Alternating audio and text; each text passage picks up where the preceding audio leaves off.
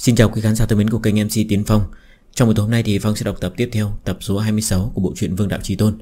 À, Các bạn nghe chuyện nếu cảm thấy vui, thú vị Hãy bớt chút thời gian à, like Và chia sẻ rộng rãi các video đầu tiên của bộ truyện này giúp Phong nhé. Và hãy đừng quên à, đăng ký kênh ủng hộ Phong. Hiện tại thì à, kênh này mình đã được à, 25.000 đăng ký của các bạn. Thì rất cảm ơn mọi người à, đã đồng hành cùng Phong Ở cái kênh mới này. À, Rất cảm ơn các bạn Và hy vọng là Kênh này sẽ được tiếp tục phát triển nữa Với sự ủng hộ của mọi người. Bây giờ thì à, xin mời các bạn vào nghe tập truyện Vương Đạo Chi Tôn, Tập 26 Trứng Hải, Trên thuyền lớn của Vương Khả. Ngươi đừng có xúc động, Được không? Cùng lắm thì Ta cho ngươi chiếc thuyền này, Ta mang theo công chúa U Nguyệt nhảy xuống biển, Được không? Ngươi đừng có xúc động. Vương Khả lo lắng khuyên nhủ không được. Ta vừa thả cô gái này ra, Ta sẽ xong đời, Nhất định người sẽ bắt được ta. Đồng An An kích động quát. Vậy người muốn thế nào? Vương Khả buồn bực nói. Ta chỉ là muốn xin người Dơ cao đánh khẽ, Tha ta một mạng. Ta chỉ là một tiểu nhân vật, Người không hùng hồ dọa người như vậy. Đồng An An gấp đến mức muốn khóc. Ta hùng hồ dọa người? Là ngươi hùng hổ dọa người thì có.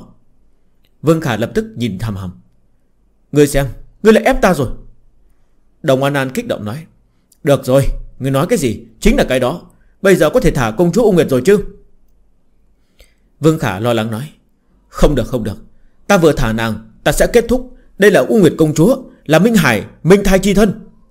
Đồng An An đỏ mắt nói Người muốn thế nào?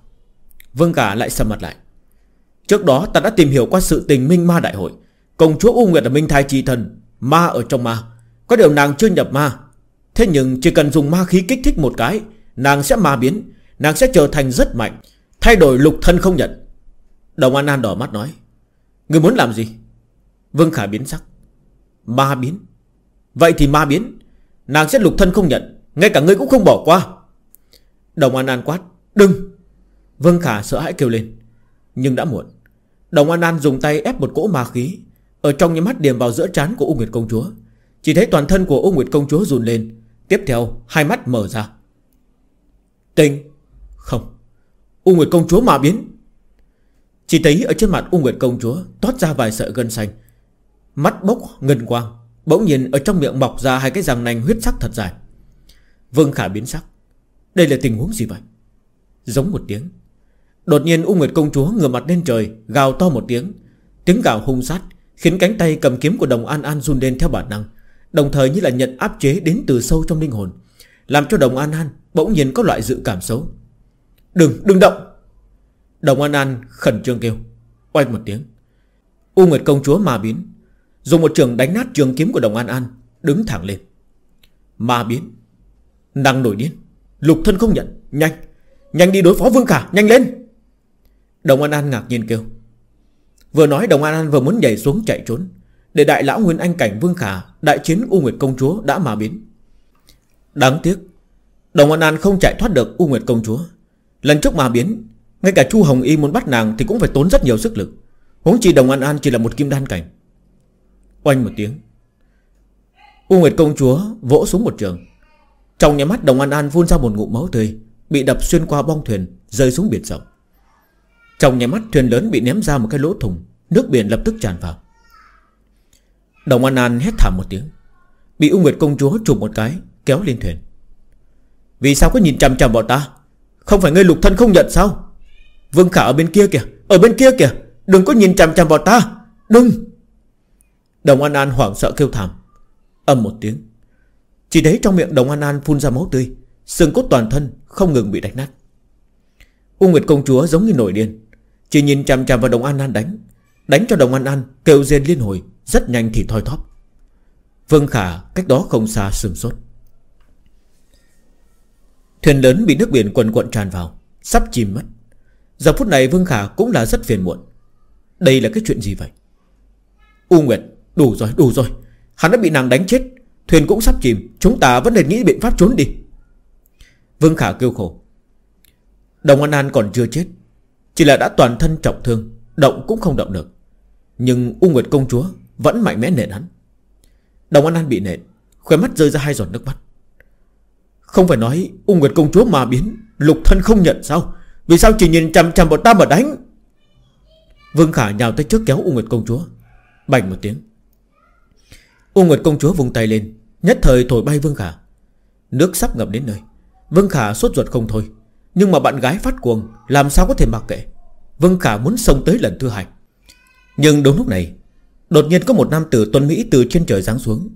Trong những mắt, nam tử kia xuất hiện Ở trước mặt Ung Nguyệt công chúa, liền dùng tay điểm một cái về phía mi tâm của Ung Nguyệt công chúa. Vừa điểm xong Ung Nguyệt công chúa bắt động, Tiếp theo ngất đi lần thứ hai, Sụi lơ xuống. Nam tử tuân Mỹ kia ôm lấy Ung Nguyệt công chúa. Ngươi là ai? Thả bạn gái ta ra! Vương Khả tức giận nói. Ung Nguyệt là để cho ngươi ôm sao? Khốn kiếp! Vương Khả lập tức lao tới, Oanh một tiếng. Một tiếng nổ thật lớn vang lên. Vương Khả bị cản lại. Dường như là giữa nam tử Tuân Mỹ và Vương Khả Xuất hiện một bức tường không khí. Chỉ một cái tường không khí vô hình này Lại đang ngăn Vương Khả lại. Thứ gì vậy? Khốn kiếp, phá cho ta! Vương Khả vung tay lên, Oanh một tiếng. Trong nhà mắt 10 thanh phi kiếm đụng vào bên trên tường không khí. Nhưng tường không khí không nhúc nhích chút nào. Nam tử kia hứng thú nhìn về phía Vương Khả. Tiểu gia hòa, Phi kiếm không ít gì nhưng mà tu vi quá yếu. Thả bạn gái ta ra, Khốn kiếp thả ra. Vương Khả quát. Vương Khả vừa giống to, vừa há miệng phun. Oanh một tiếng. Trong nháy mắt, Chọc chân khí từ trong miệng phun ra, Quần quận giống như là pháo laser, ầm ầm đục vào tường không khí. Miệng phun ra lửa. Đây đây là pháp thuật ai sáng tạo ra? Không sợ nóng miệng sao? Nam tử Tuân Mỹ kinh ngạc nói. Hiển nhiên, miệng phun pháo laser Là tuyệt chiêu của Vương Khả. Thế nhưng tuyệt chiêu cũng vô dụng. Cái tường không khí này quá mạnh, Căn bản không bắn xuyên được. Oanh một tiếng. Đại hỏa quấn quanh cái tường không khí này, Thật lâu không tiêu tan, Nhưng không thể đánh xuyên cái tường không khí này. Pháp thuật hỏa diễm thật kỳ lạ. Cái tường này của ta, Vạn bụi không nhiễm, Vạn vật không dính. Vậy mà cái hỏa diễm này có thể dính vào ư? Lại còn đốt lâu như vậy. Nam tử Tuân Mỹ ngạc nhiên nói. Sau khi cảm thấy kỳ lạ, Nam tử Tuân Mỹ nhìn về phía công chúa U Nguyệt trong ngực, Nhẹ nhàng sờ lên đầu U Nguyệt công chúa. Sờ lại vết sẹo ở trên mặt U Nguyệt công chúa, Khẽ nhíu mày. Dâm tặc, Dám làm nhục bạn gái của ta Ta giết ngươi. Vương Khả hét lớn. Trong lúc hét to, Vương Khả lập tức lao vào cái tường không khí này.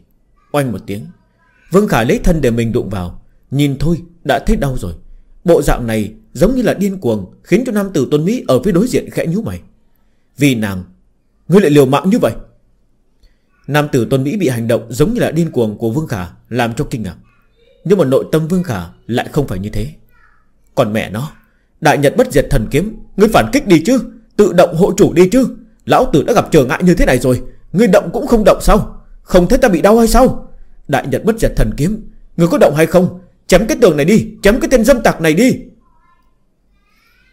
Trong lòng Vương Khả gào thét. Đáng tiếc, Bất kể Vương Khả kích thích như thế nào Đại Nhật bất diệt thần kiếm cũng không nhúc nhích Giống như là nhận định chủ nhân không bị uy hiếp tính mạng Chỉ là não ngắn tự hại mình Căn bản không có đáp lại Vương Khả. Cho dù Vương Khả Đụng đến mặt mũi bầm dập Máu mũi phun ra Đại Nhật bất diệt thần kiếm cũng không phản ứng. Đúng lúc Vương Khả gặp trở ngại Giống như lên cơn điện, Một tiếng kêu to vang lên ở trên không trung. Vương Khả Người đang làm gì thế? Một tiếng kêu to truyền tới Khiến Vương Khả như nghe được tiên nhạc. Sư tôn là ngươi, Quá tốt rồi. Vương Khả vui mừng nói, Chỉ thấy Trần Thiên Nguyên ở trong không trung Đặt chân xuống thuyền.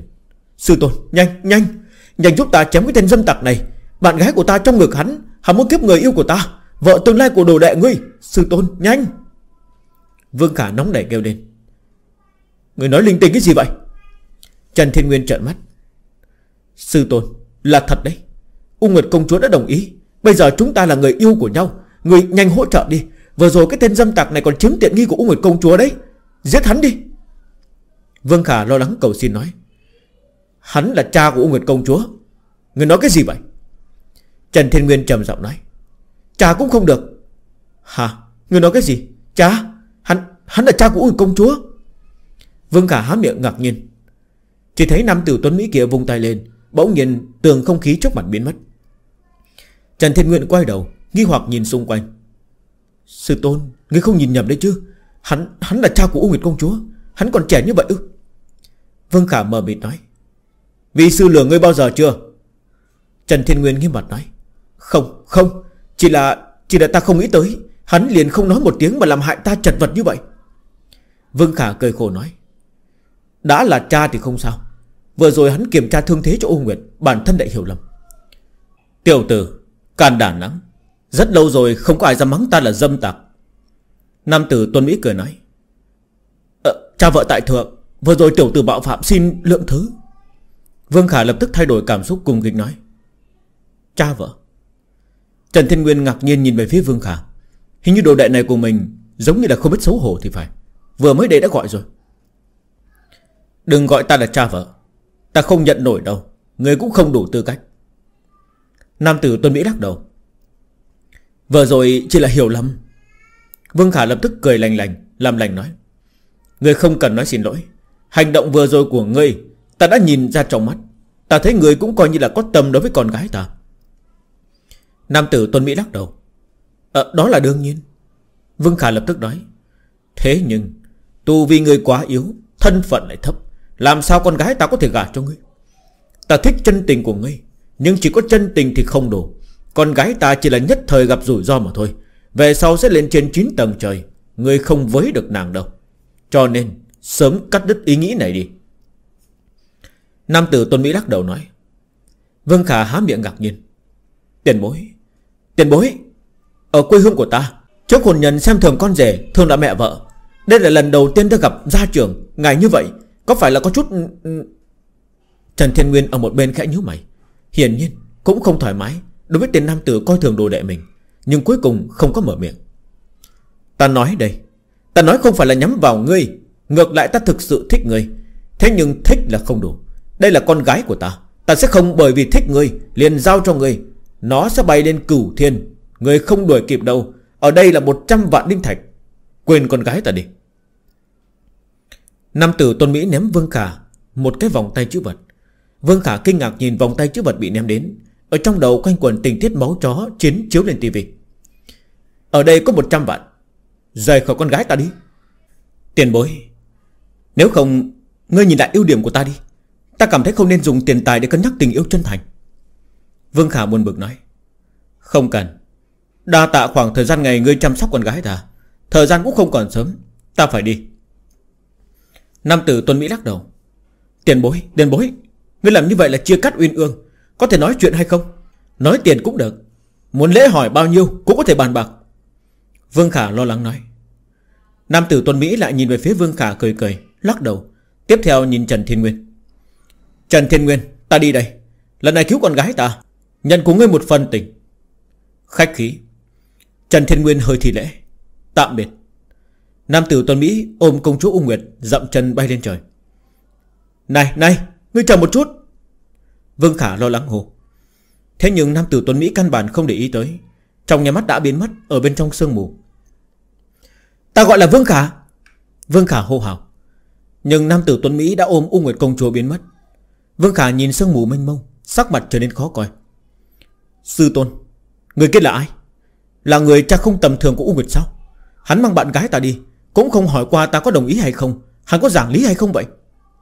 Vương Khả hết sức tức giận. Được rồi Bớt tranh cãi. Hắn có tư cách này? Trần Thiên Nguyên trầm giọng nói. Vương Khả sừng sốt. Mới tình đầu còn chưa bắt đầu của ta. Thanh xuân còn chưa có nở rộ của ta. Liền dừng ở đây sao? Ta căn bản chưa kịp chuẩn bị Dựa vào cái gì chứ? Đây là đệ tử ma giáo. Kim đan cảnh.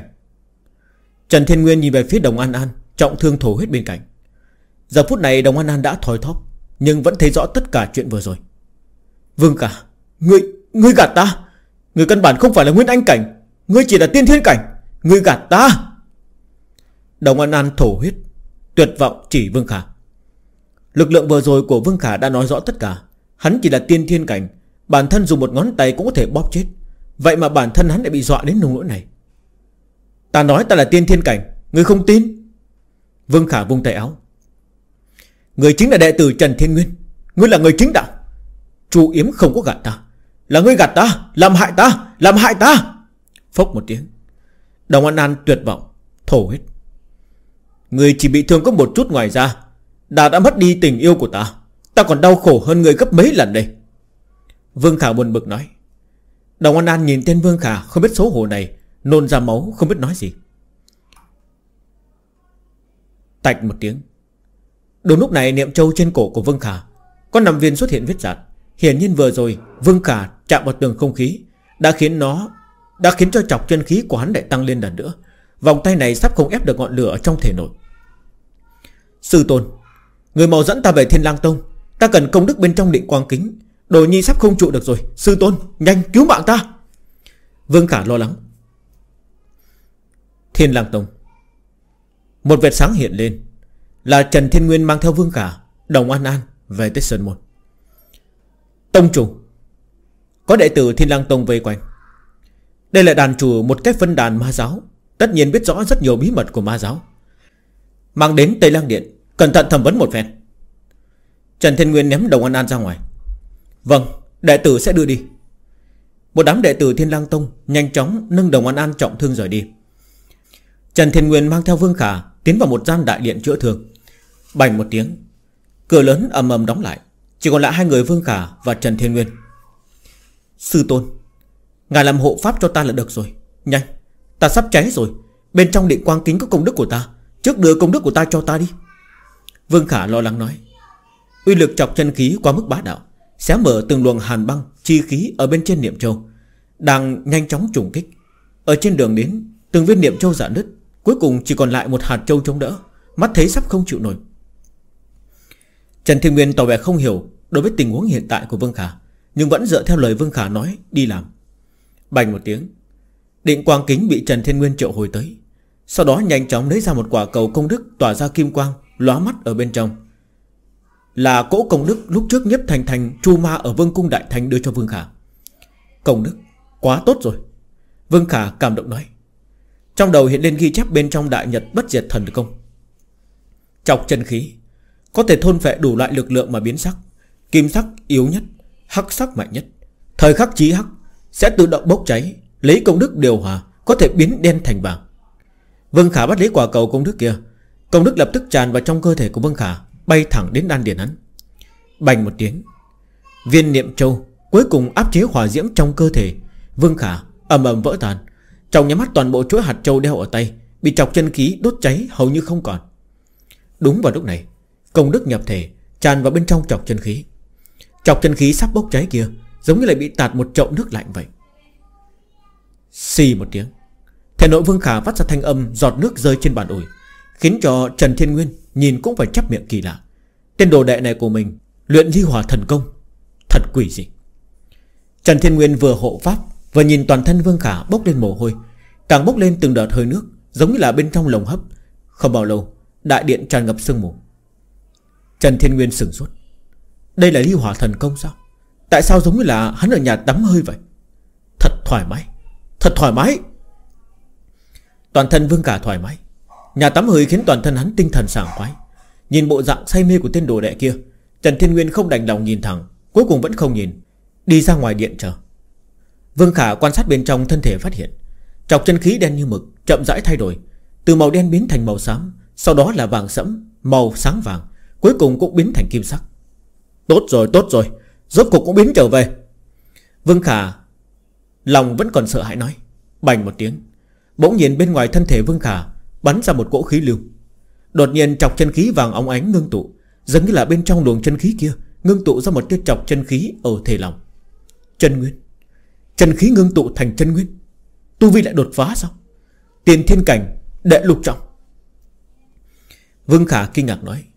Giờ phút này chọc chân khí bên trong đan điền từ khí hòa hình, Từ khí hóa hình, Vừa có thể khí, vừa có thể lòng, Nhìn qua có chút sương mù. Vương Khả biết đây là quá trình chọc chân khí biến chất. Tại sao tu vi ta lại đột phá? Đột phá nhanh như vậy làm gì? Vương Khả buồn bực nói, Bản thân còn không có nghiên cứu triệt đề Cái này lại bắt đầu biến hóa sao? Chọc chân khí hình thái sương mù. Đừng có tiếp tục thiêu thần nữa. Vương Khả tỏ vẻ phiền muộn, đứng dậy. Lúc này cửa điện mở ra lần thứ hai. Trần Thiên Nguyên đi đến Thường thế tốt chưa? Trần Thiên Nguyên hiếu kỳ nói, Tốt thì tốt, Nhưng mà tu vi ta lại không giải thích được tăng một trọng. Hiện tại đệ tử là tiên thiên cảnh, đệ lục trọng. Vương Khả tỏ vẻ phiền muộn. Đây là tình huống bình thường. Và rồi ngươi lấy quá nhiều công đức như vậy, Nếu tu vi không đột phá Thì mới là kỳ quái đó. Trần Thiên Nguyên nói, Ồ. Vương Khả khó hiểu nói, Công đức sao? Đối với tu chân giả, Chính đạo mà nói, Không chỉ có gia tăng ngộ tính nhiều khi dùng để đột phá bình cảnh, Tu hành chính là người thiên mà đi. Mà có dễ dàng như vậy đâu. Càng tu luyện càng lên cao, Thì càng gian nan. Rất nhiều người cả đời bị kẹt ở một cái cảnh giới, Không cách nào có thể tiến lên nửa tấc. Nhưng nếu có đầy đủ công đức, Sẽ có thể giúp người xông phá bình cảnh, Giống như thiên đạo đang chỉ điểm cho người vậy. Công đức càng nhiều, Tu vi càng tăng nhanh. Công đức sẽ giúp người dọn sạch tất cả nghiệp chứng trên con đường tu hành. Đây là khen thưởng của thiên đạo. Đây cũng là một trong những động lực để người trong chính đạo liều mạng Chu ma thu hoạch công đức. Trần Thiên Nguyên giải thích nói, Công đức còn có thể giúp người người ta tăng cao tu vi. Vương Khả kinh ngạc nói, Đúng vậy. Vừa rồi nếu ngươi dùng nhiều công đức như vậy, Quá lãng phí. Thông thường để dùng ở thời điểm tiên thiên cảnh đỉnh phong, Hiệu quả sẽ tốt hơn. Có thể giúp người nhất cử đạt tới kim đan cảnh. Thế nhưng, Trần Thiên Nguyên tiếc hận nói, Sư tôn, không sao. Về sau ta lại tích lũy. Vương Khả không thèm để ý nói. Vừa rồi không dùng, Ta sẽ bị thiêu chết. Ừ mà thôi, Dù sao cũng là của ngươi Ngươi dùng thế nào thì cũng được. Chỉ là những ngày này ngươi xảy ra chuyện gì? Ta nghe nói nhếp điện chủ lấy thần nuôi ma, Cùng với quần ma đồng quy vu tận, Bị ngươi phá hủy. Trần Thiên Nguyên nghi ngờ nói. Sư tôn, Khoảng thời gian này phát sinh quá nhiều chuyện, Đệ tử Vương Khả kể lại sơ tình huống trong thời gian này một lần. Đương nhiên trong phiên bản của Vương Khả Vương Khả là người rất chính trực Xử sự công chính Là tấm gương cho chính đạo. Vì cứu U Nguyệt Công Chúa Vật lộn với các đại ma đầu Thậm chí xâm nhập ma quật Cứu được đệ tử chính đạo Cuối cùng may mắn chạy ra Gặp Trần Thiên Nguyên. Đoạn đường này tất cả đám người Trương Thần Hư Chu Yếm, Chu Hồng Y, Đồng An An, Ma Tôn, Thánh Tử Đều là nhân vật phản diện. Vương khả bộ bộ kinh tâm Cựu tử nhất sinh Là khắc tinh của tội ác Tấm gương của chính đạo. Đoạn đường phập phồng thoải mái này Khiến Trần Thiên Nguyên nghe xong cũng tỏ vẻ cổ quái. Đồ đệ này nói dối thật giống, Được Ma Tôn thưởng thức. Phong làm thần long đà chủ. Ma Tôn là người bị mù lòa hay sao? Không nhìn ra ngươi là chính đạo à? Còn cùng thêm mặt trở với đệ tử ma giáo. Người cho rằng ta có tin hay không? Vương Khả, Ta biết. U Nguyệt công chúa bị cha nàng mang đi, Tạo thành đả kích rất lớn đối với người, Khiến cảm xúc người bất ổn, Tinh thần hoảng hốt. Cho nên nói năng linh tinh nhưng mà đây cũng là chuyện không cách nào. Không có U Nguyệt công chúa, Thì chân đời này vẫn có nhiều cô gái tốt. Không cần suy nghĩ nữa. Người về ngộ kiếm phòng nghỉ ngơi cho thật tốt đi. Trần Thiên Nguyên an ủi. Sư tôn, Người cho rằng ta thất tình nên dẫn đến lên cơn sao? Vương Khả buồn bực nói. Nghỉ ngơi thật tốt, Không có chuyện gì đâu. Rất nhanh sẽ trôi qua, Không cần nghĩ tới U Nguyệt Công Chúa. Trần Thiên Nguyên vỗ bà vai Vương Khả. Vương Khả ngần người. Tốn nước miếng nửa này Cuối cùng mình nói vô ích sao? Sư tôn không tin. Vương Khả cũng không cưỡng cầu, liền một mình về ngộ kiếm phòng trước. Dù sao, Lần này cũng suýt bị hỏa táng. Hắn còn rất nhiều điều không hiểu rõ Đối với Đại Nhật bất diệt thần công, Nhất định phải trở về cẩn thận nghiên cứu một lần. Mười ngày sau, Đại sư huynh trở về. Đại sư huynh trở về! Ngoài sân môn, Truyền đến âm thanh kinh ngạc vui mừng. 15 ngày sau, Nhị sư huynh trở về. Chư vị sư huynh đệ mất tích cũng quay trở về rồi. Nhị sư huynh, Các ngươi còn sống, Thật quá là quá tốt. Chúng ta cho là các ngươi không còn nữa. Nhị sư huynh, Những năm này điện chủ ra ngoài tìm ngươi, Nhưng mà ngươi một mực không có tin tức. Hiện tại trở về, quá tốt rồi. Ngoài sân môn một mảnh huyên náo. Khoảng thời gian này, Thiên đăng tông đều vô cùng náo nhiệt. Tất cả bế quan đều xuất quan. Điện chủ Đông Lang Điện không rõ sống chết. Đại sư huynh xuất trình bị tấn công. Nhị sư huynh cùng một vài sư huynh đệ gầy như là que củi trở về. Từng chuyện lớn Làm cho tất cả thiên lang tông Đều nôn nóng bất an. Mà trương chính đạo trong đám người Nghe tin tức tứ phương Cũng một trận sợ hãi thán phục. Thiên lang tông thật là náo nhiệt. Không được, Ta phải đi nhìn xem Vương Khả thế nào rồi. Vừa rồi đi hỏi thăm Trần Thiên Nguyên Về tình huống liên quan tới công chúa U Nguyệt. Trần Thiên Nguyên nói cha nàng gặp con Vương Khả rồi, Còn Trường chính đạo vô cùng lo lắng Chạy đến ngô kiếm phòng. Nghĩ thầm, Cha công chúa U Nguyệt từ chối Vương Khả, Nhất định khiến Vương Khả rất khó chịu. Đã nhiều ngày như vậy, Không xuống ngộ kiếm phong một lần. Lúc trường chính đạo đi đến quảng trường ngộ kiếm điện, Đang muốn đến an ủi Vương Khả, Thì toàn bộ lời nói đều nghẹn ở trong lòng. Chỉ thấy phía trên quảng trường ngộ kiếm điện Đặt một cái ghế nằm. Trên ghế nằm, Vương Khả mặc quần đùi đi biển Mà Trương Chính Đạo chưa từng thấy, Nằm phơi nắng ở một cái tư thế cực kỳ gọn đòn Quan trọng là, Bên cạnh còn có một cái dù tre. Như vậy phơi nắng cái rắm à? Đại tử vương gia đứng bên cạnh Đưa nước trái cây ướp lạnh lên cho Vương Khả uống một ngụm Lại lôi xuống.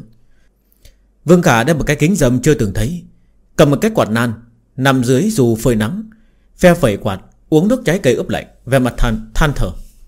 Hắn không nhìn ra trò gian trá bên trong đại nhật bất diệt thần công Nói nhảm nhất nhiều Nhưng cuối cùng tổng kết một câu Chính là cứ mò mẫm luyện trước Sự tình về sau Thì sau hãy nói. Vương Khả cũng không có gì để nói nữa. Ta không nắm được tình yêu. Cứ chờ mắt nhìn nó chạy đi. Khắp nơi trên thế giới đều là người hạnh phúc. Vì sao lại không có ta? Trường chính đạo nghe Vương Khả khẽ hát, Sắc mặt mờ mịt. V Vương Khả, Người như này lại đang đau khổ à? Trường chính đạo mờ mịt đi tới. Vương Khả liếc mắt nhìn Trương Chính Đạo đi tới, Không để ý đến, Tiếp tục phe về quạt nan Vương Khả Người sống qua ngày thật là sảng quái Ta nghe nói cha của U Nguyệt Công Chúa Cho ngươi 100 vạn tiền chia tay đúng không? Trường Chính Đạo đỏ mắt nói. Đại ca, Ta đang thất tình mà, Ngươi không nhìn ra sao? Còn nói chuyện tiền với ta? Vương Khả không để ý tới. Thất tình Thất tình cái rắm ấy. Vương Khả, Không phải ngươi chỉ thích tiền thôi sao? Tại sao trước kia ta không nhìn ra ngươi có hứng thú đối với nữ nhân? Người khẳng định là cảm thấy lừa bịp không đủ tiền đúng không? Trường chính đạo trận mắt nói. Trước kia là không gặp được người phụ nữ khiến ta rung động. Khó khăn lắm mới gặp được một người, Lại bị ép chia rẽ. Người không đồng cảm thì thôi, Lại còn sát muối lên vết thương của ta. Vương Khả gắt lên với trường chính đạo. Không có cách nào. Cha công chúa U Nguyệt, Nói một là một, Nói hai là hai Người bỏ cái ý nghĩ đó đi. Trường chính đạo lắc đầu. Sư tôn ta nói như vậy Người cũng nói như vậy à? Người một chút đồng cảm cũng không có, đây chính là mối tình đầu của ta đấy. Vương Khả mắng. Mối tình đầu? Người tu luyện nhiều năm như vậy Chỉ có người phụ nữ này lọt vào mắt thôi sao? Đừng có như vậy Trên đời này còn rất nhiều phụ nữ. Người lại có tiền như vậy? Trường chính đạo không tin nói. Tình yêu là thần thánh Làm sao có thể dùng tiền tài để làm bẩn Dung tục? Vương Khả khinh bỉ mắng một câu. Người, người thực sự là lần đầu động tâm với phụ nữ. Trường chính đạo kinh ngạc nói. Đúng vậy Loại người như ta Yêu một người liếc mắt đã cả một đời Sợ là về sau sẽ không bao giờ yêu người khác. Vương Khả lắc đầu. Tại tại sao ta cảm giác Người đang không biết xấu hổ nói vậy? Trường chính đạo tỏ vẻ hiếu kỳ. Vương Khả nhấp một hớp nước trái cây ướp lạnh Chợt mắt trận mắt nhìn trường chính đạo. U Nguyệt công chúa thực sự là mối tình đầu của ngươi. Vậy thì ngươi thảm rồi. Trường chính đạo cổ quay nói, Là mối tình đầu của ta ở trên mảnh đất này. Vương Khả nhấn mạnh một câu, Mối tình đầu ở trên địa cầu Không tính trên viên tinh cầu này được. Trên ngộ kiếm phong. Vương Khả, câu được câu không? Nói với trường chính đạo. Vương Khả bó tay đối với cha con công chúa U Nguyệt. Chính mình cũng rất bất đắc dĩ. Hỏi sư tôn Sư tôn nói thẳng không vui. Ngay cả một tia hy vọng đều không có. Cha nàng là cự phát chính đạo nào đó. Cự phát chính đạo không tầm thường. Vương Khả, Không phải ta nói ngươi, Nhưng ngươi vẫn nên từ bỏ ý nghĩ này đi. Cha U Nguyệt công chúa Nói một là một, nói hai là hai. Không nói, Ngươi chỉ là tiểu đệ Thiên lang Tông. Coi như là ngươi là tông chủ Thiên lang Tông Thì cũng không được đâu. Trương Chính Đạo giải thích. Cha nàng cường điệu đến như vậy ư? Vương Khả tỏ vẻ cổ quái nói. Rất khoa trương. Dưới một người trên vạn người, Nếu như cha nàng là cự long, Thì ngươi chính là con run. Trương Chính Đạo ví von. Ngươi mới là con run. Vương Khả trợn mắt nhìn Trương Chính Đạo. Vương Khả Người nghĩ nhiều như vậy, vô dụng thôi. Vẫn nên nghĩ trước mắt đi. Trường chính đạo khuyên nhủ. Trước mắt cái gì? Vương Khả câu mày nói. Ví dụ như, Lần trước ngươi ở Chu Tiên Trấn vừa vét tiền tài của chính ma lượng đạo, Có phải nên chia cho ta một phần hay không? Trường chính đạo mong đợi nói. À Người không nói ta cũng quên đấy. Ta còn một chuôi phi kiếm, Một cái vòng tay chữ vật rỗng ở chỗ người nữa. Chừng nào thì ngươi trả lại cho ta? Vương Khả nhớ lại. Vương Khả, Ngươi Người khinh người quá đáng. Trường chính đạo lập tức nhảy dựng lên. Làm sao? Ngươi mượn đồ của ta không định trả à? Phương Khả trợn mắt, nói Người có nhiều tiền như vậy, Còn nhìn chằm chằm vào trong túi của ta? Trường chính đạo tức giận nói, Ta lấy đâu ra tiền? Chút tiền này của ta Đều là tiền mồ hôi nước mắt, Dùng mệnh để đổi lấy đấy. Vương Khả trợn mắt nhìn Trương Chính Đạo, Người không nhiều tiền, Đó là khi so sánh với cha U Nguyệt Công Chúa, Còn khi ngươi so với ta, ngươi không có tiền sao? Trương chính đạo buồn bực nói, Bỗng nhiên Vương Khả trầm mặt lại Thế nào? Bị ta nói trúng rồi sao? Xem người còn khóc còn nghèo ư? Hừ. Trường chính đạo tức giận nói, Không phải. Ta đã đang nghĩ câu nói vừa rồi của ngươi. Cha U Nguyệt công chúa có nhiều tiền sao? Vương Khả trịnh trọng nói, Đương nhiên, Không thấy tiền chia tay cho ngươi, Chính là 100 vạn sao? Ngươi còn cảm thấy nhục nhã. Nếu mà nhục nhã như vậy, Thì lần sau làm phiền ngươi gọi ta lên. Ta nguyện ý bị nhục nhã 100 lần. À không. Ta nguyện ý bị nhục nhã đến khi hắn phá sản thì thôi. Trường chính đạo ghen tị nói, Vậy nếu tiền của ta còn nhiều hơn so với cha nàng Cha nàng có ngăn cản ta và U Nguyệt không?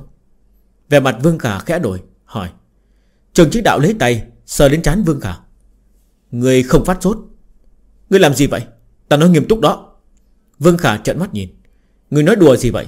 Người có thể so với cha nàng sao? Tài phú của cha nàng có nhiều hơn so với toàn bộ thập vạn đại sơn. Người lại muốn so với cha nàng. Trường chính đạo tỏ vẻ xem thường. Vương Khả trầm mặc một hồi Quyết định như vậy đi, Trước kiếm tiền, Mẹ nó. Dám dùng tiền đập ta, Là cha vợ ta cũng không được. Trở về, Ta dùng tiền đập chết hắn. Không phải ngươi là thiết công kê sao? Không phải là vu bùn xỉn sao? Vẫn còn tiền đập à? Ngươi lên cơn chắc. Trường chiến đạo trợn mắt kinh ngạc nói. Ngươi thì biết cái gì? Ta bùn xỉn là vì tiết kiệm, Không phải là vì keo kiệt, Không cần tiêu tiền, Tại sao phải lãng phí? Thời điểm cần tiêu tiền, Tự nhiên không thể do dự. Vương Khả trợn trừng mắt. Người Người nói dùng tiền đập chết hắn, Đây không phải là xài tiền bậy bạ sao? Trường chính đạo kinh ngạc nói, Ta nói đập chết hắn, Chứ không nói đưa cho hắn, Đập qua đập lại kiếm về không được sao? Vương Khả trận trắng mắt, Không ngờ là như thế. Người kiếm tiền cho cha nàng nhìn, Chỉ là khoe khoang giàu sang sao? Làm mù mắt hắn mà thôi. Trường chính đạo mờ mịt nói, Thế người còn muốn thế nào? Vương Khả trận mắt nhìn Trương Chính Đạo, Ta cho rằng Hắn không thiếu tiền. Chẳng qua là cảm thấy ta không xứng với U Nguyệt Công Chúa. Ta khoe một lần, Khiến hắn cảm thấy xứng là được rồi. Vương Khả đương nhiên nói, Ta còn tưởng rằng, Quả nhiên, Đây mới là phong cách của thiết công kề người Trường chính đạo cổ quay nói, Cút đi. Vương Khả mắng một câu, Vấn đề là Người đi chỗ nào kiếm tiền? Trường chính đạo nói, Vương Khả rơi vào trầm tư, Giống như đang ngẫm nghĩ Làm sao mà kiếm tiền.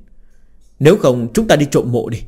Ta biết mấy đại mộ Trước kia không tiện Hiện tại có thân phận đệ tử Thiên lang Tông, Có thể thử xem. Trường chính đạo mong đợi nói, Trộm mộ tổn hại thanh danh, Không được. Vương Khả lắc đầu, Cái gì mà tổn hại thanh danh? Thanh danh thì có tác dụng chó gì? Trước kia ngươi trộm mộ, Không phải là cũng trộm rất vui sao? Rất nhiều kỹ xảo trộm mộ, Ta đều không biết, Nhưng mà ngươi lại dễ như trở bàn tay. Trường chính đạo trợn trắng mắt nói, Cái dám ấy, Trước kia là không có thành danh, Ta mới không quan tâm thành danh, Hiện tại ta lỡ là người có thành danh Tại sao có thể không quan tâm? Lại nói, Trộm mộ thì được bao nhiêu tiền? Người chết có bao nhiêu tiền chứ? Chẳng lẽ ta phải không cần để thành danh để đi trộm mộ với người sao? Vương Khả khinh bỉ nói, Ý tứ gì? Trường chính đạo mờ mịt nói, Người biết hai chữ danh lợi Có ý gì không? Vương Khả trịnh trọng nói, Danh lợi. Danh lợi danh lợi. Cách tên thì sẽ có lợi. Hiện tại ta đổi danh, Có thành phận, có thân phận, có địa vị, Mẹ nó. Tài nguyên quần quận bày ở trước mặt ta. Ta không lấy, Ta lại đi trộm mộ tổn thương thanh danh trục lợi nhỏ. Ta bị bệnh đâu? Vương Khả khinh bỉ nói. Thanh danh? Cái đồ chơi này là có thể biến ra tiền sao? Tại sao ta không biết nhỉ? Đệ tử Thiên lang Tông nhiều như vậy, Sao ta không nhìn thấy mấy người phát tài? Trường chính đạo không tin nói. Đó là bởi vì Bọn họ không biết cách lợi dụng thân phận của mình. Nhìn xem, Có một chỗ dựa lớn như là Thiên lang Tông Ra cửa, Hơi động môi là có thể lấy được lượng tiền lớn vào trong túi, Bọn họ lại không lợi dụng. Vương Khả lắc đầu khinh bỉ nói. Trường chính đạo trận mắt nhìn về phía Vương Khả. Ngươi chỉ khoác lác, Hơi động mồm mép là có thể kiếm tiền chắc. Tại sao ta không thấy ngươi làm được việc bao giờ? Trường chính đạo mới nói nửa câu Thì bỗng nhiên cương cứng tại đó. Bởi vì trường chính đạo chợt nhớ tới, Cái tên Vương Khả này chính là người tài giỏi như vậy. Hắn kiếm tiền Không phải chỉ là động mồm mép thôi sao? Ê, Vương Huynh, Không À Vương Ca Ta ờ, Ta với người lăn lộn Người mang theo ta với. Chúng ta cùng đi kiếm tiền Có được không? Bỗng nhiên trường chính đạo thay đổi Ra vẻ nịnh nọt. Vương Khả kinh ngạc nhìn về phía trường chính đạo. Vương ca Ngươi xem Ta cũng tính là nhân tài Công việc gì bẩn thỉu Không biết xấu hổ Đều có thể giao cho ta. Ngươi ngồi ở kia nghỉ ngơi một chút là được. Việc gì khổ sở cứ giao tất cho ta. Chúng ta phối hợp ăn ý. Trường chính đạo lập tức lấy lòng nói. Khuôn mặt Vương Khả Giật giật. Nụ cười này của ngươi quá giả Đừng có làm như vậy. Ta nhìn thấy cũng chán ghét. Sợ cơm sáng đồn ra. Hey, Được Vương Huynh. Ngươi đồng ý là được mà. Vậy sau chúng ta cùng kiếm tiền. Vương Huynh Chúng ta phải kiếm như thế nào nhỉ? Về mặt trường chính đạo lập tức nghiêm lại. Kiếm tiền Đầu tiên phải có một cái danh hào. Vương Khả cao mày nói. Danh hào? Ta hỏi ngươi Ta kiếm tiền có kỳ diệu hay không? Vương Khả nhìn về phía trường chính đạo. Kỳ diệu quá kỳ diệu. Lúc ở chu tiền chấn Ngươi chẳng những làm trò trước mặt tà ma, Còn lấy được tiền của tà ma, Lấy tiền chính đạo. Cuối cùng có chuyện gì cũng không xảy ra. Quá là không biết xấu hổ. À không, quá là kỳ diệu. Trường chính đạo lập tức nịnh nọt.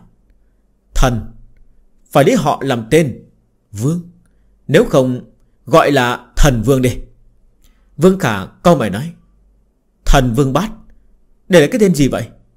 Trường chính đạo kinh ngạc nói, Thần vương bát cái mẹ nhà nó Là thần vương. Thần vương hiểu không? Công ty thần vương. Vương Khả trận mắt nói. Công ty là cái gì? Trường chính đạo khó hiểu nói. Công ty thì giống như là hiệu buôn đấy Vương Khả giải thích nói. Hiệu buôn? Vậy thì gọi là thần vương, hiệu buôn không được à? Trường chính đạo hiếu kỳ nói. Gọi là công ty thần vương, Hiệu buôn của người khác làm sao có thể giống với công ty của ta? Bọn họ vẫn còn ở giai đoạn nguyên thủy ngu muội. Cái công ty này của ta Dùng phương thức hiện đại hóa kinh doanh Bọn họ có thể so được chắc. Vương Khả trợn mắt nói. Công ty thần vương. Ừ, Vậy người mua bán cái gì? Trường chính đạo hiếu kỳ nói. Cái gì cũng bán. Quản lý tài sản Dự trữ Cho vay Cổ phiếu Súng ống đạn dược Hậu cần Thức ăn Gọi xe. Cái nào kiếm được tiền thì bán cái đó Cái gì cũng được. Vương Khả giải thích nói. Những thứ này là cái gì? Tại sao ta không nghe hiểu gì hết? Trường chính đạo mờ mịt nói. Đương nhiên là ngươi không hiểu rồi. Ta còn đã bắt đầu bán đâu?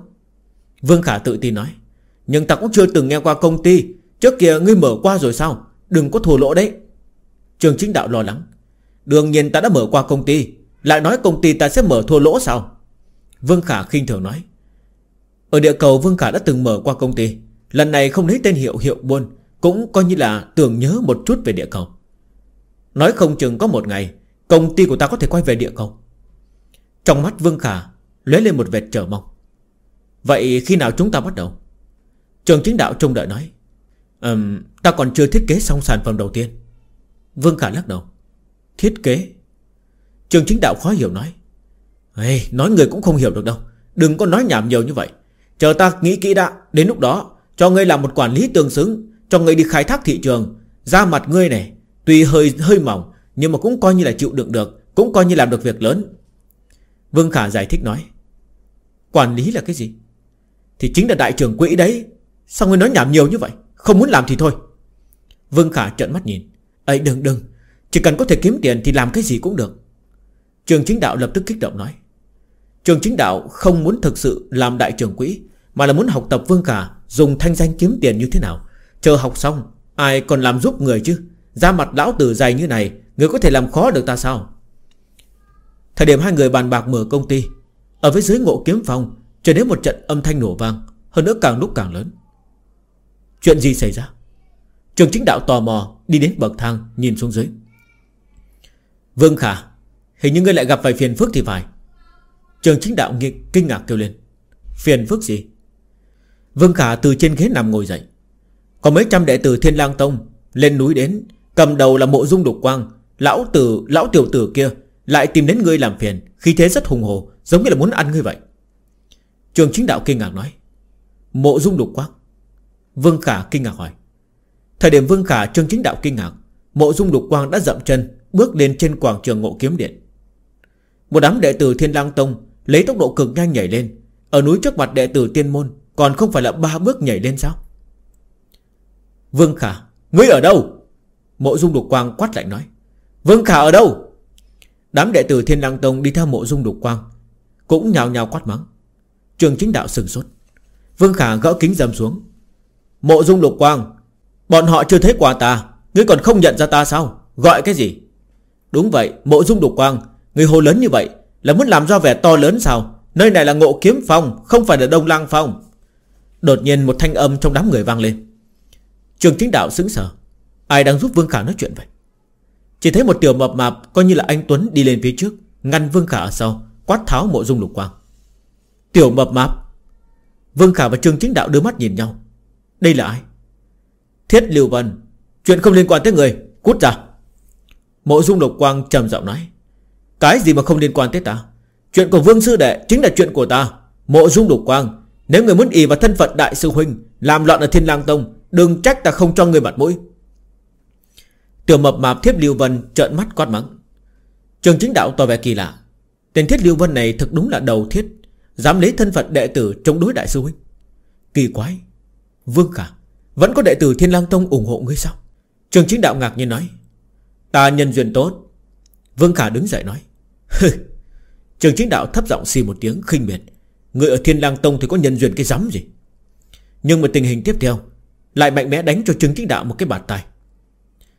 Chỉ thấy Có một đám đệ tử Thiên Lang Tông Đứng ở bên cạnh Thiết Điều Vân, Bảo vệ Vương Khả sau lưng, Nhìn mộ dung lục quang hầm hầm Đại sư Huynh, Khoảng thời gian này chúng ta không ở Thiên Lang Tông, Người đã tùy ý làm bệnh như vậy sao? Vứt bỏ quy củ Thiên Lang Tông, Người không bẩm báo các lộ điện chủ, Đã mạnh mẽ sống tới ngộ kiếm phong. Một đám đệ tử Thiên Lang Tông trợn mắt nói, Thiết Điều Vân, Người thực sự muốn đối đầu với ta? Khư khư cố chấp che chở Vương Khả. Mộ Dung Đục Quang lạnh lùng nói không sai.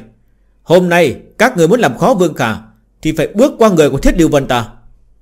Tiểu mập mạp, Thiết Điều Vân trợn mắt nói. Còn có ta, Còn có ta. Một đám người ủng hộ Thiết Điều Vân Ngăn cản mộ dung lục quang. Hình như có rất nhiều người ủng hộ Thiết Điều Vân, Cùng Thiết Điều Vân đối chọi mộ dung lục quang. Đệ tử Thiên Lang Tông cũng dần dần chia làm hai phái, Số lượng hai phái thế mà ngang nhau. Trường chính đạo tỏ vẻ không hiểu, Nhìn về phía Vương Khả. Thực sự đã gặp quỷ rồi. Tại sao lại có nhiều đệ tử Thiên Lang Tông ủng hộ ngươi như vậy? Không đúng. Tên Vương Khả không biết xấu hổ này. Cũng có người ủng hộ sao? Mẹ nó. Vương Khả mới đến Thiên Lang Tông bao lâu? Mới mấy tháng. Hơn nữa phần lớn thời gian còn không ở trong tông. Tiếp tục qua mấy năm, Không phải Thiên Lang Tông phải đổi tên thành Vương Lang Tông à? Vị thiết sư huynh này, Ngài biết ta sao? Vương Khả tiến lên, ra vẻ cổ quái nhìn tiểu mập mạp Thiết Lưu Vân. Lúc này Thiết Lưu Vân mới nhìn về phía Vương Khả. Sư đệ, là ta đây. Ngươi không nhận ra ta sao? Ngươi là Vương Khả hiếu kỳ nói. Ta được trở về nửa tháng rồi. Nghe nói sư đệ thất tình, Nghĩ người muốn yên tĩnh một chút, Cho nên ước thúc mọi người không được đến quấy rầy sư đệ. Nghe nói hôm nay Đại sư huynh tìm đến sư đệ ngươi làm phiền. Ta mới gọi mọi người cùng nhau đến Là ta. Ngươi nhìn lại đi. Tiểu mập mạp thiết điêu vân mong đợi nói. Vương sư đệ, Hắn là nhị sư huynh. Một tên đệ tử thiên lang tông bên cạnh cười giải thích. Nhị sư huynh À Người thay đổi thật nhiều đấy. Hơn nửa tháng không gặp Người lên cân rồi sao? Ta không nhận ra được này. Vương Cả kinh ngạc nói. Vương sư đệ Ngươi nhận ra là tốt rồi. Những ngày này chúng ta đã nghe qua một chút ân oán giữa ngươi và đại sư huynh. Ngươi cứ yên tâm. Có chúng ta ở đây Tuyệt sẽ không để ngươi bị người một nhà bắt nạt đâu. Thiết Điều Vân lập tức vỗ ngực nói. À, Mình nghỉ ở đây cho mọi người. Và hẹn gặp lại các bạn ở tập tiếp theo. Xin chào. Xin chào quý khán giả thân mến của kênh MC Tiền Phong. À, Trong buổi tối hôm nay thì Phong sẽ đọc tập tiếp theo của bộ truyện à, Vương Đạo Trí Tôn Tập số 27 à, Các bạn nghe chuyện nếu cảm thấy vui và thư giãn thì hãy đừng quên à, like và giúp Phong chia sẻ rộng rãi các video đầu tiên của bộ truyện này nhé. À, Phong xin chân thành cảm ơn. Và bạn nào có thể donate ủng hộ Phong để có thêm chi phí mua tác quyền của bộ truyện này Hiện tại bộ truyện này vẫn đang tiếp tục được dịch. Thì các bạn có thể à, ủng hộ theo các hình thức Mình đang để ở trên màn hình Bao gồm là tài khoản ngân hàng Vimomo hoặc là tài khoản Paypal. Tiến Phong xin chân thành cảm ơn. À, Trở lại với tập trước của bộ truyện. Thì chúng ta đã thấy U Nguyệt Công Chúa đã được à, cha của mình dẫn đi Và Vương Khả thì đã về lại được Thiên Lang Tông Nhờ vào công đức ở định quang kính để tiếp tục tu luyện.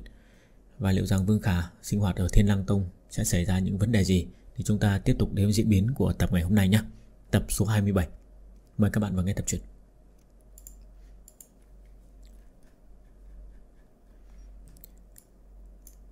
Nhị sư huynh Thiết Lưu Vân, Bảo vệ ở bên cạnh Vương Khả. Cho dù mộ dung lục quang muốn tìm Vương Khả gây phiền phức, Thì cũng không cho phép. Mà Vương Khả còn phát hiện, Uy vọng của Thiết Lưu Vân Không thua mộ dung lục quang bao nhiêu. Mộ dung lục quang, Lòng dạ người quá hẹp hòi, Vẫn còn ghen với Vương Khả sao? U Nguyệt công chúa đã bị cha nàng mang đi Vương Khả, trong này đau khổ hơn nửa tháng. Người không thấy sao? Trường chính đạo kêu lên. Hừ, Mộ dung lục quang ta Là người thấy việc công trả thù tư sao? Mộ dung lục quang trợn mắt. Không phải à?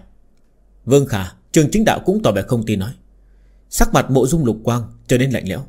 Vương Khả, Đừng có giả bộ ngớ ngẩn để lừa ta. Hôm nay tới, Chính là muốn người nói rõ ràng quan hệ cùng ma giáo. Ta và ma giáo? Vương Khả nhớ mày. Không sai. Giả sử muốn đồng quy vu tận cùng với quần ma ở vương cung Đại Thành, Vì sao ngươi lại cứu quần ma, Giết sư tôn ta? Mộ dung đồ quang lạnh lùng nói. Vương Khả còn chưa mở miệng, Thiết Điều Vân đã một bên trợn mắt nói. Mộ dung lục quang, Ngươi đừng vu khống người. Nhấp điện chủ, Không Nhấp diệt tuyệt vẫn còn sống. Ta tận mắt nhìn thấy, Không sai. Một đám đệ tử đi theo nhị sư huynh Trốn về trận mắt nói. Hơn nữa, Hiện tại nhiếp diệt tuyệt đã nhập ma Sư tôn ngươi, gia nhập ma giáo Ngươi không đi tìm nhất diệt tuyệt hỏi thăm Ngươi tới chất vấn Vương Khả làm cái gì? Thiết Điều Vân khiển trách quát mắng. Cái gì? Chúng đệ tử Thiên Lang Tông ở xung quanh xì xào bàn tán Về mặt không tin. Người đánh giấm! Mộ dung lục quang trận mắt nói. Chúng ta đều tận mắt nhìn thấy, Không giả được. Hơn nữa khoảng thời gian này các đại tiên, Các đại tiên môn đều lan truyền. Tại các người đều bị điếc à? Nhếp diệt tuyệt là ngũ đường chủ của ma giáo, Mở minh ma đại hội. Thiết Lưu Vân quát. Đó là gia sư lấy thương, lấy thân nuôi ma Muốn đồng quy vô tận cùng với quần ma Thiết Lưu Vân, Người dám vu khống gia sư, Đừng trách ta kiếm hạ vô tình. Mộ dung lục quang nắm lấy trường kiếm, Lạnh lùng nói. Đến đây, Nhập ma thì chính là nhập ma, Chúng ta tận mắt nhìn thấy, Chẳng lẽ còn có thể giả? Thiết Lưu Vân lạnh giọng khiển trách quát mắng. Đại sư huynh, Nhị sư huynh Thiên lang Tông lập tức dương cung bản kiếm, Giống như là muốn đại chiến. Hai vị hai vị, Nghỉ ngơi một chút cho ta chút mặt mũi được không? Vương Khả tiến lên khuyên nhủ. Trường chính đạo ở một bên tỏ vẻ cổ quái. Cái tên Vương Khả này tới khuyên à? Bọn họ tới tìm người gây phiền toái. Người khuyên càn cái rắm mà. Vương sư đệ, Không phải ta nói chuyện nóng này. Tất cả đệ tử Thiên Lang Tông Đều biết ta vì người. Ta đổi giận lúc nào? Lần này mộ dung đục quang hơi quá đáng. Vậy mà hắn lại ở trước mặt mọi người vu khống ngươi. Thiết Lưu Vân tức giận không thôi. Ta vu khống chỗ nào? Là người Tây Lăng Điện điều tra được. Mời ta đến hỏi thăm kết quả. Mộ dung lục quang trầm giọng nói. Ồ, Nói cách khác, Người Tây Lăng Điện hoài nghi ta, Sau đó coi như đại sư huynh Như là vũ khí để sử dụng, Mượn đao giết người. Kết quả đại sư huynh còn chưa bắt đầu giết, Nhị sư huynh đã giúp ta cản lại. Không ngờ là như vậy, Tất cả những thứ này đều là do người Tây Lăng Điện gây lên. Vương Khả phân tích nói. Hả? Chúng đệ tử Thiên Lang Tông biến sắc. Trong nhà mắt ánh mắt mọi người Nhìn về phía một tên đệ tử áo trắng sau lưng mộ dung lục quang. Chuyện không liên quan tới ta. Ta chỉ là mời đại sư huynh xác nhận một chút. Ta không nghĩ tới. Tên sư đệ áo trắng kia lập tức bối rối. Bạch Cân Ngươi đừng sợ. Có cái gì cứ nói. Nói đi. Mộ dung lục quang trịnh trọng nói. Bạch Cân Ngươi là người cũ của Tây Lang Điện. Nói chuyện phải chịu trách nhiệm. Thiết Liêu Vân cũng lạnh lùng nói. Ta, Đây là chức trách của ta. Ta có lý do hoài nghi. Bạch Cân lập tức hết dũng khí nói. Ồ Mọi người nhìn về phía Bạch Cân. Tây Lang Điện. Nhị sư huynh, Chức trách của Tây Lang Điện là gì? Vương Khả Hiếu Kỳ nói. Thiên Lang Tông có tứ đại Lang Điện, Đều có chức trách. Đông Lang Điện trả miêu trừ ma, Bảo vệ Thiên Lang Tông, Chuyên nội thủ và ngoại công. Thiết Điều Vân giải thích. Ồ, Ta là người đứng đầu Nam Lang Điện. Nam Lang Điện có chức trách, Chuyên chiêu thu đệ tử. Đại bộ phận đệ tử Thiên Lang Tông Đều do Nam Lang Điện ta phụ trách tuyển nhận. Thiết Lưu Vân giải thích. Khó trách. Vương Khả gật đầu một cái. Uy vọng của mộ dung lục quang là chiến đấu đi ra, Bởi vì lúc chu ma chiến hung mãnh nhất, Cho nên được đại bộ phận đệ tử Lăng Thiên Tông ủng hộ. Uy vọng của Thiết Lưu Vân là nhân tình. Phần lớn mọi người đều do Thiết Lưu Vân chiêu nhập tiên môn. Mọi người không cảm kích Nam Liên, Nam Lang Điện sao? Phần nhân tình này vào tiên môn, Đã định trước Thiết Lưu Vân Đứng đầu Nam Lang Điện được người ủng hộ. Về phần Tây Lang Điện, Phụ trách chấp pháp, Phụ trách thẩm vấn Phụ trách điều tra tình báo. Bên ngoài tra rõ thiên hạ, Bên trong giám sát tông môn. Tên Bạch Cân này chính là người phụ trách tra hỏi. Thiết Điều Vân trợn mắt nói, Vương Khả vừa nghe đã hiểu, Công việc của Tây Lang Điện có chút bẩn thỉu, Nên không được người chào đón. Bạch Cân, Người mau nói, Đông Lang Điện ta có trách chức bảo vệ Thiên Lang Tông, Nếu có người ma giáo trà trộn vào, Ta chắc chắn còn giúp người chạm. Mộ dung lục quang trịnh trọng nói, Bạch Cân, Người nói cho rõ ràng, Người dám vu khống Vương Khả Đừng trách ta không cho Tây Lang Điện ngươi mặt mũi. Thiết Lưu Vân cũng lạnh lùng nói. Tất cả mọi người nhìn về Bạch Cân. Bạch Cân tỏ vẻ đắng chát. Đúng. Nửa tháng trước Tông Chủ mang về một tên tù phạm ma đạo, Đồng An An. Chúng ta đã trao hỏi Đồng An An. Tên tà ma Đồng An An kia khai, Vương Khả làm bạn cùng tà ma, Xưng huynh gọi đệ với tà ma, Càng từng cứu thánh tử ma giáo. Cho nên chúng ta mới hoài nghi, Phải chăng Vương Khả đã bị ma giáo ma hóa, Ẩn núp vào Thiên lang Tông ta? Hả? Chúng đại tử Thiên lang Tông sững sờ, Đều nhìn về phía Vương Khả. Lời nói vô căn cứ.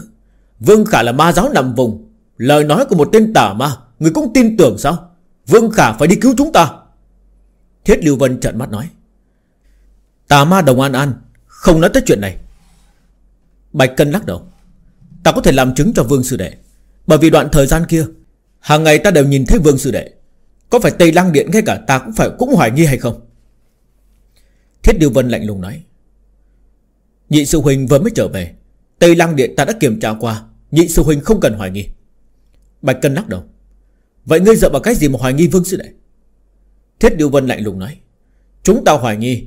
Lần này đám người nhị sư huynh có thể trốn về Cũng là âm mưu của ma giáo, Vì cái lá chắn cho Vương Khả. Bạch Cân trịnh trọng nói. Cái dám ấy. Thiết Điều Vân trợn mắt nói. Người đang hoài nghi con mắt của ta? Không. Hắn không chỉ hoài nghi con mắt của Thiết Lưu Vân, Mà còn hoài nghi con mắt của Tông Chủ. Vương Khả được Tông Chủ tự mình cứu trở về. Tông Chủ không phân rõ Vương Khả là chính hay ma. Còn ngươi thì nhìn ra. Trường chính đạo ở một bên cười lạnh nói.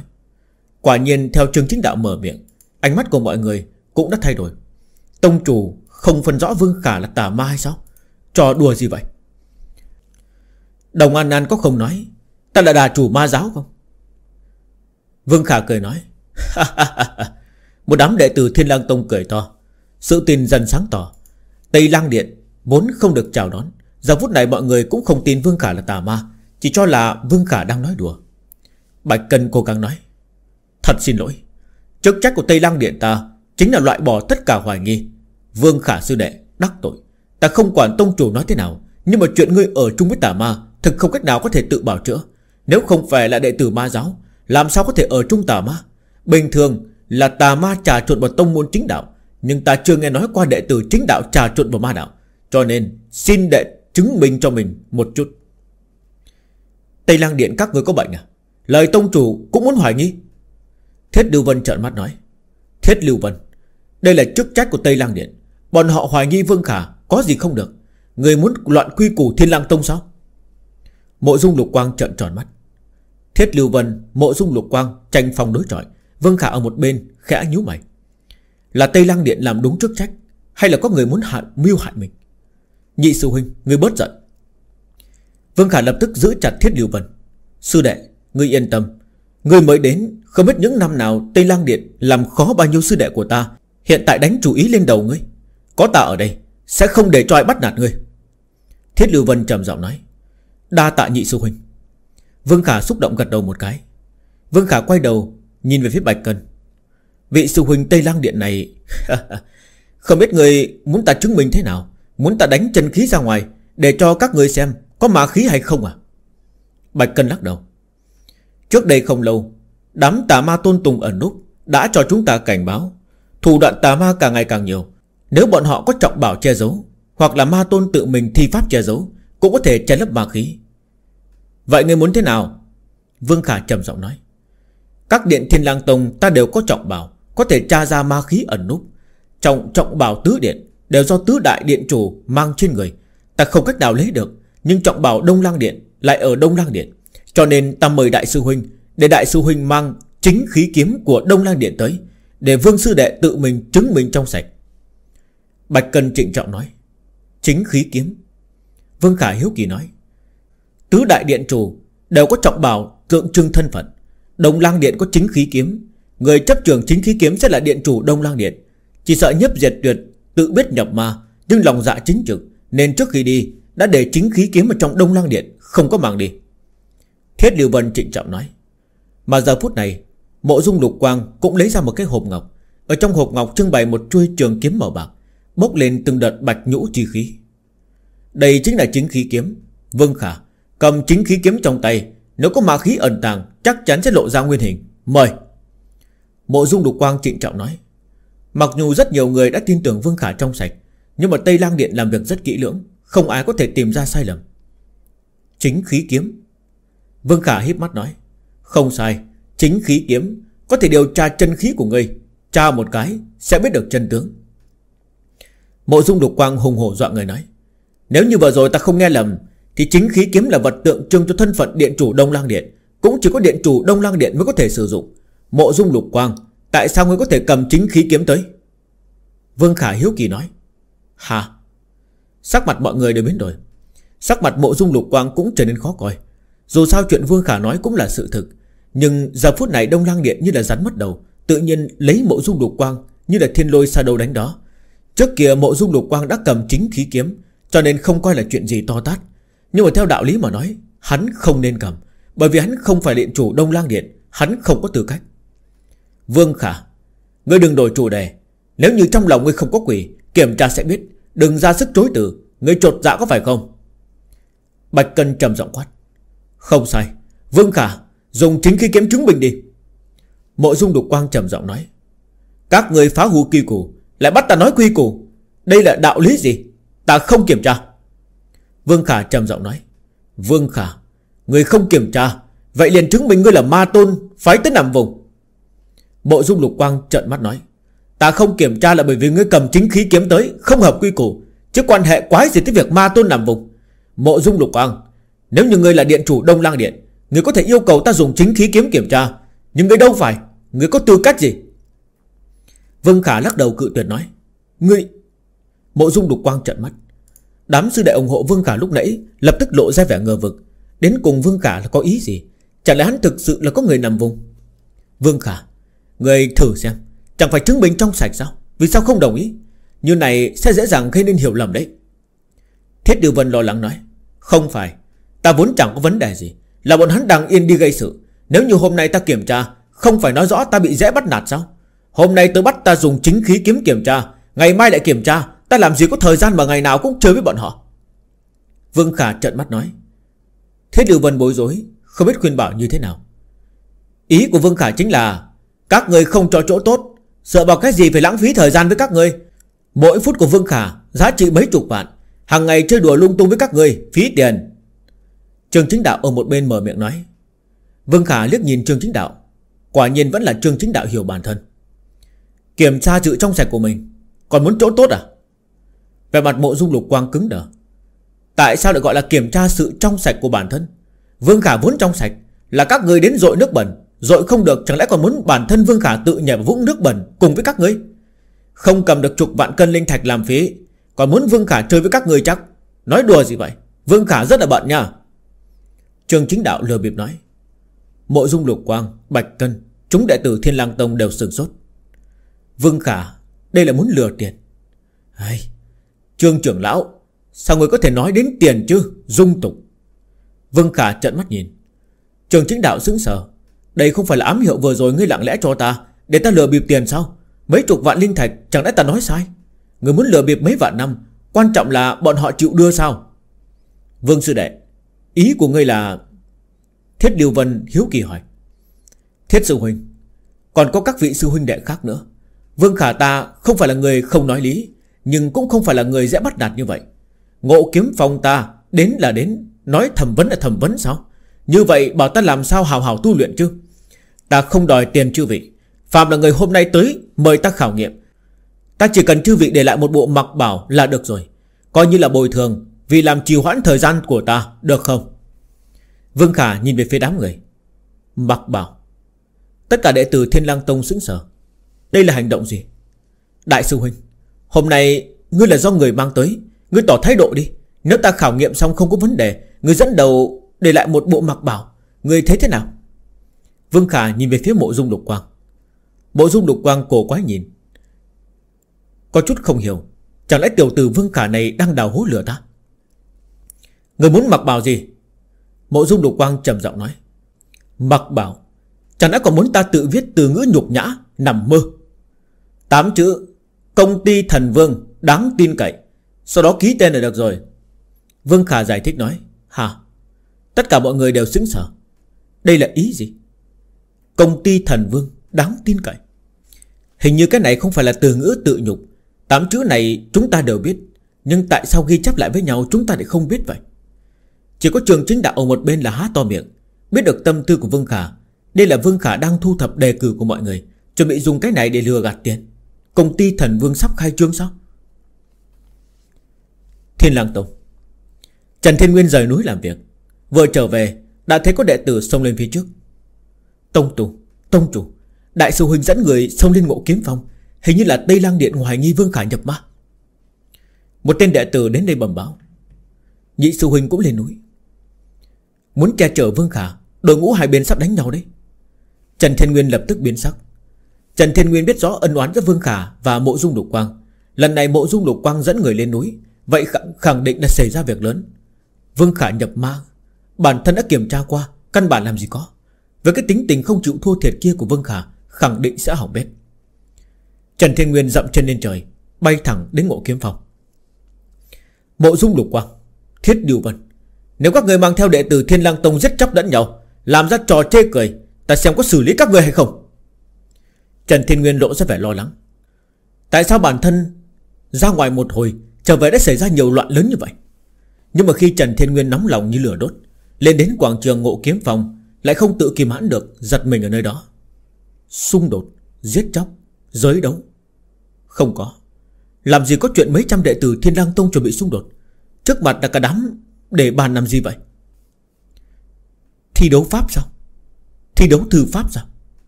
Chỉ thấy mặt mộ dung lục quang đen lại, Nắm lấy bút lông, Thiết họa ngân cầu viết chữ. Đại sư huynh, Đại sư huynh, Ngươi còn chưa viết à? Ngươi xem bản mẫu của nhị sư huynh Dẫn theo bản mẫu của nhị sư huynh mà viết. Đúng đúng, Viết tên của ngươi ở vị trí này. Mọi người không nên gấp, Ai cũng có thể viết và phải viết. Chữ viết xấu không sao, Có thể viết lại một lần, Không gấp không gấp. Vị sư huynh này, Người viết sai lỗi chính tả rồi, Không sao không sao. Chúng ta đổi một tờ giấy khác, Làm lại lần nữa. Vương Khả mang theo một đám thuộc hạ của hắn, Không ngừng hướng dẫn các cường giả Thiên Lang Tông Dùng bút lông viết chữ. Trần Thiên Nguyên đứng ở trên không trung, trầm mặc một trận. Tên đồ đệ này của mình, Mỗi lần đều khiến cho người ta sinh ra cảm giác kỳ lạ. Vừa rồi ở cửa Sơn Môn nghe nói, Người sắp bị tháo thành tám khối. Đây là ồn ào cái gì vậy? Chỉ thấy những người viết chữ bút lông Đều đen mặt nhìn về phía Bạch Cân, Tây Lang Điện. Tên Bạch Cân kia tỏ vẻ lúng túng, Không ngừng bồi tội cho mộ dung lục quang. Nhị sư huynh mang tới một đám đệ tử, Chủ động nguyện ý giúp Vương Khả viết chữ. Nhưng mà đám người mộ dung đục quang không nguyện ý. Chúng ta tìm tới Vương Khả gây phiền phức. Bây giờ làm gì? Quá mất mặt mà. Tông chủ, Người đến lúc nào vậy? Lúc trường chính đạo chào hỏi mọi người, Chợt thấy Trần Thiên Nguyên giữa không trung. Trần Thiên Nguyên chậm rãi từ trên không trung hạ xuống. Bái kiến tông chủ. Chúng đệ tử nhao nhao bái lại nói. Công ty thần vương, Đáng tin cậy. Vương Khả, Người đang làm cái gì vậy? Trần Thiên Nguyên co mày, Nhìn tên đệ tử kỳ lạ này của mình. Sư tôn, Người quá tốt rồi. Mấy người đại sư huynh quá nhiệt tình. Nghe nói ta muốn mở tiệm Nhào nhào đề từ cho ta. Người tới nhìn đi, Các tư pháp này viết thật tốt. Vương Khả lập tức mời Trần Thiên Nguyên vào bên trong. Mộ dung lục quang Và chúng sư huynh đệ để viết chữ. Đều nghệt mặt. Mở tiệm à? Chữ lưu niệm à? Trần Thiên Nguyên tỏ vẻ cổ quái. Đúng vậy. Đệ tử suy nghĩ, tu luyện Khẳng định cần lượng lớn linh thạch. Ta muốn mua đan dược Mua pháp bảo. Cái nào không cần dùng tiền chứ? Giờ bảo chu ma thu hoạch bổng lộc trong tông, Chắc chắn không đủ. Ta lại phải nuôi nhiều thù hạ như vậy. Nên suy nghĩ, Mở ra một cái cửa hàng, Kiếm ít tiền lẻ phụ cấp gia đình. Ai biết, Cửa hàng còn chưa kịp mở. Chư vị sư huynh nghe ta nói muốn lập nghiệp, Nhao nhao biểu thị ủng hộ. Đến viết chữ lưu niệm cho ta. Ngươi xem, Đại sư huynh viết chữ rất là tỉ mỉ nha. Vương Khả lập tức vui vẻ giải thích. Tự nhiên đám người thiết điều vân cười gật đầu. Còn về mặt của đám người mộ dung đục quang, Thì đen như đáy nổi Ai ủng hộ ngươi lập nghiệp chứ? Tông chủ, Là ta hiểu lầm Vương Khả. Lúc trước Tây Lang Điện Bạch Cân Mời ta dùng chính khí kiếm kiểm tra Vương Khả là chính đạo hay là tà ma, Cho nên Mộ dung lục quang cúi đầu buồn bực nói, Kết quả thế nào? Trần Thiên Nguyên trầm giọng nói, Tông chủ, Kết quả là chính khí kiếm nở rộ chính khí. Ở trong chân khí của Vương Khả Không có một tia ma khí. Vương Khả sư đệ trong sạch Đám người đại sư huynh có trời có chịu, Tất nên tất cả viết chữ lưu niệm cho Vương Khả. Thiết Lưu Vân giải thích nói, Trần Thiên Nguyên co mày, Nhìn về phía Bạch Cân. Tông chủ thứ lỗi, Tây Lang Điện phụ trách giám sát tất cả tà ma trong ngoài tông. Lần này thẩm vấn Đồng An An, Hắn khai rất nhiều lời vu khống Vương Khả sư đệ. Cho nên Tây Lang Điện ta vì chức trách Mới tra lại một lần. Bây giờ đã xác định Vương Khả sư đệ là trong sạch. Bạch Cân cung kính thì lễ. Mặc dù chuyện Bạch Cân gây nên nhưng mà mọi thứ hắn làm đều là chức trách. Trần Thiên Nguyên cũng không muốn xảy ra sai lầm. Chỉ là Tây Lang Điện thừa dịp bản thân không ở đây, Liền đến tìm Vương Khả gây phiền phức, Còn gây ra hao huyên náo lớn như là vậy. Rất rõ ràng, Không cho mình mặt mũi. Các người không tìm ta hỏi được sao? Là chủ ý của Tây Lang Điện. Trần Thiên Nguyên trầm giọng nói, Không, Điện chủ không ở trong sơn môn, Là ý tứ của ta. Nếu như tông chủ cảm thấy đệ tử làm không đúng, Có thể để điện chủ phạt ta. Bạch Cân không nhanh không chậm nói. Ngươi làm không sai. Ta sẽ không phạt ngươi. Chỉ là tên đồng an an kia nói, Không nên quá coi là thật. Trần Thiên Nguyên trầm giọng nói. Vâng. Bạch Cân cung kính nói. Trần Thiên Nguyên quay đầu nhìn về phía mộ dung lục quang. Mộ dung lục quang, Vì sao ngươi lại cầm chân chính khí kiếm? Về mặt mộ dung lục quang cứng đờ. Tông chủ, Trước kia ta Ta cũng, Trước kia để nhấp diệt tuyệt dung túng người, Hiện tại nhấp diệt tuyệt xảy ra chuyện, Ngươi không biết sao? Có chuyện gì? Không thể chờ ta về rồi nói sao? Trần Thiên Nguyên trầm giọng nói. Ta Về mặt mộ dung lục quang cứng đờ. Tông chủ, Điện chủ xảy ra chuyện. Chúng ta một bực hoảng hốt. Đồng lang điện nhất thời như rắn mất đầu. Chúng ta mới tự phát mời đại sư huynh làm chủ. Một tên đệ tử Thiên lang Tông nói. Hả? Mắt Trần Thiên Nguyên trở nên lạnh lẽo. Tông chủ, Không biết chuyện nhấp diệt tuyệt tính như thế nào? Thiết Lưu Vân cũng lo lắng nói. Xin Tông chủ ổn định rối loạn ở Đông Lang Điện. Một đám đệ tử Thiên Lang Tông nhao nhao thỉnh cầu nói. Trần Thiên Nguyên nhìn một đám đệ tử thỉnh cầu, Khe khẽ thở dài. Đúng là điện chủ Đông Lang Điện Nhếp diệt tuyệt đã nhập ma. Thế nhưng lúc ấy nàng mới nhập ma, Tâm còn ở chính đạo, Cho nên lần cuối cùng ở Tông Môn Đã tính bàn giao hậu sự, An bài tất cả thỏa đáng. Thậm chí để tín vật của Đông Lan Điện là chính khí kiếm ở lại. Các người nói cũng không sai, Đông Lan Điện không thể vô chủ, Cần tuyển chọn tân điện chủ mấy Trần Thiên Nguyên trịnh trọng nói. Sư tôn thật nhập ma. Về mặt của bộ dung lục quang khó có nói. Có lẽ các người cũng biết tâm tính người nhập ma Sẽ không ngừng thay đổi, Cho nên nhấp diệt tuyệt không thể nào trở lại nữa. Lúc nàng vừa mới vào ma đạo, Lòng vẫn còn ở chính đạo, Nhưng mà theo thời gian đưa đẩy Sẽ không ngừng thân cận ma đạo. Cho nên, về sau nhìn thấy nhấp diệt tuyệt, Không cần nhớ tới tình cảm ngày xưa. Trần Thiên Nguyên dặn dò nói Vâng. Về mặt chúng đệ tử Đông Lan Điện khó chịu. Đông Lan Điện Chuyên nội thủ ngoại công, Không thể thiếu điện chủ được. Các người cũng hiểu quy củ người kế nhiệm, Điện chủ Đông Lang Điện. Trần Thiên Nguyên trầm giọng nói Vâng Điện chủ Đông Lang Điện có ba cái điều kiện. Một là nguyên anh cảnh, Hai là được đệ tử trong tông tán thành ủng hộ, Ba là biết chiến kỹ Đông Lang Điện. Một tên đệ tử mở miệng nói, Cái điều kiện thứ nhất này Trần Thiên Nguyên khẽ nhíu mày, Nguyên anh cảnh sao?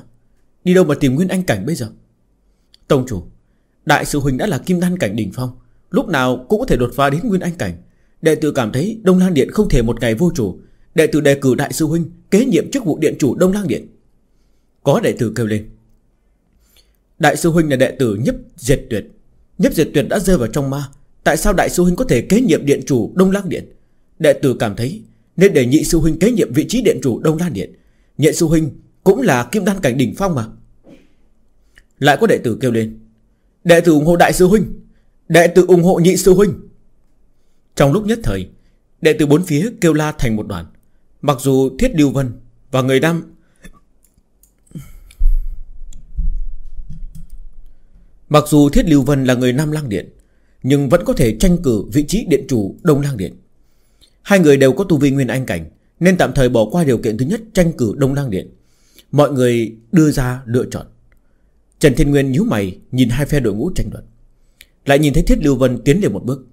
Tông chủ, Thời điểm đặc biệt, Đối đãi đặc biệt, Tạm thời bỏ qua điều kiện đạt tới Nguyên Anh Cảnh, Không thể dùng lực lượng mà luận danh phận Điện chủ Đông Lang Điện.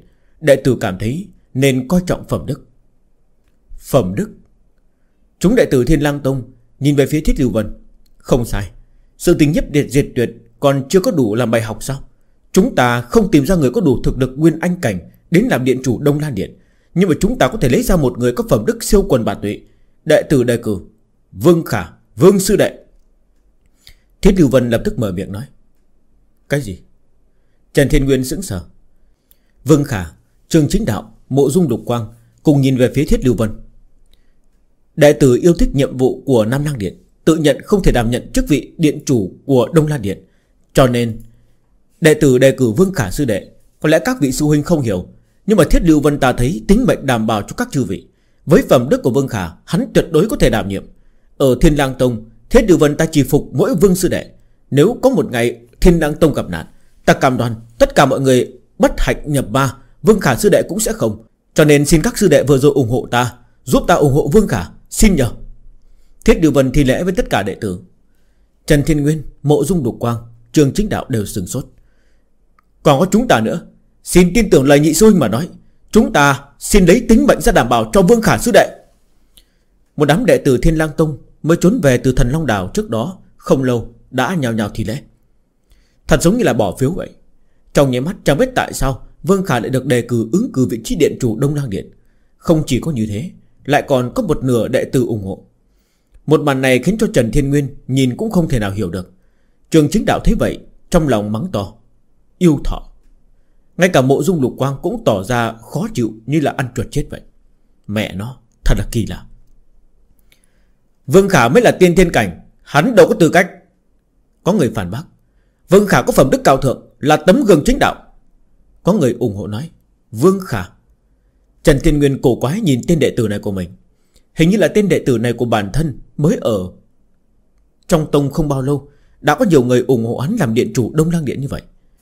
Vương Khả nhìn đám người kích động, Trong lòng cầm thiết kỳ lạ. Vị nhị sư huynh này cũng quá đều cao ta đi. Ta còn chưa chuẩn bị sẵn sàng, Người đã muốn đẩy ta lên bảo tọa sao? Sư tôn, Không thể chối thịnh tình của các vị sư huynh được. Nếu như không khó xử, Ta có thể thử xem. Vương Khả gật đầu một cái. Trường chính đạo ở một bên tỏ vẻ kỳ quái. Quả nhiên cái tên Vương Khả này Không hết xấu hổ. Đã vậy, lại còn tưởng mọi người thực sự ủng hộ ngươi. Ngươi chỉ là một tên tiên thiên cảnh, Làm điện chủ Đông Lang Điện, Có phục chúng không? Người đang đùa với lửa sao? Nhưng Vương Khả không quan tâm. Ta cũng không phải thực sự muốn làm điện chủ, Mà là có cái bánh đập tới. Ta không có lý do ném đi. Có cái thành danh cũng tốt. Công ty thần vương của ta sẽ, dễ kiếm tiền hơn. Vương Khả, đừng gây chuyện. Ngươi là tu vi gì? Trần Thiên Nguyên câu mày nói. Tông chủ, Ngài đừng nói như vậy. Chúng ta không dám gạt bừa. Ngài cũng biết quy củ nhậm chức điện chủ Đông lang Điện rồi. Điều thứ nhất là Nguyên Anh Cảnh. Tất nhiên trong số mọi người ở đây không có Nguyên Anh Cảnh, Còn phân biệt tu vi cái gì? Vâng Khả Sư Đệ có phẩm đức cao thượng. Đệ tử không nói bừa. Ngài không thể vì mình là sư tôn của hắn, Nghiền ngẫm, thao tác, Làm việc thiên tư. Vương Khả Sư Đệ, Chúng ta ủng hộ ngươi. Thiết Điều Vân khuyên Trần Thiên Nguyên. Trần Thiên Nguyên nghẹt mặt. Hình ảnh thật là kỳ quái. Cái tên đệ tử này Của ta là yêu sao? Không thể. Coi như tạm thời bỏ qua yêu cầu đầu tiên ứng cử vị trí điện chủ Đông Lăng Điện. Vậy điều kiện thứ hai, thứ ba thì sao? Về điều kiện thứ hai Coi như là Vương Khả có một nửa đệ tử ủng hộ Thì vẫn còn điều kiện thứ ba. Điều kiện thứ ba Nhất định phải biết chiến kỹ Đông Lang Điện. Đây là điều kiện bắt buộc. Một tên đệ tử trợn mắt quát. Chiến kỹ Đông Lan Điện là cái gì? Vương Khả hiếu kỳ nói. Nói ví dụ như Đại sư huynh có chu ma bản kiếm thuật. Vương Khả ngươi có sao? Chỉ khi nào điện chủ Đông Lan Điện sử dụng được chiến kỹ Đông Lang Điện Thì mới có thể phát huy ra uy lực chính khí kiếm. Không có chiến kỹ Đông Lang Điện ngay cả chính khí kiếm cũng không thể thi triển. Làm sao có thể trở thành điện chủ Đông Lan Điện được? Đệ tử kia cười lạnh nói, Chính khí kiếm à? Đây không phải là một cái pháp bảo kiểm tra ma khí sao? Còn có thể dùng để chiến đấu à? Ngộ nhỡ bên trong chiến đấu hư hại thì làm sao? Vương Khả kinh ngạc nói, Mộ dung lục quang cười lạnh, Hiển nhiên cũng không để Vương Khả vào trong mắt, Mà tiến lên một bước, Nắm chính khí kiếm lên. Vương Khả sư đại nhìn đây, Chỉ cần sử dụng chiến kỹ Đông Lang Điện là chính khí kiếm không thể nào hỏng. Chỉ có chiến kỹ Đông Lang Điện Mới có thể phát ra uy lực của nó. Nhìn kỹ, Mộ dung lục quang nói. Thời điểm nói chuyện, Mộ dung lục quang lập tức thể hiện Tư thế rút kiếm. Hư một tiếng, Bỗng nhiên lá cây ở trên đất vần quanh mộ dung lục quang, Nhìn qua giống như là lợi hại, Khiến tất cả các sư đệ ngưng thở, Lui qua một bên. Mộ dung lục quang đang xúc thế, Đám người cảm giác được khí tức trên người hắn càng ngày càng mạnh. Rốt cục thời điểm đạt tới đỉnh phong Đột nhiên mộ dung lục quang ngẩng đầu một cái, Hai mắt bắn ra một đạo tinh quang. Thương! Chính khi kiếm ra khỏi vỏ, Trong chấp nhắn này, Thiên địa giống như là bị bạch quang thắp sáng một đạo kiếm mang to lớn, Chém về phía gò núi cách đó không xa. Oanh một tiếng Một tiếng đổ thật lớn vang lên. Bạch quang tán đi, Chính khí kiếm trở vào bao. Nhưng gò núi đối diện đã bị chấm thành hai nửa. Một vết cắt sâu không thấy đáy. Từ ngoài trăm trượng, Một mực kéo dài đến chân của mộ dung lục quang. Hơn nữa ngoài rìa vết cắt giống như là bị ma lực, Ma sát cực nóng, Toát ra từng ngọn lửa. Đại sư huynh thật là lợi hại. Rất nhiều đệ tử lộ ra vẻ kinh ngạc. Một kiếm này đã có nguyên anh cảnh chi uy. Trần Thiên Nguyên tán thường nói, Đều là công lao của chính khí kiếm. Mộ dung lục quang cười nói Nói xong, Mộ dung lục quang nhìn về phía Vương Khả. Nhìn thấy không, Chính khí kiếm không chỉ là pháp bảo kiểm tra ma khí, Chiến đấu không chỉ hư hại, Vừa rồi chính là chính khí kiếm thi triển chu ma bản kiếm thuật đây chính là chiến kỹ Đông Lăng Điện. Sắc mặt đám người nhị sư huynh trở nên khó coi. Không phải ai muốn học chiến kỹ Đông Lăng Điện Thì cũng đều có thể học được. Chỉ sợ Vương Khả muốn học Thì cũng không phải là một, hai năm. Cái rút kiếm thuật này của ngươi ta cũng biết. Vương Khả hiếu kỳ nói, Hả? Đám người tỏ vẻ không tin, Nhìn phía Vương Khả. Người khoác lác cái gì vậy? Người mới đến thiền làng tông bao lâu? Làm sao mới biết chu chu ma bạt kiếm thuật? Cứ như vậy rút chính khí kiếm ra, Lại cắm trở về. Ta nhìn một lần là biết cái này có gì mà khó. Vương Khả về mặt cổ quái. Về mặt mộ dung đục quang co rúm lại. Ở trong chiến kỹ Đông Lang Điện, Chu ma bạt kiếm thuật là khó luyện nhất. Bản thân vì tu luyện kiếm pháp này, Không biết hao phí bao nhiêu thời gian, Tinh diệu trong đó Càng là không ai có thể với tới. Nhưng khi đến miệng Vương Khả, Lại là rút ra rồi cắm trở về. Còn mẹ nhà ngươi, mù mắt à? Chu ma bạt kiếm thuật của ta tinh diệu như vậy, Lại nói đơn giản như vậy là sao? Vương Khả không thể nói vậy. Trần Thiên Nguyên cũng không nhìn nổi. Tên đệ tử này của mình toàn nói sang nói bậy. Nhiều người nhìn như vậy, Ngươi lại là đệ tử của ta. Mà vi sư lấy kiếm đạo xưng tôn Ngươi ngay cả nguyên lý kiếm pháp cũng không hiểu. Không phải là ném đi mặt mũi của ta sao? Thật sự là đơn giản mà, Sư tôn. Khoảng thời gian này đệ tử một mực học tập kiếm ý, Người để lại cho ta. Động tác đơn giản như vậy, Làm sao ta có thể không học được? Vương Khả về mặt đương nhiên nói. Trần Thiên Nguyên sửng sốt. Được được nào Vương Khả sư đệ. Người tới đi, Người tới thử xem, để ta biết Chu ma bạt kiếm thuật đơn giản như thế nào. Mộ dung đục quang vô cùng tức giận, Đưa chính khí kiếm lên. Vương Khả. Trần Thiên Nguyên muốn ngăn cản, Nhưng mà Vương Khả đã cầm chính khí kiếm Vào trong tay. Một bộ muốn biểu diễn động tác rút kiếm Rồi lại cắm trở về. Mẹ nó, Nếu cho người ta biểu diễn động tác này, Chẳng phải về sau ta sẽ bị người trong thiên hạ chê cười sao? Tông chủ Vương Khả sư đệ muốn thử kiếm, Xin đừng ngăn cản. Hắn nói ra, chúng ta đều nghe thấy rồi. Mộ dung lục quang ngăn cản nói, Trần Thiên Nguyên chỉ có thể cau mày nhìn Vương Khả. Trường chính đạo không đành lòng nhìn thẳng. Vương Khả kiếm đạo. Trường chính đạo chưa thấy qua Vương Khả chơi kiếm. Tuy nhiên, không ít lần chơi bẩn, Nhưng đây là lần quan trọng nhất. Vừa rồi kiểm tra trong cơ thể ta có ma khí hay không? Ta đã nắm chuôi kiếm này một hồi, Hiện tại phải thử kiếm. Cái đồ chơi này có bền hay không? Nhìn qua rất là quý trọng. Ngộ nhỡ hỏng thì làm sao? Vương Khả nhìn về phía đám người mộ dung lục quang. Chính khí kiếm không có khả năng hỏng. Người có thể thoải mái thử kiếm. Mộ dung lục quang trầm giọng nói. Thật sao? Vương Khả vẫn có chút không tin như cũ. Hỏng. Không cần ngươi đèn, cứ tính cho ta. Mộ dung lục quang trầm giọng nói. Được. Vậy ta sẽ thử một chút. Ta vẫn còn nhớ rõ động tác rút kiếm vừa rồi của ngươi. Vương Khả cầm chính khí kiếm Tiến về phía trước một bước. Đám người cùng nhau nhìn Vương Khả. Đúng rồi, Vừa nãy người bước chân trái lên trước hay là chân phải lên trước nhỉ? Vương Khả nhìn về phía mộ dung lục quang. Mộ dung lục quang ngẩng mặt. Được rồi, không quan trọng, Ta bắt đầu đây. Các người nhìn kỹ đây này. Vương Khả trịnh trọng nói. Không có ai coi trọng chu ma bạt kiếm thuật của Vương Khả. Liếc mắt nhìn là biết. Người nói liếc mắt là biết. Vậy chúng ta học mãi cũng không học được Thì tính là cái gì? Mù kiếm đạo sao? Không có ai coi trọng Vương Khả. Bao gồm cả đám người Trần Thiên Nguyên Trương Chính Đạo. Nhưng bản thân Vương Khả muốn mất mặt Trần Thiên Nguyên ngăn cản Xong ăn được. Hey, Thôi Dù thất bại ở trước mặt người mình Thì cũng tốt hơn là ra ngoài thất bại. Nhưng đúng vào lúc này Đột nhiên quanh thân Vương Khả Sinh ra một cỗ khí thế quỷ dị. Hưu một tiếng Đột nhiên lá cây bốn phía vần quanh Vương Khả. Hình ảnh này giống như là đã từng thấy. Đám người há to mồm Quanh đây không phải là cảnh tượng xúc thế Của mộ dung lục quang vừa rồi sao? Đây là xúc thế chu ma bạt kiếm thuật. Chuyện này chuyện này sao có thể chứ?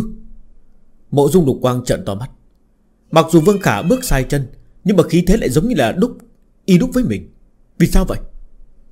Chỉ thấy Vương Khả không ngừng truyền trọc chân khí vào trong chính khí kiếm. Trường chính đạo cách đó không xa, Phát hiện động tác của Vương Khả lập tức biến sắc. Động tác rút kiếm không sai, Nhưng mà quan trọng là chân khí của người có vấn đề. Đây là muốn phóng chân khí ra ngoài, Chẳng phải sẽ thối ngất tất cả mọi người sao?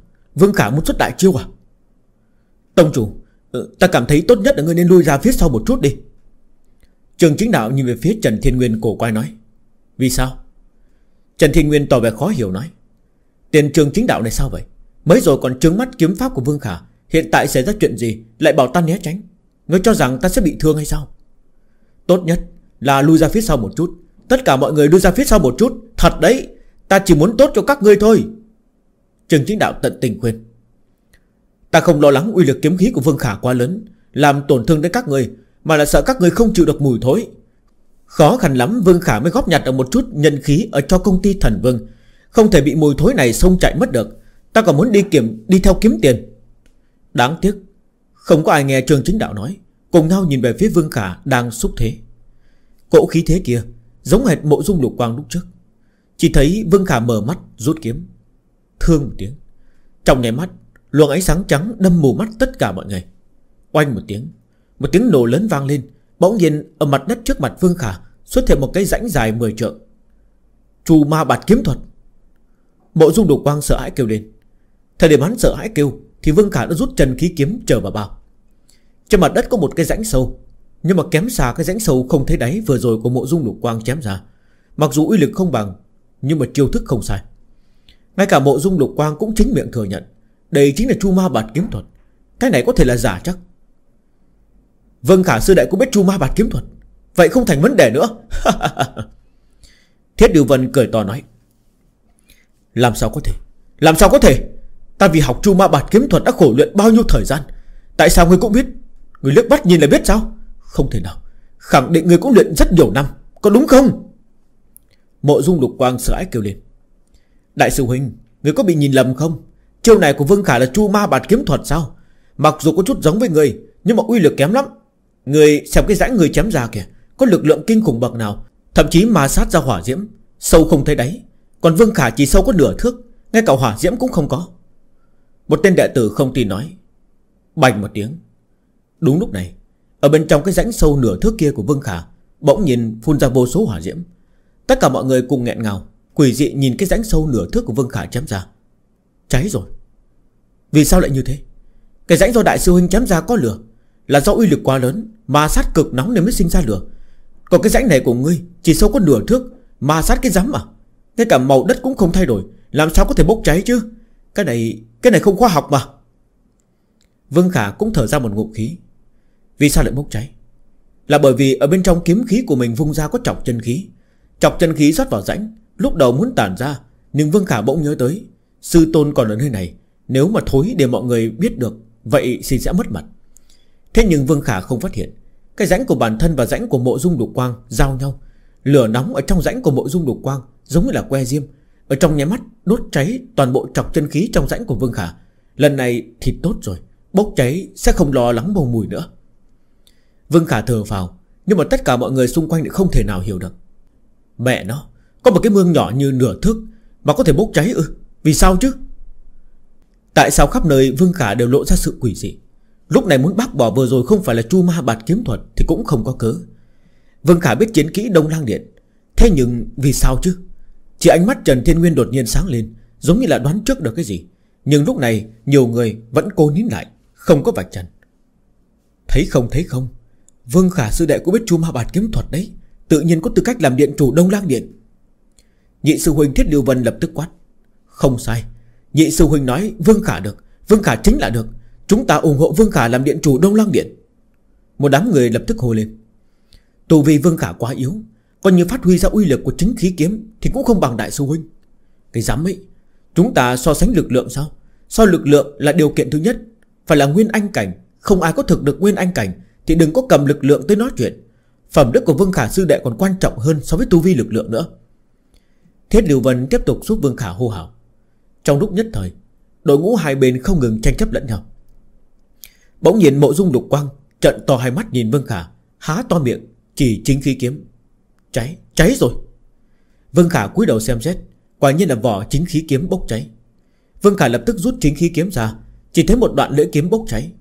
Vương Khả biết rõ đoạn kia Lúc trước bản thân rót chọc chân khí vào Trong chính khí kiếm có một cái bộ phận Khả năng là để khắc trận pháp đặc biệt. Là có hiệu quả chứa đựng chân khí. Hơn nửa chọc chân khí của bản thân tràn vào trong đó. Bằng không vừa rồi uy lực sẽ lớn hơn. Bên trong đoạn này, Rót đầy chọc chân khí của bản thân. Vương Khả còn đang suy nghĩ làm sao thu hồi. Kết quả cái rãnh trên mặt đất bốc cháy. Một mực đốt cháy dưới chân của Vương Khả. Một tia lửa bén đến chính khí kiếm trong tay. Chính khí kiếm bốc cháy. Tất cả mọi người há mồm Nhìn về phía chính khí kiếm trong tay Vương Khả. Không thể nào. Chính khí kiếm vô cùng kiên cố, Thủy hỏa bất dâm làm sao có thể bốc cháy? Làm sao có thể bốc cháy? Mộ dung lục quang trừng to mắt, Không tin nói. Ta Vương Khả nhất thời nghẹn lời. Bản thân giải thích chuyện này thế nào? Tại sao mỗi lần ở thời khắc quan trọng, Cái chọc chân khí này lại dở trứng chứ? Bốc cháy. Làm sao đây? Trong khoảng thời gian này, Chỗ kim loại tạo nên chính khí kiếm bốc cháy kia, Thế mà đỏ bừng như là bàn ủi, Giống như là sắp hòa tan. Hòa tan. Thực sự đốt thành nước thép. Chỉ thấy chính khí kiếm thẳng tắp, Bắt đầu cong. Tiêu nghiều gục xuống một bên. Cong ư? Tất cả đệ tử đều trừng to mắt Nhìn cái sự kiện nghìn năm có một này của Thiên lang Tông. Đây là lần đầu tiên họ nhìn thấy chính khí kiếm bị đốt cong. Ngay cả Trần Thiên Nguyên cũng không thể đoán được. Nhanh, nhanh đưa cho ta! Mộ dung lục quang vội vàng chụp tới. Mộ dung lục quang Có bao nhiêu chấp nhất đối với vị trí điện chủ Đông Lang Điện? Từ luyện trù ma bạt kiếm thuật Đã có thể thấy được lốm đốm. Mà bây giờ Chính khí kiếm tượng trưng cho thân phận điện chủ Đông Lang Điện Sắp bị đốt còng. Tại sao có thể có chuyện này? Về sau, ta làm sao làm điện chủ Đông Lang Điện? Mộ dung lục quang còn kích động hơn so với Trần Thiên Nguyên. Hắn nắm lấy lưỡi kiếm, Muốn đoạt nó từ trong tay của Vương Khả. Bành một tiếng. Có lẽ chỉ còn thiếu một cọng cỏ cuối cùng Để chết lạc đà. Mộ dung lục quang rút một cái. Chỗ bị bốc cháy kia, Bỗng nhiên đứt gãy ra. Bỗng nhiên một cỗ hỏa diễm bạo phát ra, Ép cho Vương Khả, Mộ dung lục quang cùng lùi về sau một bước. Vừa đứng vững Hỏa diễm liền biến mất. Trong tay Vương Khả nắm lấy một nửa chính khí kiếm, Trong tay mộ dung lục quang Cũng nắm lấy một nửa chính khí kiếm. Chính khí kiếm Bị bị đốt đứt Vật tượng trưng cho thân phận điện chủ Đông la Điện, Gãy ư. Bỗng nhiên không khí trở nên yên tĩnh. Ở trên quảng trường ngay cả tiếng kim rơi cũng có thể nghe thấy. Giờ phút này bao gồm Trần Thiên Nguyên Cũng ngây dại, Lần này sao vậy? Một trong trí bảo Thiên Lang Tông Không bị hủy đi trong tay tà ma mà lại ở dưới hàng trăm con mắt nhìn chằm chằm bị người một nhà đốt đứt. Trần Thiên Nguyên há to miệng, Nhất thời không biết làm sao, Mở miệng. Chúng đại tử Thiên Lang Tông dụ dụ con mắt, Rất nhanh, Cả đám tức giận nhìn về phía Vương Khả. Mộ dung lục quang càng nổi điên, Chính khi kiếm gãy, Vậy điện chủ Đông Lan Điện tính như thế nào? Ngay cả tín vật cũng không có. Cái chán của Vương Khả cũng toát dòng vô số mồ hôi lạnh. Mẹ nó, Ai biết chọc chân khí lại trông như vậy, Ngay cả chính khí kiếm cũng có thể đốt đứt. Hiện tại muốn truy cứu trách nhiệm sao? Không được không được. Đại sư Huynh, Ngươi vừa mới nói Hỏng không cần ta đền, Cứ tính cho ngươi. Mọi người đều nghe được, ngươi đừng có chối nha. Vương Khả chỉ mộ dung lục quang kêu ẩm lên. Mộ dung lục quang sừng sốt. Trên mặt mộ dung lục quang Lúc xanh lúc tím. Vừa rồi ta có nói lời này sao?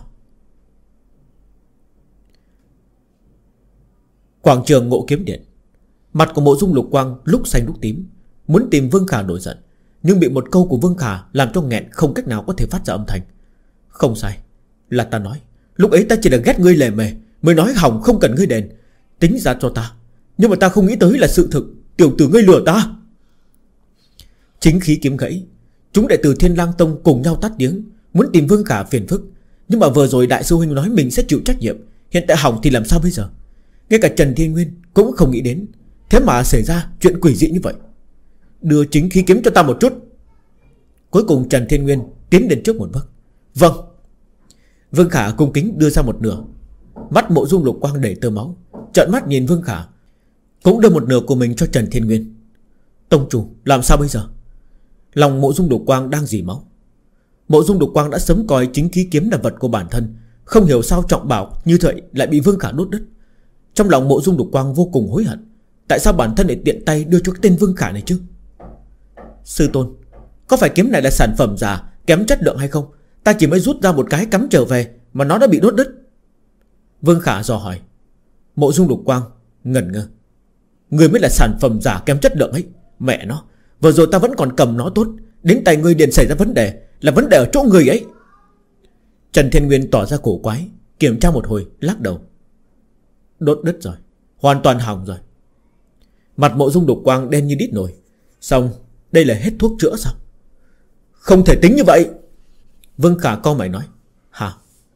Đám người không thể nào hiểu được nhìn Vương Khả. Lời này của ngươi là có ý tứ gì? Không phải ngươi làm hỏng sao? Không thể tính như vậy là ngươi muốn thế nào? Kiếm này mua ở đâu? Đốt đã, đốt một cái đã đứt. Khẳng định là chất lượng có vấn đề. Có bằng chứng mua kiếm ở đâu không? Chúng ta đi tìm người bán trả hàng đi. Vương Khả nó ra biện pháp giải quyết. Hả? Đầu đám người chút không, Có chút không xoay kịp. Không phải là ngươi làm hư sao? Ngươi tìm người ta mà trả hàng đi. Cái này không phải là đen đủi sao? Ai cho ngươi trả hàng chứ? Mặt Trần Thiên Nguyên lộ vẻ cổ quá nhìn Vương Khả. Không trả được. Hình như mặt mũi tên đồ đệ này của mình cực kỳ dày thì phải. Bản thân làm hư hư kiếm, Còn muốn bắt đền người bán kiếm. Nếu ta thực sự đi làm, Chẳng phải sẽ trở thành trò cười cho thiên hạ sao?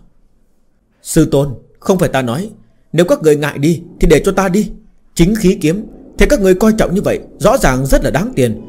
Đây là người câm thiệt thòi, Không thể chịu thiệt như vậy được. Vương Khả lập tức nói. Đám người nghệt mặt.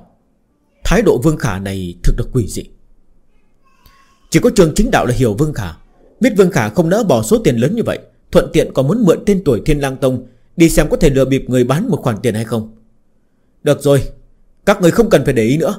Ta vừa vặn quen biết một đại sư luyện khí. Hai ngày nữa, ta sẽ đi mời đại sư luyện khí kia Hỗ trợ sửa chữa một lần.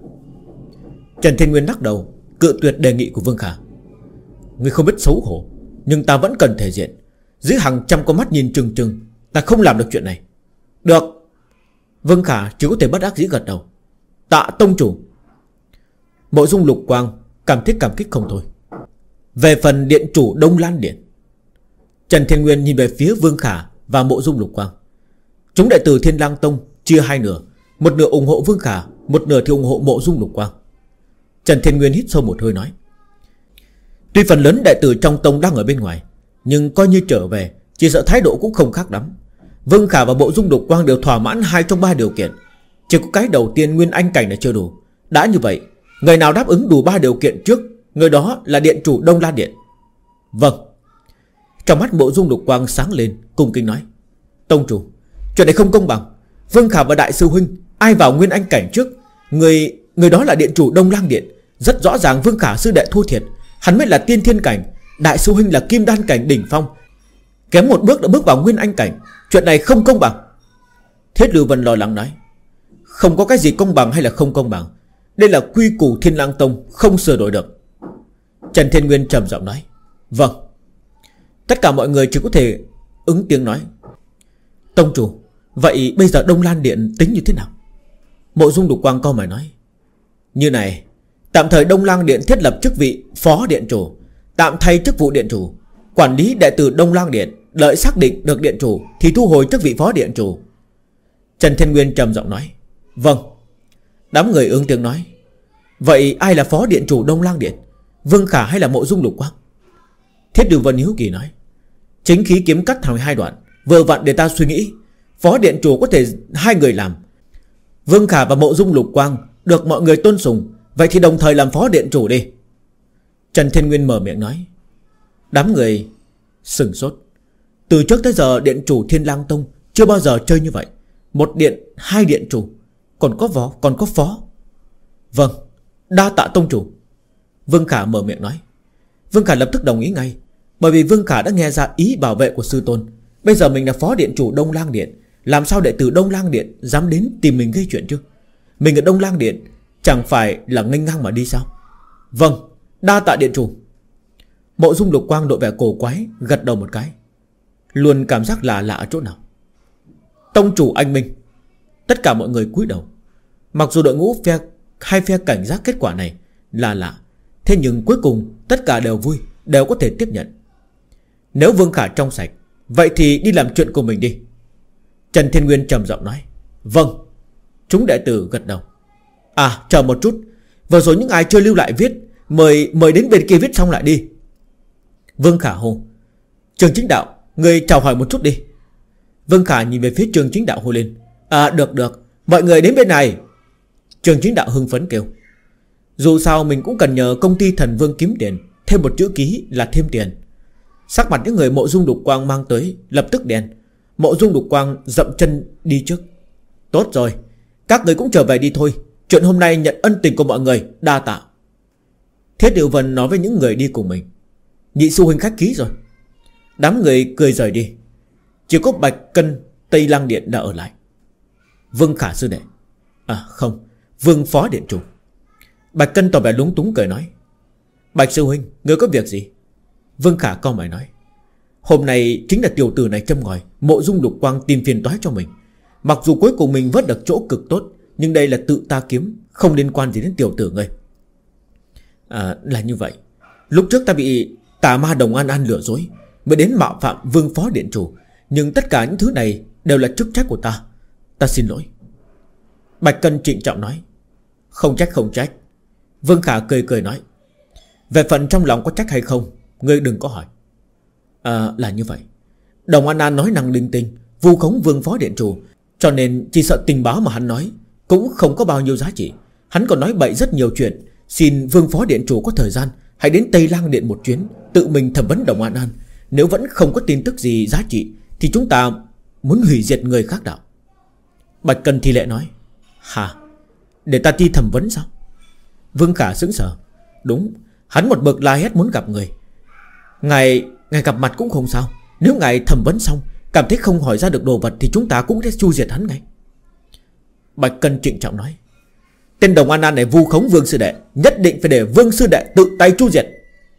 Thiết Lưu Vân lập tức quát, Những năm này Thiết Lưu Vân bị đồng An An cầm tù, Hận không thể tự tay giết đồng An An Nhưng mà cân nhắc đến việc chu sát đồng An An có công đức Thì vẫn giúp Vương Khả tranh thủ.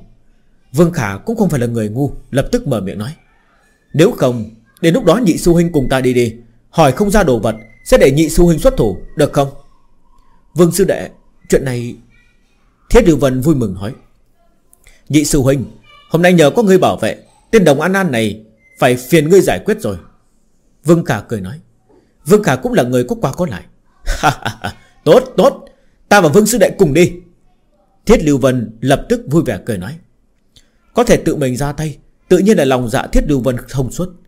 Mặc dù Bạch Cân ở bên cạnh không quá tình nguyện nhưng mà cuối cùng cũng không có phản bác, Gật đầu một cái. Tốt, Vậy chờ hai vị tới. Nói xong, Bạch Cân liền cáo từ rời đi. Nhị sư huynh, Có thể sư tôn muốn phát biểu. Buổi sáng ngày mai, Chúng ta cùng đi Tây Lăng Điện đi. Vương Khả nhìn về phía thiên, thiết điều vân. À được, Vậy ta đi trước, Sáng mai tới tìm ngươi. Thiết điều vân lập tức cười trả lời. Trường chính đạo, Mang theo thuộc hạ của Vương Khả, Bận rộn thu thập mặc bảo Nơi này chỉ còn lại là sư đồ Vương Khả. Vương Khả, Người lấy mặc bảo là Trần Thiên Nguyên hiếu kỳ nói, Sư Tôn, Vừa nãy đệ tử nói là thật. Đệ tử muốn mở một cái cửa hàng Gọi là công ty thần Vương, Cho nên Vương Khả cười nói, Ngươi, Được rồi. Ta không quản ngươi làm những thứ này, Nhưng ngươi đừng chọc họa. Trần Thiên Nguyên trầm giọng nói, Sư Tôn yên tâm, làm sao đệ tử có thể gây ra tai họa chứ? Cửa hàng lớn nhất của công ty Thần Vương còn chưa có mở đây này. Tất cả chỉ vừa mới bắt đầu. Thời điểm cửa hàng đầu tiên mở Ta còn muốn mời sư tôn đi cắt băng nữa. Vương Khả cười nói Cắt băng? Trần Thiên Nguyên sững sờ Không hiểu chuyện gì xảy ra. Thì à, chính là hoạt động khai trương đấy. Nhiều người náo nhiệt đến lúc đó sư tôn sẽ biết. Hiện tại đệ tử có một chuyện muốn thỉnh giáo sư tôn. Vương Khả trịnh trọng nói Hả? Đệ tử mở công ty còn thiếu một con dấu À Con dấu có nghĩa là ấn ký độc nhất vô nhị đây Thuận tiện về sau ký hợp đồng, Có thể đại biểu bản thân. Đệ tử sợ về sau cùng người ký kết Dễ bị người làm giả.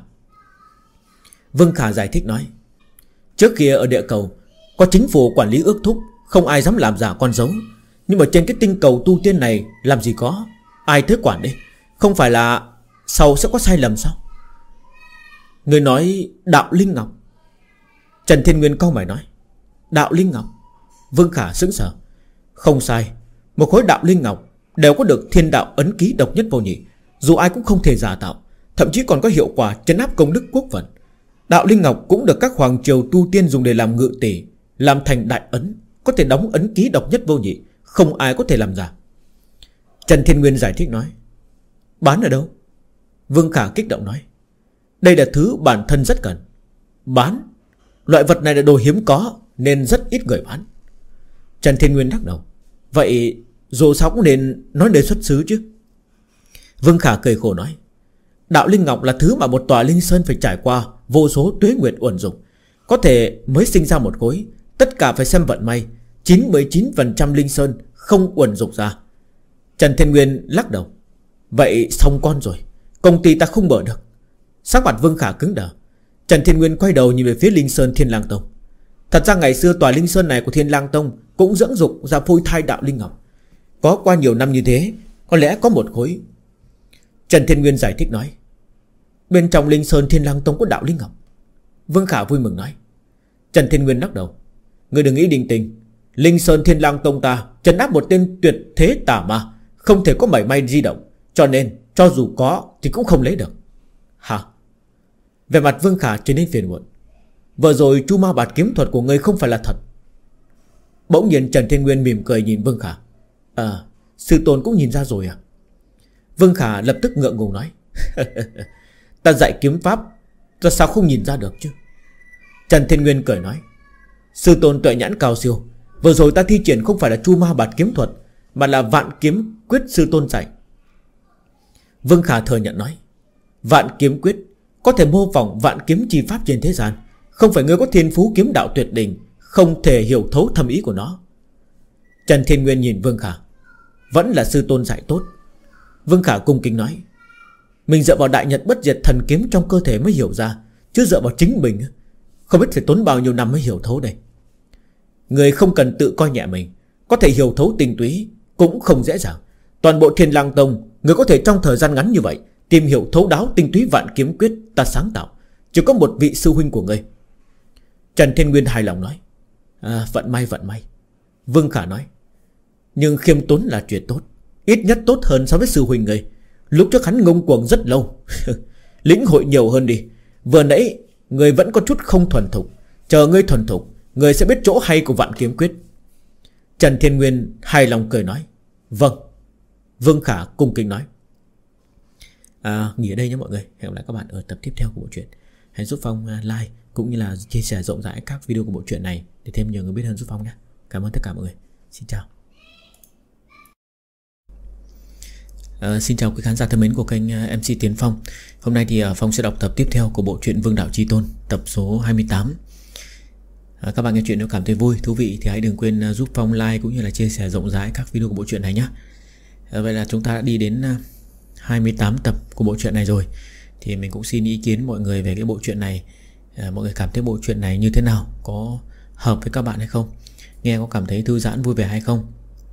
Thì hãy để cho mình ý kiến uh, Bằng những comment và những cái like nhé Bởi vì thực sự bộ này à, Mình phải thuê dịch Và đây cũng là đang là đầu chuyện thôi.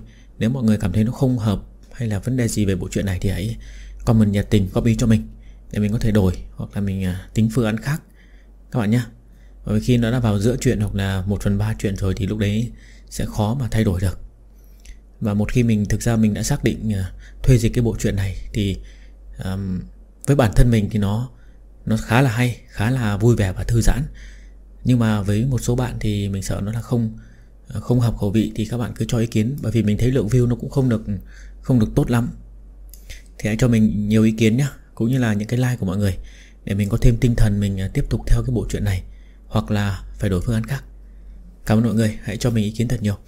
Và bây giờ chúng ta vào tập ngày hôm nay. Vương Đạo Trí Tôn, Tập 28 Sáng sớm ngày thứ hai, Thiết Lưu Vân đã chạy đến tìm Vương Khả. Hai người kết bạn tiến về Tây Lăng Điện.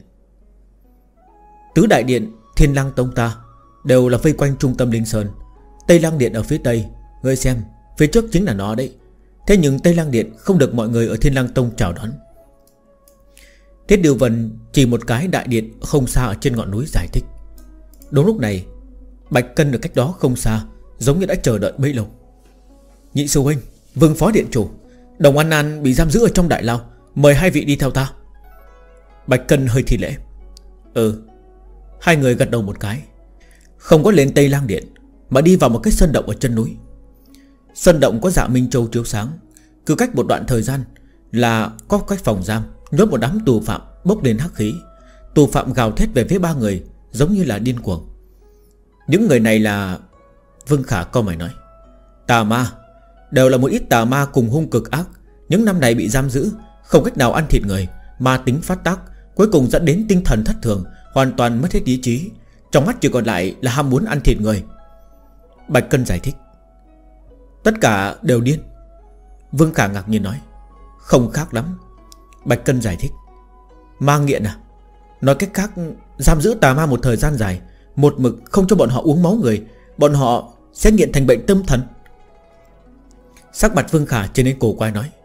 Đúng, Trong đầu bọn họ chỉ còn lại có ý nghĩ là ăn thịt người thôi, Nhưng sau khi ăn thịt người, Nghiệp chướng sẽ trở về, Sẽ từ từ thanh tỉnh. Bạch Cân giải thích nói. Vậy những thứ này, Những tà ma nổi điên này Đều đã giam giữ mấy chục năm rồi, Chẳng mấy chốc chúng sẽ bị tiêu hủy. Bạch Cân giải thích nói, Vương Khả lộ vẻ cổ quái, Nhưng cũng không nói gì. Đồng An An bị nhốt thật sâu nhỉ? Chúng ta đi lâu như vậy mà cũng chưa tới. Thiết Điều Vân co mày nói, Thân phận của Đồng An An ở ma giáo là cực cao, Cho nên chúng ta hết sức coi trọng, Nhanh. Bạch Cân giải thích, Ba người tiếp tục đi một hồi, Chợt nghe tiếng gầm gừ, Giống một tiếng. Tiếng gầm buồn bực truyền tới, Ở trong lúc nhất thời, Tất cả tà ma bên trong lồng giam Bỗng nhiên run lẩy bẩy Quận mình thành một đoàn. Đây là Vương Khả kinh ngạc nói. Chỉ thấy ở phía trước có một cái hàng sâu đen kịt, Bốn phía có rào chắn, Sâu không thấy đáy. Những tiếng gầm rú kia Chính là từ trong hố này truyền tới. Tiếng gào này dọa cho tất cả tà ma Đều không dám nhúc nhích. Đây là tuyệt thế ma đầu bị chấn áp phía dưới Linh Sơn, Vậy mà còn chưa chết. Thiết Lưu Vân kinh ngạc nói. Phía dưới Linh Sơn chấn áp tuyệt thế ma đầu. Hôm nay ta mới nghe sư tôn đề cập tới là tà ma gì vậy? Tại sao phải chấn áp? Trực tiếp giết không phải là tốt hơn sao? Vương Khả hiếu kỳ nói, Ta cũng không có biết. Nghe sư tôn của ta nói, Tà ma bị chấn áp phía dưới Linh Sơn Là cực kỳ mạnh mẽ, Giết không chết đâu. Thiết Điều Vân lắc đầu, Không thể nào, Còn có tà ma giết không chết à? Vương Khả kinh ngạc đi đến cái cửa hang sâu kia. Sư đệ cẩn thận, Đừng có té xuống, Rơi xuống là không bò lên được đâu.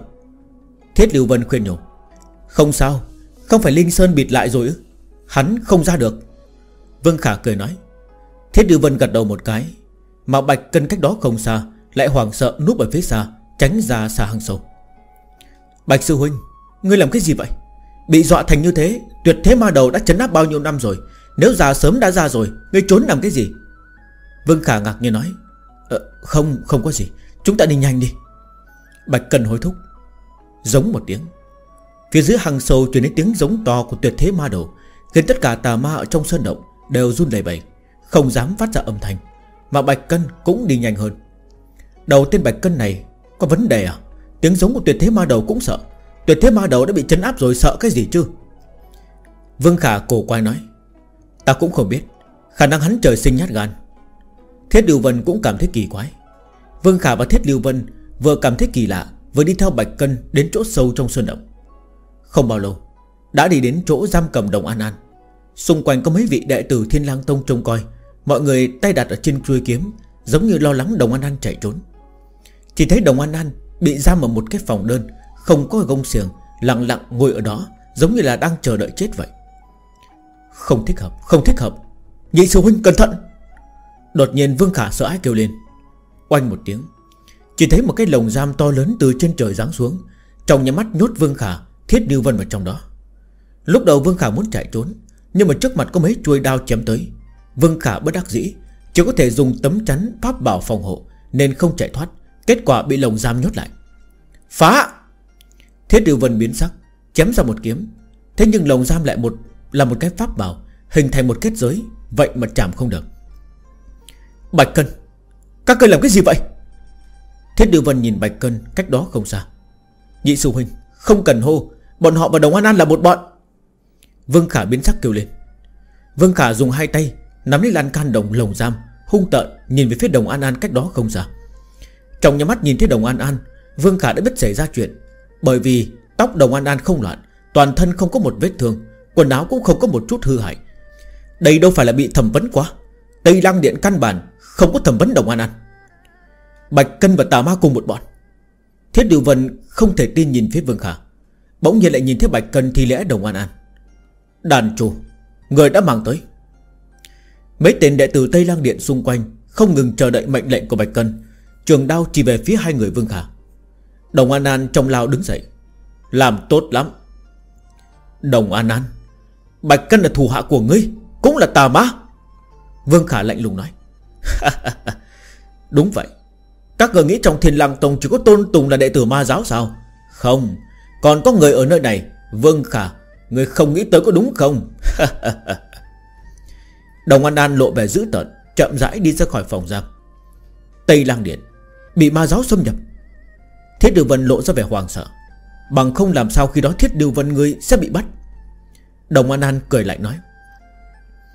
Năm đó Năm đó?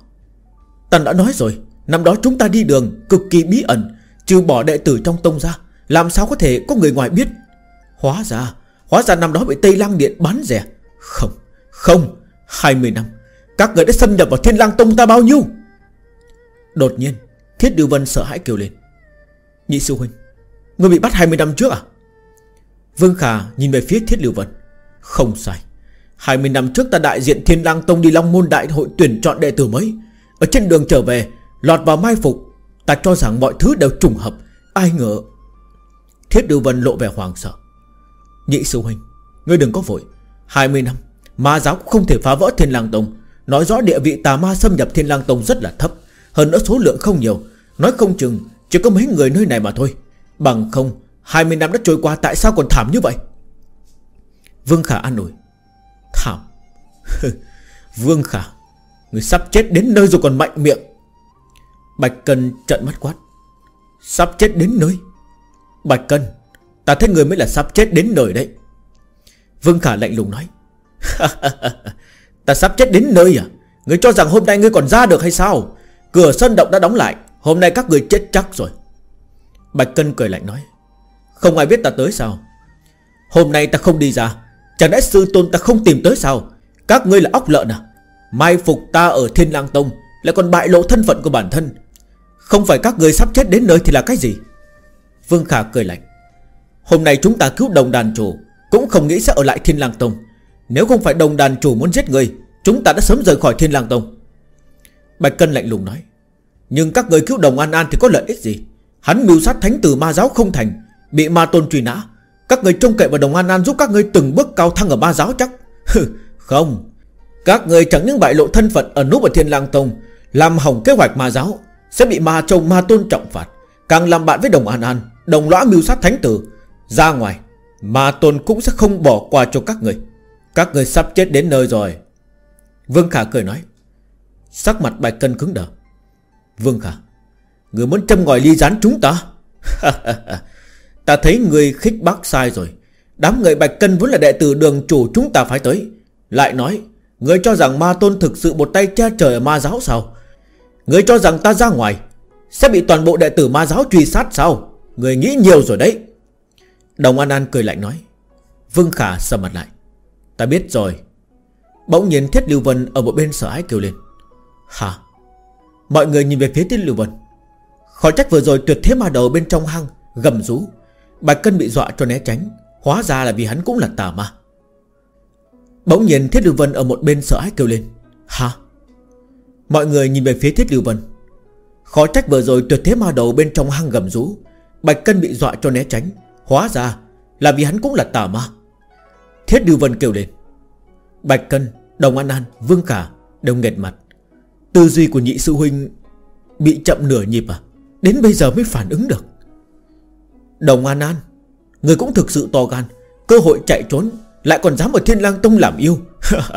Lát nữa sư tôn ta tới Các người một người cũng đừng có hòng chạy.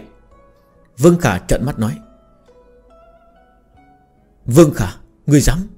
Ta vì cái gì mà không dám? Đồng An An căm hận nói. Hả? Hôm qua ta để Bạch Cân đi vạch trần thân phận của ngươi. Không nghĩ ra, Ngươi thực sự là đệ tử chính đạo, Căn bản không nhập ma.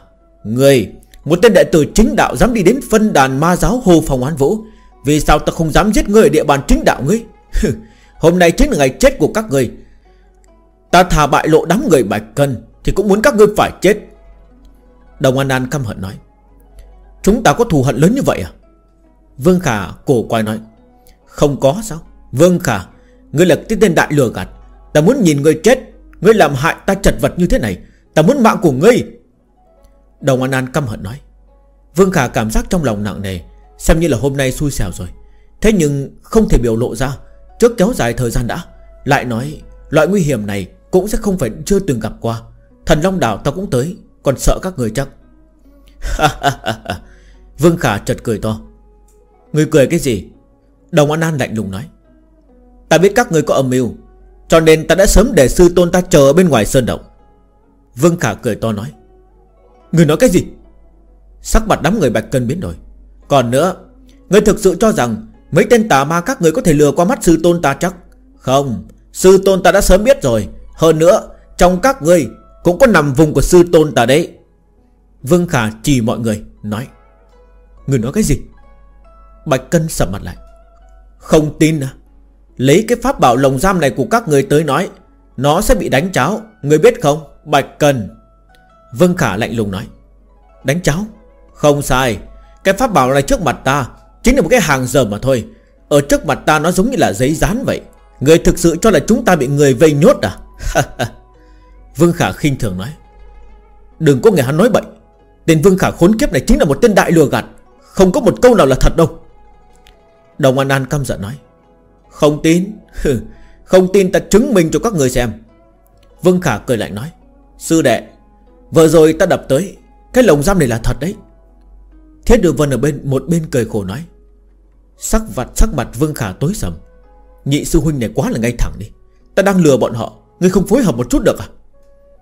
Vương Khả không để ý tới nhị sư huynh kêu lên, Tiếp tục lấy ra một que diêm, đốt đèn Bành một tiếng, Chỉ thấy mỗi bên song sắt trước mặt Vương Khả bị đốt cháy. Hơn nữa, Ở trong nháy mắt có mấy chỗ bị đốt đỏ bừng, Vừa rồi Vương Khả lại lặng lẽ truyền chọc chân khí vào. Chọc chân khí, Ngay cả chính khí kiếm cũng có thể đốt đứt. Thì cái pháp bảo phổ thông này Có tác dụng gì chứ? Bành một tiếng, Song sắt bị đốt đỏ bừng, Hơn nữa biến dạng cong lại. Thật là giấy à? Thế Đường Vân kinh ngạc nói. Đồng An An, Bạch Cân sườn sốt. Chúng tà ma cũng luống cuống tay chân. Không phải chứ, Tại sao cái song sắt này lại bị nhốt cháy? Thấy chưa? Ta nói rồi mà. Các người cho rằng cái lồng giam này nhốt được ta chắc. Ta kéo một cái nó gãy này. Bỗng nhiên Vương Khả kéo một cái. Bành một tiếng. Cứ như vậy, hai thanh sắt đang bốc cháy rời ra, Mà kết giới bên ngoài lồng giam Cũng bị phá mở một cái lỗ hồng lớn. Giới. Bạch Cân. Đây là cái lồng giam bằng giấy để đốt Viếng bồ mả của các người à?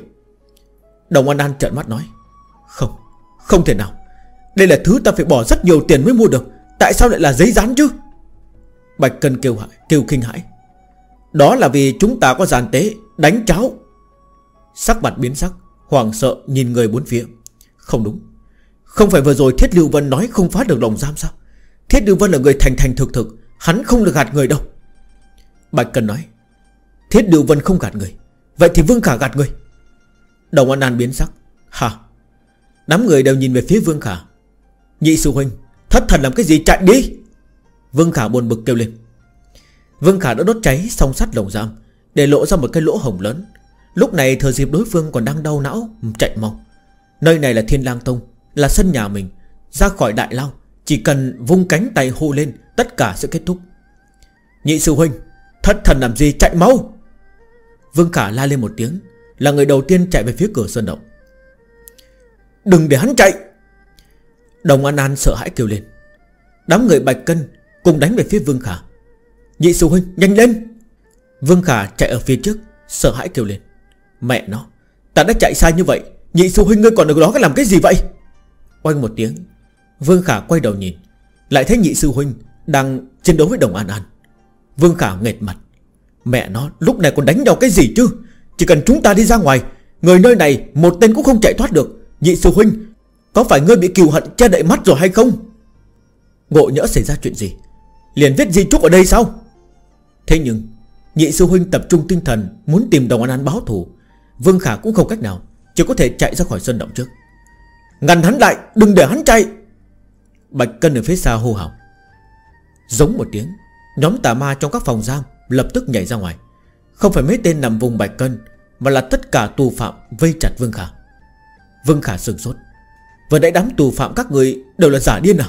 Hiện tại toàn bộ ngăn cản trước ta. Như này bảo ta làm sao mà chạy? Nhớ cho kỹ, Tuyệt đối đừng cho Vương Khả chạy. Ta giải quyết tên thiết lưu vân này, Liền tên giúp các người.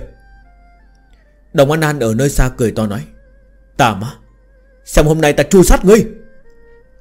Nhị sư huynh Cầm một thanh trường kiếm đánh tới. Oanh một tiếng, Hai đại cường giả kim đan cảnh Cao dai ầm ầm va chạm. Sắc mặt Vương Khả ở nơi xa Lại trở nên khó coi.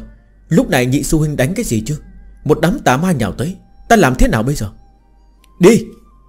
Vương Khả vung tay lên. Mười thanh vi kiếm lập tức bắn ra. Âm một tiếng, Đám người bạch cân giơ kiếm chém về phía phi kiếm của Vương Khả. Phi kiếm lợi hại, Nhưng vấn đề thực lực đám người này càng lợi hại hơn. Phi kiếm của Vương Khả căn bản không có tác dụng. Nhị sư huynh, Trước lao ra gọi người, Ta sắp không ngăn được nữa rồi. Vương Khả nhìn về phía xa hô hào. Hắn không đi được, Có ta ở đây, Hắn làm sao có thể giúp ngươi? Đồng An An ở phía xa cười to nói. Vương Khả biến sắc. Lần này thực sự hỏng bét sao?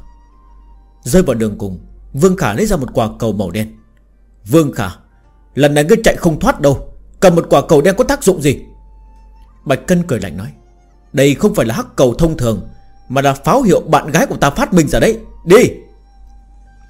Vương Khả ném pháo hiệu ra ngoài. Bạch Cân Điền chấm một kiếm vào pháo hiệu, Nhưng mà đúng lúc này, Pháo hiệu nổ bung Oanh một tiếng Một tiếng nổ lớn vang lên, Ngàn tia thủy khí bắn ra, Ánh sáng vạn trượng, Ở trong nhà mắt chiếu sáng, Thiên địa u ám. Mắt ta bị ánh sáng trốn mù rồi. Có tà ma kêu lên sợ hãi. Giữa ánh sáng chiếu rọi, Bỗng nhiên, Mắt tất cả mọi người bị mù, Không mở ra được, Không nhìn thấy. Đừng cho Vương Khả chạy! Đồng An An lo lắng kêu. Vô tới, Dùng thiên la địa võng, Đừng cho Vương Khả chạy! Bạch Cần quát. Tất cả mọi người nhào về phía Vương Khả Cùng lúc đó, ở dưới tình cảnh ánh sáng chiếu rọi, Một cái lưới lớn bao phủ lên Vương Khả Ánh sáng mạnh mẽ Cũng khiến cho Vương Khả có chút không mở mắt ra được. Nhưng giờ phút này, Vương Khả không thể không làm như vậy.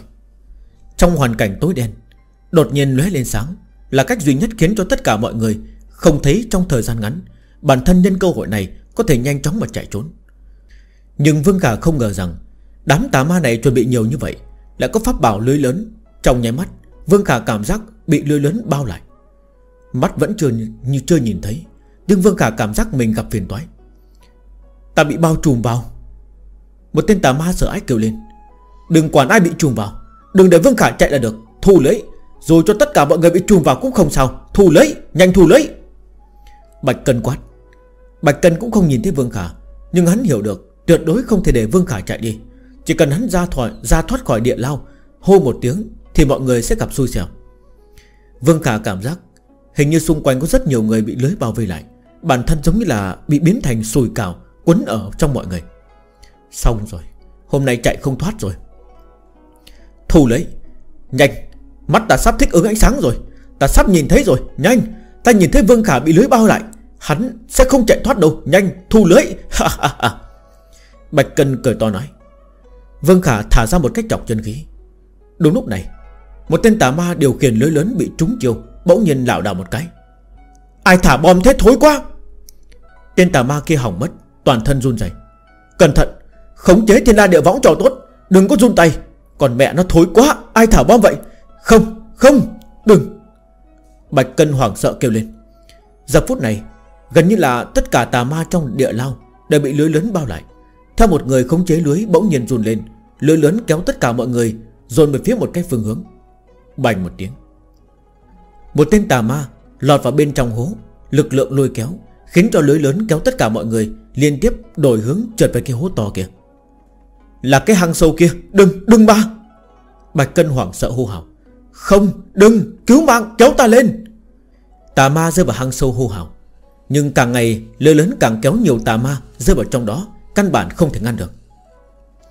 Trong nháy mắt Tất cả tà ma bao gồm cả vương cả ở bên trong Bị lưỡi lớn quân lấy Rơi vào bên trong hang sâu. Đừng cứu mạng. Không. Tiếng kêu thảm thiết liên tục Truyền từ trong hang sâu đến. Thời gian dần trôi qua Thanh âm càng ngày càng nhỏ, Thẳng đến khi không thấy nữa. Mấy vừa rồi, Còn chừng 20 tên tà ma, Trong nhắm mắt một tên cũng không có. Phía trên chỉ còn lại có Đồng An An Và Thiết Lưu Vân giảng co. Mắt hai người dần khôi phục lại, Nhìn cái hang sâu cách đó không xa, Trong lúc nhất thời trầm mặc. Không thấy. Vương Khả và tất cả tà ma Đều rơi vào trong hố rồi sao? Cái hang sâu kia là nơi Linh Sơn chân áp tuyệt thế ma đầu. Chưa từng có ai rơi vào trong đó Có thể đi ra. Đồng An An há miệng, Ngạc nhiên nhìn cảnh tượng này. Đều Đều là đồ đần sao? Bốn tên kim đan cảnh 20 tiên thiên cảnh hậu kỳ, Bị một mình Vương Khả kéo không thấy, Đều là đồ đần sao? Đồng An An tức giận muốn chửi thề.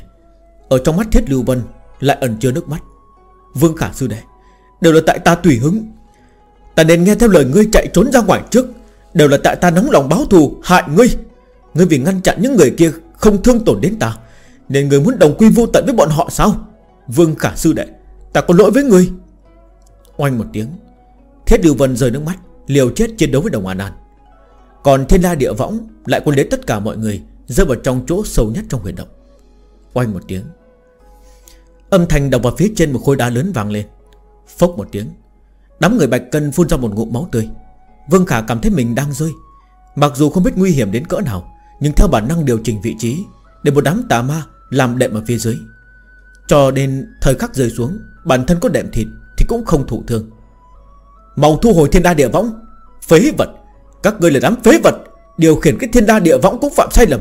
Quấn ta không thở nổi, Ta sắp bị thối chết rồi, Nhanh lên. Bạch Cần nôn mửa, Phun ra máu trắng. Hư một tiếng, Thiên đa địa võng lập tức hóa thành từng sợi tơ, Từ trên thân mọi người rút ra ngoài. Mọi người nhất thời tự do.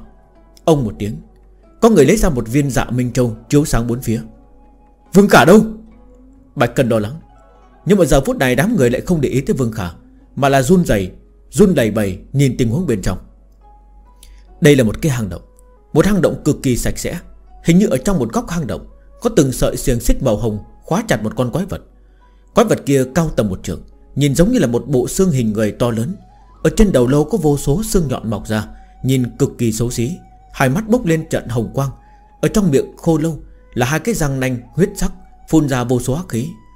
Toàn thân quái vật khô lâu Bị tỏa liên khóa lại, Nhưng dưới mông của hắn lại có một cái bảo tọa Được đắp thành từ vô số đầu lâu Quái vật khô lâu, An vị trên bảo tọa, Cho dù bị tỏa liên khóa lại, Nhìn qua vẫn hết sức thoải mái. Hai mắt bốc lên hồng quang, Nhìn về phía Vương Khả Và một đám tà ma. Giống một tiếng, Đã lâu rồi không có tiểu giao hòa nào xuống tiếp ta. Ha ha ha. Quái vật khô lâu phát ra âm thanh u ám. Tuyệt thế ma độc. Vương Khả biến sắc. Không không. Một đám tà ma quay đầu nhảy lên phía trên. Thế nhưng cho dù phi kiếm cũng vô dụng, Căn bản không bay được. Ở phía dưới huyệt địa, Có một lực lượng kỳ quái Ép cho tất cả mọi người không bay lên được, Cũng không bay cao được. Toàn bộ Linh Sơn Thiên Lang Tông Hình thành đại trận chấn áp, Ngay cả ta cũng không cách nào thoát khốn. Một đám tiểu gia hỏa các ngươi cũng muốn xông phá đại trận Linh Sơn? Ta chờ các ngươi Không gấp. Các ngươi chậm rãi thử đi. Quái vật khô lâu phát ra nụ cười u ám. Bay, Nhảy, Căn bản là vô dụng. Ngay cả trèo tường thì cũng không trèo được. Vừa bò một bước, Đã bị một cỗ áp lực kinh khủng ép tới. Trong nhà mắt ngã quỳ trên mặt đất. Đám người trốn tránh quái vật khô lâu. Mấy lần muốn ra ngoài, Nhưng mà làm sao? Không ra được. Trời cũng trời rồi. Có phải hiện tại nên lựa chọn người hiến tế cho ta hay không? Quái vật khô lâu u ám nói. Bạch Cân lập tức biến sắc. Tiền bối tiền bối, Chúng ta cũng là đệ tử ma giáo, Cùng một nguồn gốc với ngươi Chúng ta là người một nhà, Việc không liên quan tới chúng ta. Một tên tà ma hoảng sợ kêu lên. Người một nhà? Nhưng mà ta không có người nhà. Quái vật khô lâu u ám nói. Chỉ thấy tên tà ma cầu xin tha thứ quỳ dưới đất. Oanh một tiếng. Một cái gai xương đâm lên Ở trong nhà mắt xuyên thấu thân thể người kia. Rồi từ trong miệng toát ra, Từ từ trạng cực thảm. Xương cốt ở Trên đất chậm rãi dài ra, Nâng tên tà ma vừa mới chết thảm kia, Kéo đến trước mắt quái vật khô lâu, Bị quái vật khô lâu há miệng ra. Ô một tiếng, Một ngụm, Tên tà ma chết thảm kia Bị quái vật khô lâu nuốt xuống. Tiếng nhai kinh khủng Khiến đám người bạch cân lộ ra vẻ tuyệt vọng. Không không, Vương Khả, Ngươi, Đều là do ngươi Ngươi hại chết chúng ta. Bạch cân tuyệt vọng gào thét. Người vừa mới bị quái vật khô lâu ăn, Là cường giả kim đan cảnh, Nhưng ở trước mặt huyết tuyệt thế ma đầu, Ngay cả phản kháng cũng không phản kháng được. Chẳng phải toàn bộ chúng ta cũng xong đời sao? Vương Khả không để ý tới, Gắt gao nhìn chằm chằm quái vật khô lâu, Ánh mắt hết sức kỳ lạ. Chỉ có tiểu tử ngươi không sợ. Ngươi đang nhìn cái gì? Quái vật khô lâu kỳ quái nhìn Vương Khả. Ta đang nhìn, Vừa rồi ngươi nuốt người kia vào nơi nào? Không phải bụng người trống rỗng sao? Vì sao? Vì sao nuốt xuống mà không có rơi ra Vương Khả cổ quái nhìn quái vật khô lâu. Quái vật khô lâu và đám người bạch cân đều ngần người. Tên tuyệt thế ma đầu này Muốn ăn toàn bộ chúng ta, Muốn ăn Vương Khả ngươi. Vậy mà ngươi lại chú ý tới bụng quán Đầu ngươi có vấn đề à? Mặc dù đối mặt quái vật khô lâu, Vương Khả cũng lo lắng, nhưng không có hoàng sợ giống như đám người Bạch Cân, Bởi vì Vương Khả vẫn còn chỗ dựa vào. Đó chính là tính năng hộ chủ của Đại Nhật Bất Diệt Thần Kiếm. Tình thế trước mắt đã chuyển biến xấu đến mức như vậy. Có sợ hãi cũng vô dụng. Hiện tại nên nghĩ, Có thể làm cái gì? Hiện tại có thể làm cái gì? Chỉ có kéo dài thời gian thôi. Hy vọng kéo dài thời gian, Sư tôn có thể biết tình cảnh của mình. Chỉ có tiểu tử này không sợ. Người đang nhìn cái gì? Quái vật khô lâu kỳ quái nhìn về phía Vương Khả. Ta đang nhìn. Vừa rồi ngươi nuốt người kia, Đã đi nơi nào? Không phải là bụng của ngươi trống rỗng sao? Vì sao? Vì sao nuốt xuống lại không rơi ra? Vương Khả kỳ lạ nhìn quái vật khô lâu. Tên tuyệt thế ma đầu này Muốn ăn toàn bộ chúng ta, Muốn ăn cả vương cả ngươi, Nhưng mà ngươi lại chú ý bụng quán. Đầu ngươi có vấn đề sao? Quái vật khô lâu nhìn cái bụng trống rỗng của bản thân một chút. Đúng là người vừa rồi, Nuốt xuống chưa rời ra. Thế nhưng chuyện này liên quan gì tới ngươi? Tiểu chút chít, Đã nhiều năm như vậy, Người vẫn là người thứ đầu tiên Dám nói chuyện với ta như vậy. Tốt tốt tốt. Vậy tiếp theo, Ăn người đi. Quái vật khô lâu lạnh giọng nói. Bành một tiếng. Chỉ thấy Vương cả nhìn về phía quái vật khô lâu. Cái nhảy này Dọa cho quái vật khô lâu giật mình, Suýt chút nữa từ trên bảo tọa khô lâu đứng dậy. Nhưng nhìn thấy Vương Khả nhảy một bước, Lại không nhảy nữa, Thì cảm thấy hết sức kỳ lạ. Ngại quá ngại quá. Phản xạ có điều kiện. Ta đã tưởng tượng rằng mình sẽ giống như người kia, Bị một cái xương bọc ra từ trên mặt đất đâm vào mông, Khiến ta giật nảy mình. Sinh ra phản xạ có điều kiện. Đây là phản ứng bình thường, Không cần khẩn trương, Không cần khẩn trương. Vương Khả lập tức giải thích. Quái vật khô lâu và đám người bạch cân Đều không hiểu. Tiểu chút chít Người chán sống rồi sao? Không kịp chờ đợi muốn bị ta ăn? Tốt, Vậy ta sẽ thành toàn ngươi. Quái vật khô lâu lạnh giọng nói. Oanh một tiếng, Trong nháy mắt, Lòng đất bắn ra mấy trăm cây xương, Nhắm vào các chỗ sung yếu của Vương Khả. Chờ một chút, Ta có chuyện muốn nói, chờ một chút. Vương Khả lập tức hồi lên. Mấy trăm cây gai đất nổi lên giữa không trung, Nhắm vào Vương Khả. Hai mắt quái vật khô lâu bốc lên hồng quang, Giống như đang chờ Vương Khả vậy. Vị tiền bối này, Người bị chấn áp ở đây rất lâu rồi sao? Năm tháng dài rằng giặc như vậy, Người không cảm thấy cô đơn sao? Vương Khả hỏi quái vật khô lâu. Hả? Quái vật khô lâu sững sờ. Mấy người bạch cân cũng trần mắt nhìn về phía Vương Khả. Tiểu tử Vương Khả này muốn làm gì? Có khi nào trời tối yên tĩnh Ngươi cảm thấy trống rỗng, Cô đơn, lạnh lẽo không? Vương Khả hỏi. Quái vật khô lâu sừng sốt. Đám người bạch cân há hốc mồm. Tiểu tử Vương Khả này không muốn sống nữa sao? Chống bắn cô đơn lạnh lẽo. Đó là từ dùng trên người nam nhân sao? Quan trọng là, Cái tên quái vật khô lâu này Không có công cụ để chống bắn Cô đơn, lạnh lẽo. Người đang nhục nhã hắn sao? Tiền bối Người xem. Chúng ta đến nhiều người như vậy Người không vui mừng sao? Ít nhất có thể bù đắp sự chống vắng cô đơn lạnh lẽo của người Vương Khả giải thích nói. Bỗng nhiên đám người bạch cân dùng mình một cái. Cái tên Vương Khả này biến thái sao? Làm sao chúng ta có thể bù đắp sự chống vắng cô đơn lạnh lẽo của khô lâu?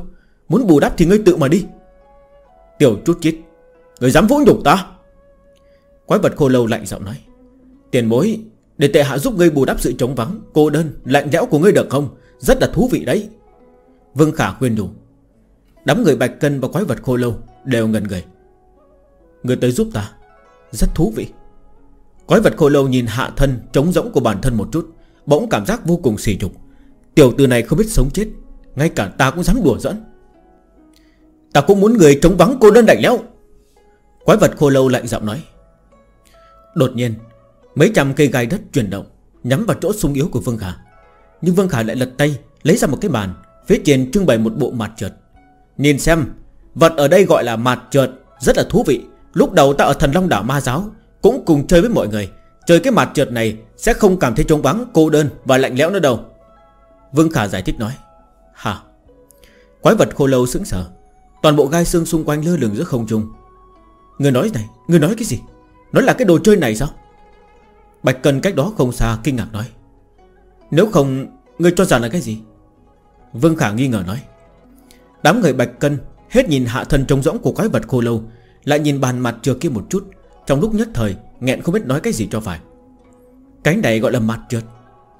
Quái vật khô lâu trầm giọng nói, Đúng, là ta phát minh đấy. Hiện tại đã truyền khắp ma giáo. Đệ tử ma giáo nào chơi xong không nói một tiếng tốt chứ? Tiền bối, ta tới dạy người chơi như thế nào nhé? Cam đoàn người chơi qua Sẽ không muốn cái gì khác. Ở trong này, Đến thiên hoang địa lão cũng không muốn đi. Vương Khả cười giải thích nói. Quái vật khô lâu ngẩn người. Vương Khả lập tức giải thích cách chơi mặt trượt cho quái vật khô lâu. Giải thích đám người bạch cân hết sức mờ mịt. Quái vật khô lâu lại dừng chu sát đám người lại. Hay là chúng ta chơi thử một vòng? Vương Khả mong đợi nhìn về quái vật khô lâu. Quái vật khô lâu trầm mặc một hồi, Tự nhiên Vương Khả không biết xấu hổ. Bạch Cân, Các người thất thần làm gì? Mau lại đây hầu tiền bối cho mặt trợt đi. Muốn bị ăn sao? Vương Khả nhìn về phía đám người Bạch Cân hô. À đến đây. Bạch Cân mờ mịt chạy lên Giờ khắc này, chỉ cần không bị quái vật khô lâu ăn làm cái gì cũng được. Quái vật khô lâu không nói gì, Bởi vì hình thể cao lớn cũng không thích hợp Sờ mặt trượt. Nhìn cái gì vậy? Sao không giúp tiền bối xếp bài? Vương Khả trận mắt nhìn. À Bạch Cân buồn bực xếp bài cho quái vật khô lâu. Bạch Cân nằm mơ cũng không nghĩ tới. Mới vừa rồi còn muốn người chết ta sống với Vương Khả, Vậy mà lại trong nháy mắt Lại ngồi thành đánh mặt trượt với nhau. Tiền bối, bắt đầu. Vương Khả ra hiệu nói. Vương Khả cũng lo lắng quái vật khô lâu không để ý tới. Nhưng cũng may Trên mặt đất toát ra một vài gai xương tinh tế Hình thành bàn tay nhỏ bắt đầu sờ bài. Phát tài, bạch bảng, hồng trung, hồ liễu. Đám người lập tức đánh lên khí thế ngất trời Với quái vật khô lâu. Cách đó không xa Một đám tà ma lúc trước muốn giết Vương Khả Không khỏi lộ ra vẻ cổ quái. Chuyện này Chuyện này có ý gì? Tại sao các người lại đánh mặt chuyện? Quái vật khô lâu liên tục Rắn bà bắn Tất cả mọi người dựa lời của Vương Khả dặn, Thua tiền cho quái vật khô lâu. Thời điểm đánh ván thứ tư, Bỗng nhiên tên tà ma ngồi đối diện quái vật khô lâu, Vỗ mặt trượt Dán! Tên tà ma kia hô to một tiếng, Hưng phấn muốn thu tiền. Vương Khả, Bạch Cân Nhìn tên tà ma kia, Tiểu tử ngươi tự tìm cách chết sao? Chúng ta đang hầu đại gia chơi, Ngươi lại dám dán bài đại gia? Ta còn thiếu một tấm là thuần một sắc, Ngươi làm rối loạn, Vậy mà dám cản ta, Tự tìm cái chết. Quái vật khô lâu nói. Oanh một tiếng, Đột nhiên trên mặt đất bắn ra một cây địa thứ, Đâm xuyên tên tà ma rán bài kia. Trong nháy mắt, nhấc lên tà ma này lên, Đưa vào trong miệng quái vật khô lâu. Giọt một tiếng, Trong nháy mắt, Tên tà ma thứ hai bị ăn. Vương Khả và đám người bạch cân sừng sốt. Cái mặt trượt này, Thú vị thì có thú, Nhưng ta càng thích nếm thử vị thịt. Tiếp theo ai tới, Ta thắng một ván, ta ăn một người. Tới đi. Quái vật khô lâu quát. Thắng một ván ăn một người. Vừa rồi ngươi thua một ván Vẫn ăn một người mà. Không ngờ ngươi mặc kệ thắng thua Đều muốn ăn thịt người. Còn ai dám trơn mặt trượt với ngươi? À, Đừng tiền bối. Chúng ta là đệ tử ma giáo Ngài muốn ăn vương cả trước đi. Hắn là đệ tử chính đạo Hắn không phải đệ tử ma giáo. Hắn là kẻ thù của ngài. Tông chủ Thiên lang Tông là sư tôn quán Hắn là kẻ thù của ngài. Bạch Cần lập tức hoảng sợ nói Đệ tử Tông chủ Thiên lang Tông. Bỗng nhiên quái vật khô lâu Lạnh lùng nhìn về phía Vương Khả. Một cỗ sát khí từ trên người quái vật khô lâu toát ra, Khiến nhiệt độ bốn phía hạ xuống không ít. Hiển nhiên, Quái vật khô lâu cực kỳ thù hận. Thiên lang Tông. Tiền bối, Đừng nghe hắn nói bậy.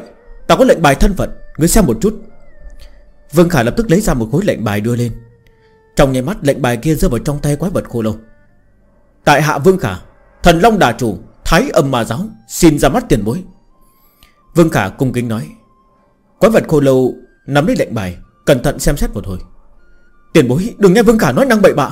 Hắn đang lừa gạt, là hắn gạt ngươi Vương Khả lập tức lo lắng nói, Lệnh bài này là thực Phía trên có khí tức của hắn. Còn có khí tức máu tươi mà Vương Khả để lệnh bài nhận chủ. Hắn thực sự là thần long đà chủ. Quái vật khô lâu trầm giọng nói, Hắn Hắn trong miệng quái vật khô lâu, Dĩ nhiên là khí tức ma tôn. Vương Khả đã hiểu, Mắt lập tức sáng lên. Không sai. Có khí tức ma tôn tiền bối. Người biết ma tôn thì quá tốt rồi. Ma tôn tự phong ta là thần long đà chủ. Vương Khả hắn lập tức kéo lấy quan hệ. Dạ dạ. Hắn là một tên đệ tử chính đạo. Tại sao có thể là đà chủ ma giáo? Không thể nào. Bạch Cân không tin, quát mắng. Hôm qua bản thân vừa mới mời chính khí kiếm đi kiểm tra Vương Khả. Hắn nhất định là đệ tử chính đạo. Làm sao có thể biến thành đà chủ ma giáo được? Gạt người. Nhất định là gạt người. Quái vật khô lâu nhìn Bạch Cân một chút, Rồi lại nhìn về phía Vương Khả.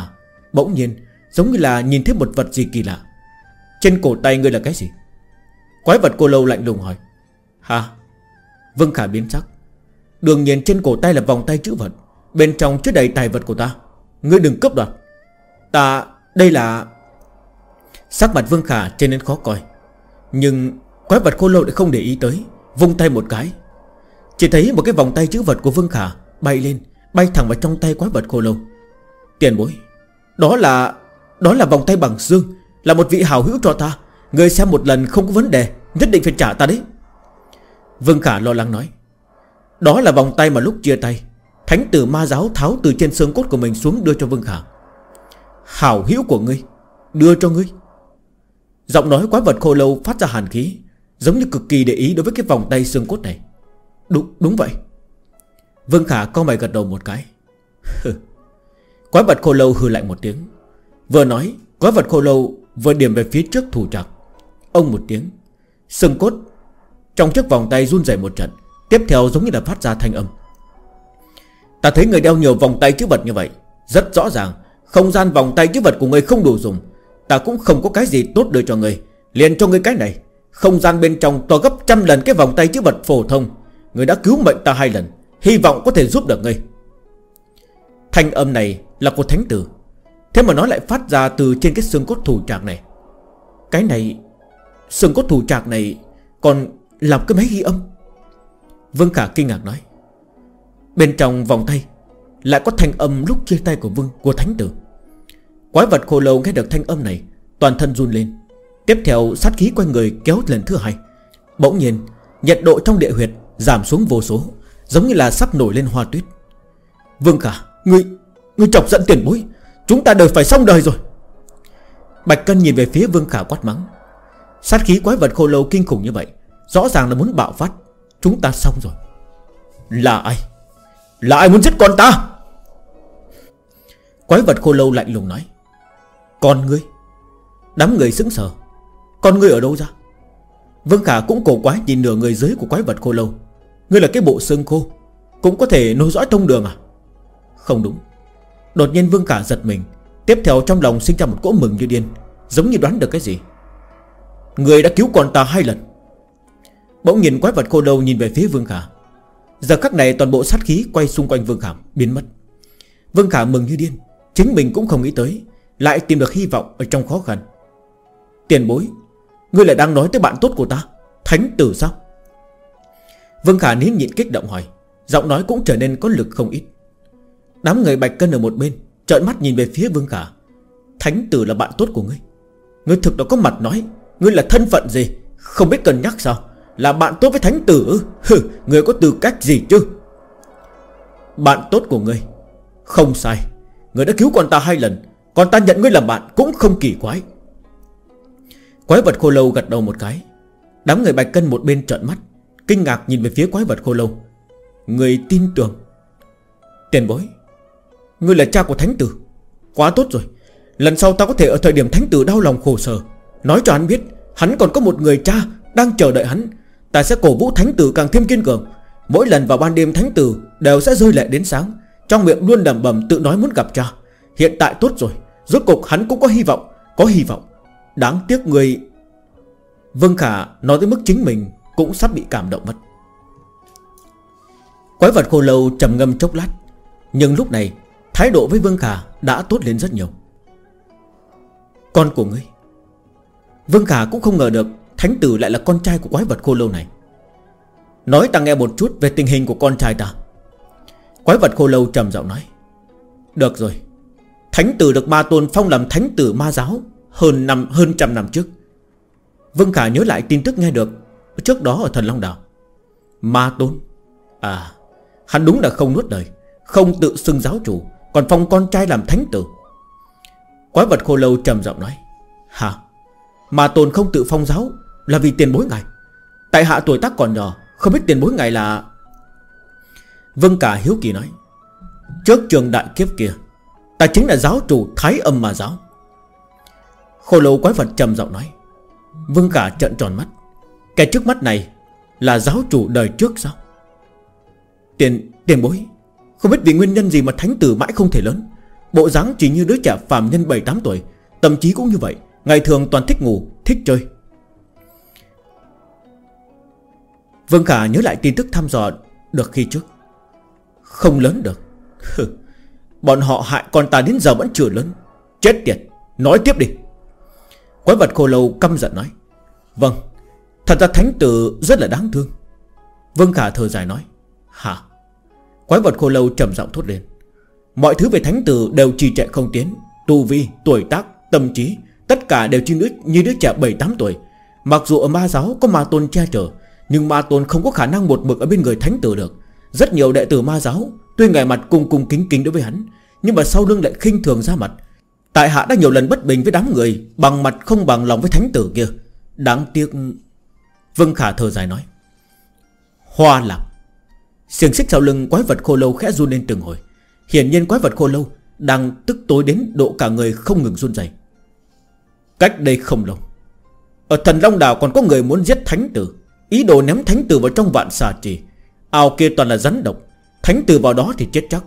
Với thể cốt của thánh tử, Người cũng biết rồi đấy. Làm sao có thể mà chịu được? Khi đó vây quanh ao là vô số đệ tử ma giáo. Lại chỉ biết đứng trên bờ trì trò, Mặc cho thánh tử vùng vẫy hô cứu mạng ở trong ao. Chẳng có ai xuống cứu. Tại hạ và thánh tử là giao tình thế nào chứ? Dù tu vi ta rất yếu, song vẫn không chút để ý. Mặc cho bị xà, Vạn xà cắn xé, Ta đều mặc kệ. Chỉ có ta nhảy xuống, Ngươi không biết. Lúc ấy thánh tử khóc rất thương tâm, Khóc bất lực cỡ nào đâu. Đám lòng dạ hiểm độc kia, Bọn họ có nghe được không ư? Ta liều mạng cứu thánh tử lên, Cũng may thánh tử bách độc bất xâm Riêng ta lại bị trúng độc rất sâu, Trừ độc thật lâu mới có thể sống được. Vương Khả đau lòng kể lại. Ai? Là ai? Toàn thân quái vật khô lâu run rẩy.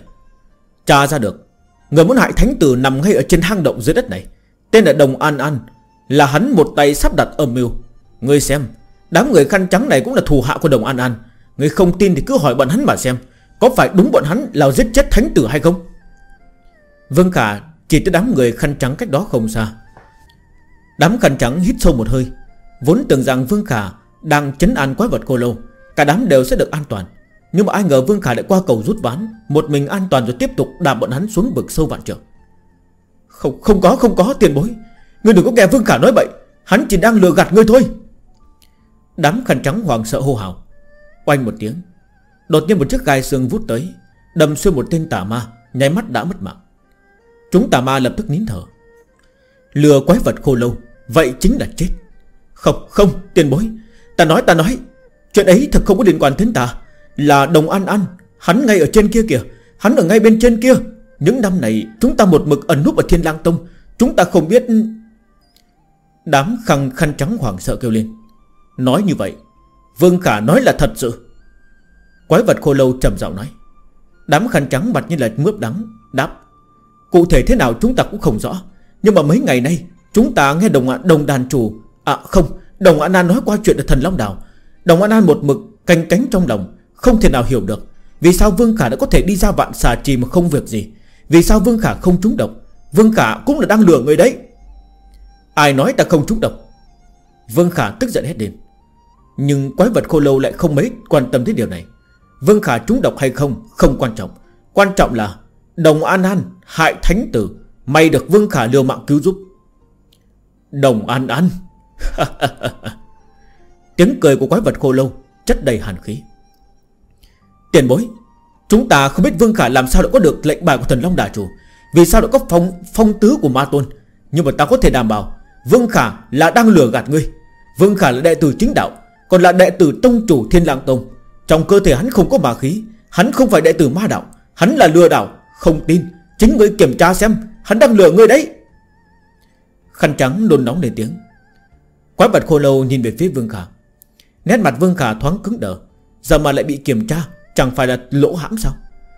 Chính mình đường đường là thần long đà chủ, Làm sao lại không có ma khí? Quái vật khô lâu liếc nhìn Vương Khả một cái, Sau đó lại quét nhìn về phía đám người khăn trắng. Hắn không có ma khí. Cái đó Thì có gì không đúng? Hả? Chúng tà ma há hốc mồm. Không đúng. Lời này đã có ý gì? Người chính là giáo chủ ma giáo đời trước, Người không để ý Vương Khả là chính đạo. Phải biết hắn là đệ tử Trần Thiên Nguyên Ngươi lại vẫn không để ý. Hắn là đệ tử đại cừu nhân của ngươi. Tên bà tôn kia của các người, Năm đó lúc còn dưới tay của ta, Còn là một tên tịnh ma, Sống chết không chịu ăn thịt người. Dù phải chịu đựng thống khổ sống không bằng chết, Cũng quyết không ăn thịt người, Không nguyện ý làm ô ma ăn thịt người. Dù mỗi lần ma ẩn phát tác, Hắn cam nguyện chịu đựng đau khổ, chứ nhất quyết không ăn. Chỉ lấy chân nguyên huyết chống đỡ, Hắn làm được. Vương Khả có thể bị ma tôn nhìn chúng Tự thân phong làm thần long đà chủ. Vương Khả cũng là một tên tịnh ma. Nhìn không ra ma khí, Thì có gì không đúng? Quái vật khô lâu trầm giọng nói Tịnh ma, Ô ma. Vương Khả sững sờ, Tà ma còn phân phân chia như vậy, Không đúng. Nhấp Thành Thành cũng không chịu ăn thịt người. Nhất Thành Thành cũng là tịnh ma. Vương Khả đột nhiên nhớ tới, Ma tôn hạ lệnh Ở trong nội bộ ma giáo, Không cho phép ăn thịt tù phạm chính đạo. Chỉ rút Trần Nguyên huyết như là nuôi gia súc, Chả lẽ ma tôn muốn đệ tử ma giáo đều giống hắn, Dần dần trở thành tịnh ma? Tiền bối, Trước kia ta nghĩ không thông, Giờ ta hiểu rồi. Vì sao đồng an an Còn có tên đường chủ nào đó Ở sau lưng lại muốn phản bội ma tôn? Vì sao lại giết thánh tử? Bọn hắn là ô ma. Bọn hắn nhìn ra ý định bồi dưỡng tịnh ma trong bà giáo của ma tôn, Cho nên bọn hắn muốn ngăn cản. Ta nhớ được đồng an an từng nói qua Mà chính là phải ăn thịt người. Bọn hắn muốn ăn thịt người, Muốn đánh vỡ kế hoạch của ma tôn, Cho nên bọn họ vươn hắc thủ lên người thánh tử, Đả kích uy tín của ma tôn. Vương Khả giải thích nói Thật to gan, Thật to gan, Dùng con trai ta để giết gà dọa khỉ sao? Bọn này chán sống rồi. Quái vật cô lâu lạnh giật, Lạnh giọng nói. Tiền bối, Ngài ăn thịt người. Ngài cũng là ô ma. Khăn trắng lo lắng nói. Ta là ô ma, Nhưng ta cũng là phụ thân. Ta không quản các ngươi là ma gì, Dám giết con ta. Vậy thì đều đáng chết, Đều đáng chết. Quái vật khô lâu lạnh giọng nói. Tiền bối tha mạng, Chúng ta Chúng ta vô tội. Việc này không liên quan đến chúng ta. Chúng ta không biết, Chúng ta không ra hại thánh tử. Là đồng an an Hắn đang ở ngay trên hang động này. Hắn ở ngay trên kia kìa. Đám khăn trắng hoảng sợ kêu lên. Tiền bối, Ta và thánh tử là bạn tốt. Hiện tại nội bộ ma giáo đang rất loạn. Trước đây không lâu, Lúc ma tôn không ở thần Long Đảo, Ta từng hai lần cứu thánh tử. Lần đầu tiên là ở trong vạn xà trì, Lần thứ hai là lúc bị xà vương tấn công. Mặc dù ta đã cứu thánh tử, Nhưng mà thánh tử vẫn đang rất nguy hiểm. Con người thánh tử tốt lắm. Mặc dù bị phong ấn niên kỳ Nhưng theo ta thấy thánh tử rất chi là có trí tiến thủ. Hắn rất nỗ lực Tìm đủ mọi thứ rèn luyện bản thân. Đáng tiếc, Hắn thân thể bị hạn chế. Hắn rất kiên cường, Dù gặp khó khăn Lại chưa bao giờ nhụt chí cả. Hắn cũng rất lạc quan. Đối mặt khổ nạn thế nào Cũng đau đi nước mắt, Mỉm cười đối mặt. Thánh tử là người lạc quan nhất, Kiên cường nhất, Bất khuất nhất mà ta từng gặp. Vương Khả khen không dứt miệng. Ngay trước mặt phụ thân khen con trai người ta, Đây tuyệt đối là chính trị chính xác. Quả nhiên, Tâm tình quái vật khô lâu Tốt lên rất nhiều. Còn ta tốt như người nói thật sao? Sao lại không thật? Để ta nói cho người biết nha. Đám người ma giáo kia sớm đã bị lợi ích xung quanh bắn đầu. Bọn họ khinh thường tu vi thánh tử Lại làm sao biết được? Nếu không phải niên kỳ thánh tử bị áp chế Đám đà chủ, đường chủ chó má bọn hắn Sợ rằng có thúc ngựa thì cũng không theo kịp thánh tử. Vương Khả bất bình thay cho thánh tử Khẳng khái nói hey. Quái vật khô lâu lại một trận thở dài. Tiền bối Ta không phải là không chạy trốn Thực ra là trong mắt ngươi Ta và đám người kia chẳng khác gì nhau. Người có ăn ta hay không thì đều không sao hết. Nhưng mà ta thực sự không bỏ được bạn tốt là thánh tử. Người biết đấy, Mình thường dễ tránh, ám tiễn khó phòng mà. Mà tồn có thể bảo vệ thánh tử ở ngoài sáng, Nhưng mà trong tối lại không cách nào bảo hộ thánh tử được. Chỉ xin tiền bối Có thể đưa ta ra ngoài, Để ta thường xuyên chú ý tới thánh tử, Tránh cho hắn bị ám tiễn thương hại. Ta thừa nhận, Ta không muốn bị nhốt ở chỗ này, Nhưng mà ta càng không muốn nhìn thấy thánh tử bị tên hỗn đản nào đó ám toán chết mất. Tên đồng an an kia ở trên kia. Còn cái tên đường chủ nào đó Ở sau lưng hắn nữa. Ngày nào mà còn bọn họ, Ngày đó thánh tử còn chưa được an bình, Ta hận không thể ăn thịt, Uống máu của bọn hắn. Ngữ điệu Vương Khả đầy vẻ căm hận, Khẳng khái nói. Đồng thời Vương Khả nhìn về phía quái vật khô lâu. Ta đã ám thị người rõ nhân như vậy rồi. Có phải người nên đưa ta đi lên không? Quái vật khô lâu nhìn Vương Khả. Người muốn ra ngoài, Bảo hộ con ta. Quái vật khô lâu trầm giọng nói. Vương Khả nghe xong, Lập tức tinh thần vội đáp. Tiền bối, Ta cũng không có hư ngụy với người Đúng là ta sợ bị người ăn thịt. Điều này không có gì phải giấu. Nhưng không như đám khăn trắng dối trá kia, Ta đúng là sợ thật. Nhưng mà đồng thời, ta cứu thánh tử cũng là thật. Ta và thánh tử là anh em tốt. Vấn đề này Người Từ chức nhẫn vừa rồi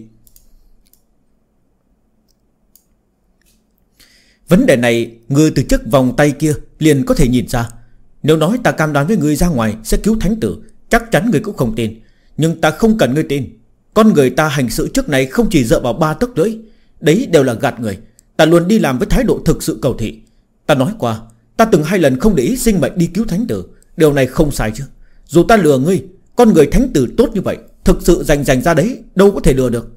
Ngươi cảm thấy nên tin tưởng người khác hoa ngôn xảo ngữ, Hay là nên tin tưởng người thật việc thật như ta? Ta ra ngoài Ta không bảo hộ thánh tử, Anh em tốt của ta. Vậy thì ta bảo vệ ai được?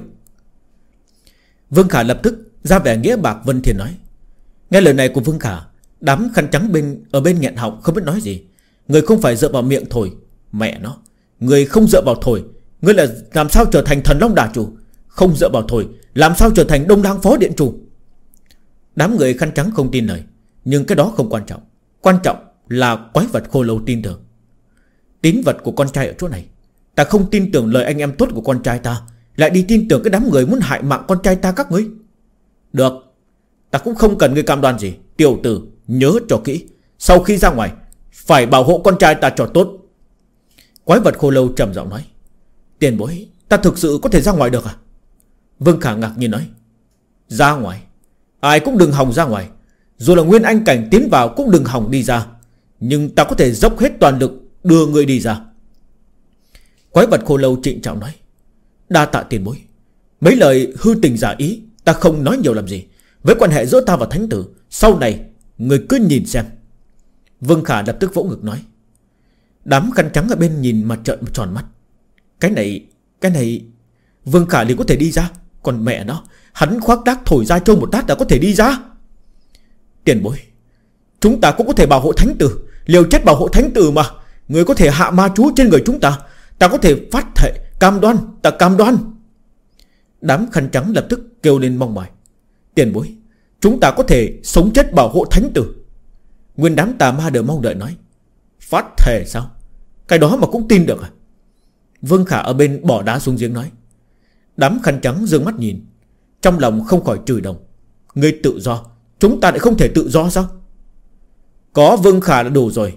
Hắn là thần long đà chủ, Có thể tuyển nhận đồ môn. Có thể tuyển nhận môn đồ. Các ngươi, Ta không tin được. Đã hại con trai ta, Còn muốn ta thả các ngươi? Quái vật khô lâu lạnh giọng nói. Tiền bối tha mạng, Chúng ta biết sai rồi. Chuyện ấy không liên quan đến chúng ta. Đám khăn trắng bái lại cầu xin. Vương Khả, Người cần ta làm gì? Quái vật khô lâu trầm giọng nói. Đa tạ ý tốt của tiền bối. Vốn là ta không nên đề ra yêu cầu quá phận đối với ngài. Chỉ là thần long phân đà của ta chỉ mới vừa khởi đầu. Hiện nay khuyết thiếu lượng lớn tài chính. Đương nhiên, thiếu nhất vẫn là đạo linh ngọc. Không biết chỗ này của tiền bối có liệu có dư giả không? Nếu không có thì thôi. Vương Khả bắt đầu giờ công phu sư tử ngoạn. Đạo linh ngọc. Linh Sơn Phong ấn ta Hơn 10 năm trước từng dưỡng dục ra một khối Để ta mang ra cho người. Quái vật khô lâu nói. Vừa nói quái vật khô lâu Vừa vươn tay cắm vào vách đá sát bên cạnh. Tạch một tiếng, Trên vách đá giống như các phong ấn lực lượng khủng bố vậy. Khoái tốc liền nghiền nát bàn tay quái vật khô lâu, Thành vô số bột phấn. Nhưng mà cánh tay khô lâu kia Thì vẫn cắm vào trong vách đá, Móc ra một tảng đá sáng rực hồng quang. Tạch một tiếng, Cánh tay sừng cốt nát bấy, Vừa nãy chậm rãi mọc lại. Đây là đạo linh ngọc, Cho người, Tính là thù lao đưa trước cho người. Quái vật khô lâu trầm giọng nói Nói thù lao làm gì? Tiền bối, ngươi yên tâm. Chuyện của anh em tốt chính là chuyện của ta. Ta ra ngoài điền chiêu binh mãi mã Bảo hộ thánh tử 24 trên 7 Vương Khả lập tức cười không gặm được mồm. Gấp gáp thu lấy linh ngọc đạo. Quái vật khô lâu chậm rãi rút ra một chiếc răng từ trong khoang miệng của mình. Đưa chiếc răng này đến cho con trai ta Nó sẽ biết phải làm gì. Quái vật khô lâu đưa hết cho Vương Khả. Vương Khả lập tức lấy ra một chiếc hộp ngọc Cẩn thận cất răng quái vật khô lâu vào trong đó.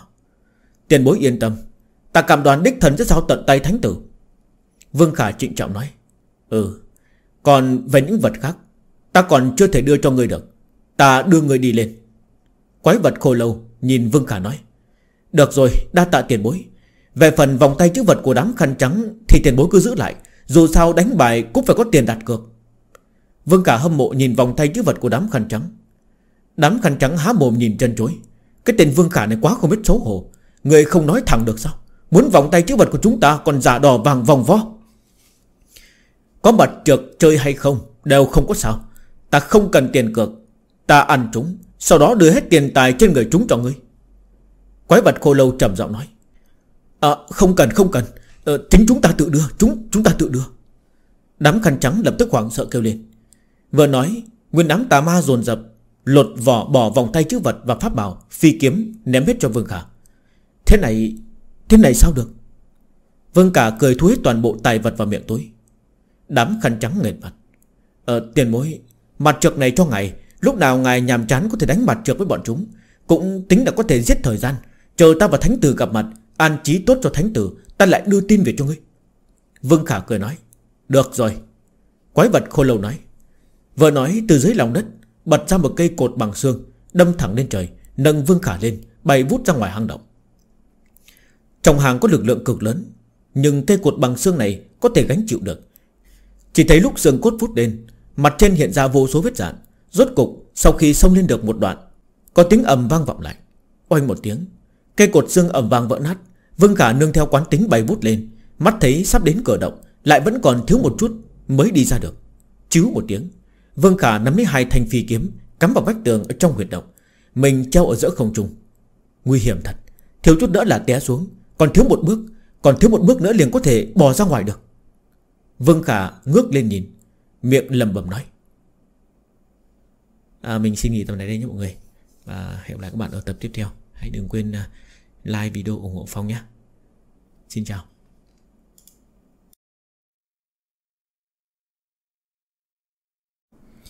Xin chào các khán giả thân mến của kênh MC Tiến Phong. À, Hôm nay thì Phong sẽ đọc tập tiếp theo tập số 29 của bộ truyện à, Vương Đạo Trí Tôn. Ở tập trước thì à, chúng ta đã thấy à, Bạch Cân ở Tây Lang Điện để chính là ma giáo trà trộn vào. Và sau khi bị Bạch Cân và Đồng An An lừa đến Tây Lang Điện, Thì Vương Khả và đám người Bạch Cân đã giáp mặt với tuyệt thế ma đầu. Và đấy cũng chính là cha của Thánh Tử đang bị nhốt ở trong ngục. Và bằng vào mồm mép và tín vật của Thánh Tử, Thì Vương Khả đã có được sự tin tưởng của tuyệt thế ma đầu này và đã được giải thoát ra khỏi ngục lao. Và chúng ta hãy đến với diễn biến của tập ngày hôm nay Để xem à, hành trình tiếp theo của Vương Khả sẽ như thế nào nhé Xin mời mọi người vào nghe tập truyện Vương Đạo Chí Tôn, Tập 29 Vương Khả, Vương Phó Điện Chủ À không, Thần Long Đà Chủ, Chúng ta nguyện ý làm môn đồ của ngươi, Có thể mang theo bọn ta cùng đi ra được không? Thần Long Đà Chủ, Thần Long Đà Chủ. Đám khăn trắng thấy Vương Khả Được cột xương đẩy lên, Lập tức kinh hãi cầu xin. Mẹ nó, Vì sao? Vì sao? Đều là cùng lúc rớt xuống. Giờ vào cái gì mà ngươi lại được tự do? Trong khi chúng ta lại bị nhốt ở chỗ này, Lúc nào cũng có thể bị người ăn thịt. Trong ánh mắt mong đợi của đám người, Vương Khả lại không hề để tâm. Trước kia các người đều muốn ăn ta, Giờ thì cần gì lấy ơn báo oán chứ? Ta đâu có bị bệnh. Vương Khả đi, Bỏ lại nguyên một đám tuyệt vọng sụi lơ trên đất. Đồng An An, Lần này bị ngươi hại chết rồi. Đám khăn trắng khóc không ra nước mắt.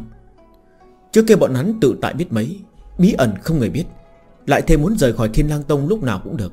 Lại bởi vì đáp ứng đồng an an Ứng phó vương khả Kết quả là vĩnh viễn bị nhốt ở dưới này. Sao chúng ta lại thảm như vậy chứ? Linh Sơn phong ấn Rốt cục quá khủng bố. Quái vật khâu lâu toàn lực, Toàn lực đưa Vương Khả ra ngoài Xong cuối cùng vẫn kém một bước. Khoảnh khắc cột xương vỡ nát Vương Khả phải dùng phi kiếm cắm lên vách động Mới miễn cưỡng bị tránh rơi xuống lần nữa. Nhưng dù tới đây thì Vương Khả cũng cảm nhận được một cỗ áp chế kinh khủng Để ép lên người, Lần nữa muốn đẩy hắn xuống. Không được, Sắp chịu hết nổi rồi. Đã bảo tiễn Phật tiện đến Tây Thiên, Lại còn có một đoạn làm sao bây giờ? Vương Khả không khỏi sốt ruột. Đúng lúc này, Vương Khả tự hồ nghe được có tiếng nói từ trên vọng xuống. Sư đệ, Là ta có lỗi với người. Nếu ta nghe lời ngươi sớm một chút, Có lẽ ngươi sẽ không chết. Ta có lỗi với ngươi. Nhị sư huynh Ngươi đừng như thế. Người chết không thể sống lại. Đừng có đau buồn. Vương cả sư đệ nhất định sẽ tha thứ cho ngươi. Không, Ta không tha thứ cho chính mình được. Đều là tại ta. Tiếng ồn nào phía trên khiến cho Vương Khả Khẽ mắt sáng lên. Này, mau đỡ ta lên, Mau đỡ ta lên. Vương Khả thất thành hồ to. Ta đã sắp chịu hết nổi rồi. Các người có nghe được tiếng ta hay không? Đáng tiếc chẳng biết sao, Giọng của Vương Khả cũng như là bị áp chế. Nhị sư huynh căn bản không nghe được. Mắt thấy Vương Khả sắp buông tay, Phi kiếm cũng tuột ra khỏi vách đá, Chuẩn bị rơi xuống.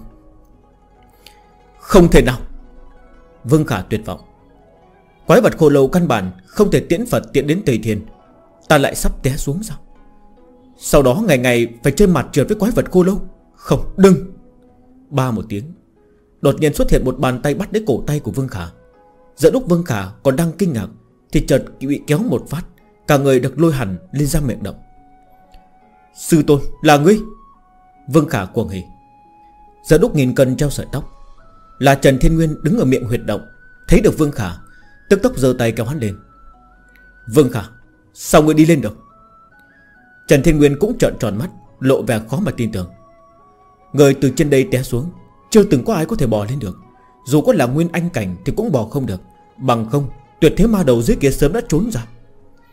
Nhưng làm sao Vương Khả có thể bỏ lên Cái này không đúng. Vương Sư Đệ, Ngươi còn sống, quá tốt rồi, Quá tốt rồi. Thiết Điều Vân khắp người đầy thương tích, Cuồng hỉ lao tới, Nắm chặt cái tay của Vương Khả. Vương Khả quay đầu nhìn bốn phía xung quanh. Xung quanh sơn động Đã vây đầy đệ tử Thiên lang Tông, Bao gồm cả mộ dung lục quang Và rất nhiều khuôn mặt xa lạ. Vương Khả, Ta biết mà, Người tốt sống không lâu Họ hại sống ngàn năm, Người nhất định sẽ không có việc gì. Trường chính đạo đứng một bên vui vẻ nói. Vương Khả quay sang trường chính đạo lừa một phát. Người mới là họa hại. Sư tôn, Các người sao lại đều tới đây? Đồng An An đâu? Vương Khả nhìn sang Trần Thiên Nguyên hỏi. Trần Thiên Nguyên khẽ nhíu mày. Nét mặt mộ dung đục quang và thiết lưu vân Ở bên cũng thoáng hiện vỏ khó coi. Lúc trước bọn khăn trắng phong bế lối vào sân động, Đại địa này. Cho nên thanh âm và ánh sáng từ nơi này không thể truyền ra được. Nhưng mà động tĩnh từ chiến đấu giữa ta và Đồng An An quá lớn. Đến mức đất dung núi chuyển, Dẫn đến đệ tử Tây Lang Điện chú ý. Bọn họ phái người đến điều tra sự tình. Ở ngoài sân động lại có một tên tà ma nằm vùng canh trường Thấy có người đến điều tra, liền lập tức mở ra sơn động. Hồ Đồng An An mau trốn đi. Khi đó ta sao có thể để Đồng An An trốn được? Kết quả Đồng An An và tên nằm vùng kia Tự bạo lượng lớn pháp bảo, Ý đồ lưỡng bại cầu thương. Ta đứng mũi chịu sào, Thổ huyết không động đậy được. Thế là bọn hắn mượn cơ hội mà chạy trốn mất. Thiết Điều Vân đang chát nói Trốn sao? Bọn hắn ở Thiên lang Tông trốn kiểu gì? Vương Khả câu mày nói. Mộ dung đục quang ở bên đen mặt lại, Nói. Là ta sơ sót. Ta nghe đến động tĩnh vội vàng chạy đến, Quên mất phong tỏa Sơn Môn. Đại tử canh trường ngoài Sơn Môn gặp qua năm, Qua tên nằm vùng kia. Đứa này cũng là đệ tử Tây Lang Điện, Thường xuyên gặp mặt.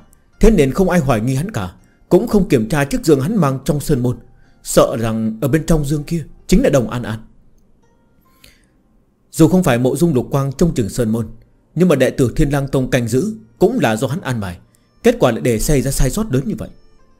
Đồng an an trốn mất sao? Vương Khả nhíu mày hỏi. Chúng nhân gật đầu đành chịu. Mộ dung đục quang đã phái người đi ra tra tìm. Nếu có kết quả, Rất nhanh sẽ quay về bẩm báo. Vương Khả, Sao người đi ra được từ dưới kia? Đám khăn trắng đâu cả rồi? Trần Thiên Nguyên nhíu mày nghi hoặc nói. Đúng, Vương Khả, Người không thấy được tên tuyệt thế ma đầu kia sao?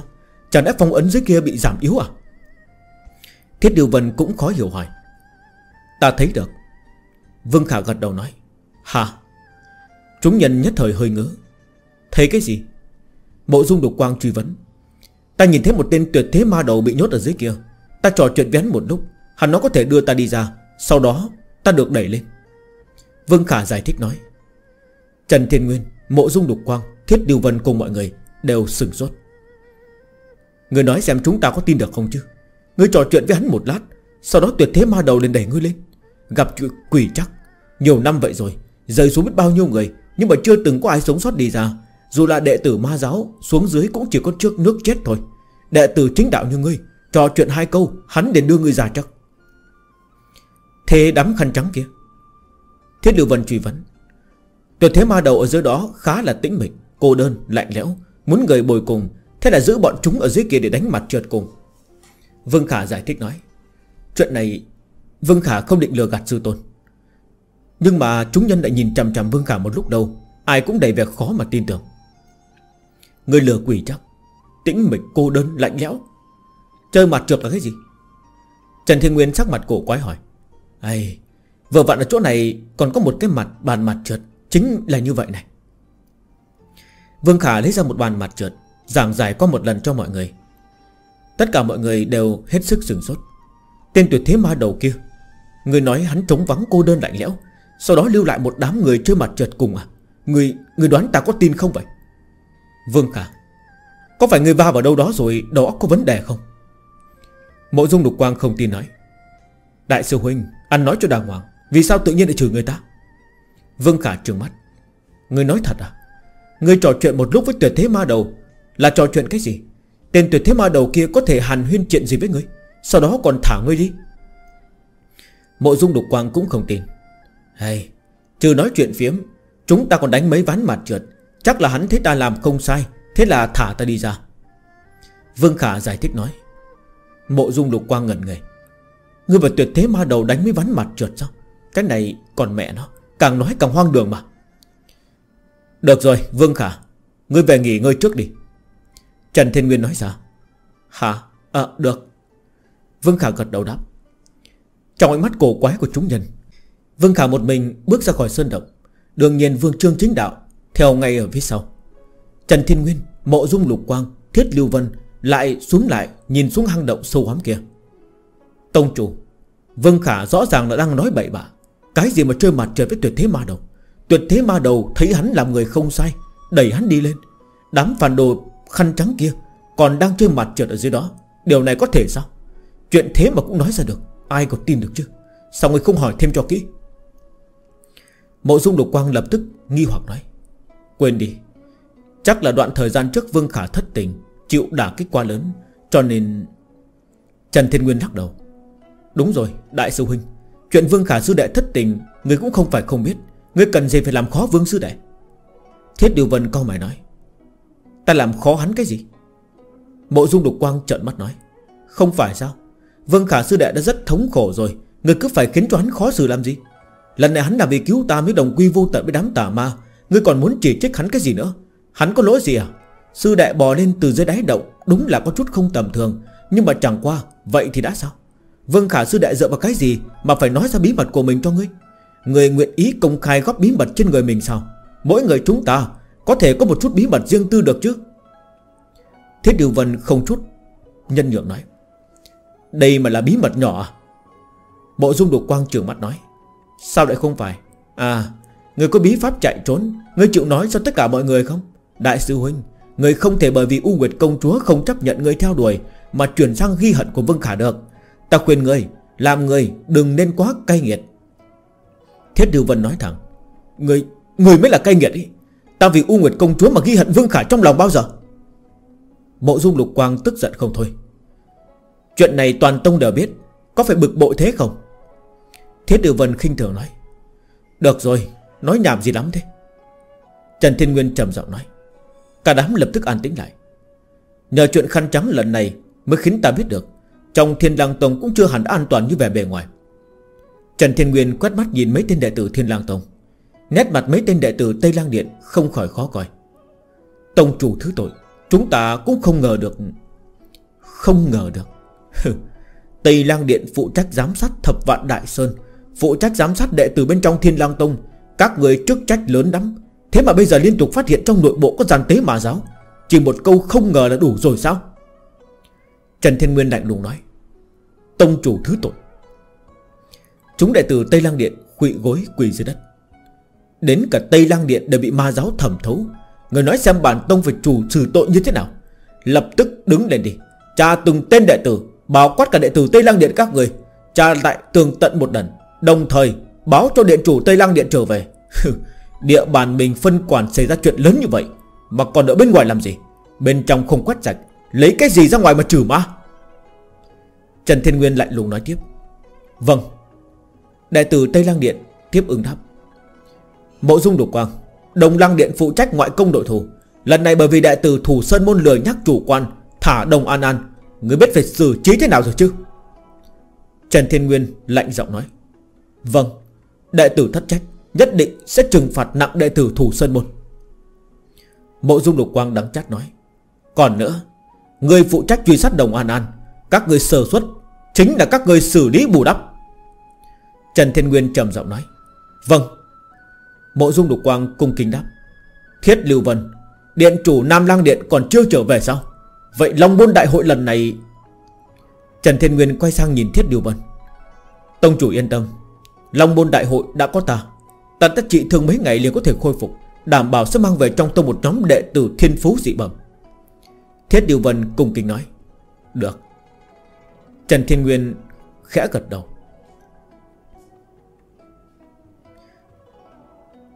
Ngộ kiếm Phong, Vương Khả về mặt buồn bực Quay về phía ngộ kiếm Phong. Ta nói là thực sự mà Ta thực sự chơi mấy ván mặt trượt với tuyệt thế ma đầu kia Sao bọn họ lại không tin? Thần sắc Vương Khả có vẻ không cảm Vương Khả Ngươi đừng có nói thổi nữa Lời này đến ta còn không tin được Ngươi còn mong bọn họ tin. Trường chính đạo ở bên khinh thường nói Mẹ nó ai nói ta thổi? Vương Khả trừng mắt nhìn trường chính đạo. Đúng rồi Công ty thần vương của ngươi làm thế nào rồi? Vạn nhất ngươi làm lớn, Có người giả mạo công ty thần vương thì phải làm sao?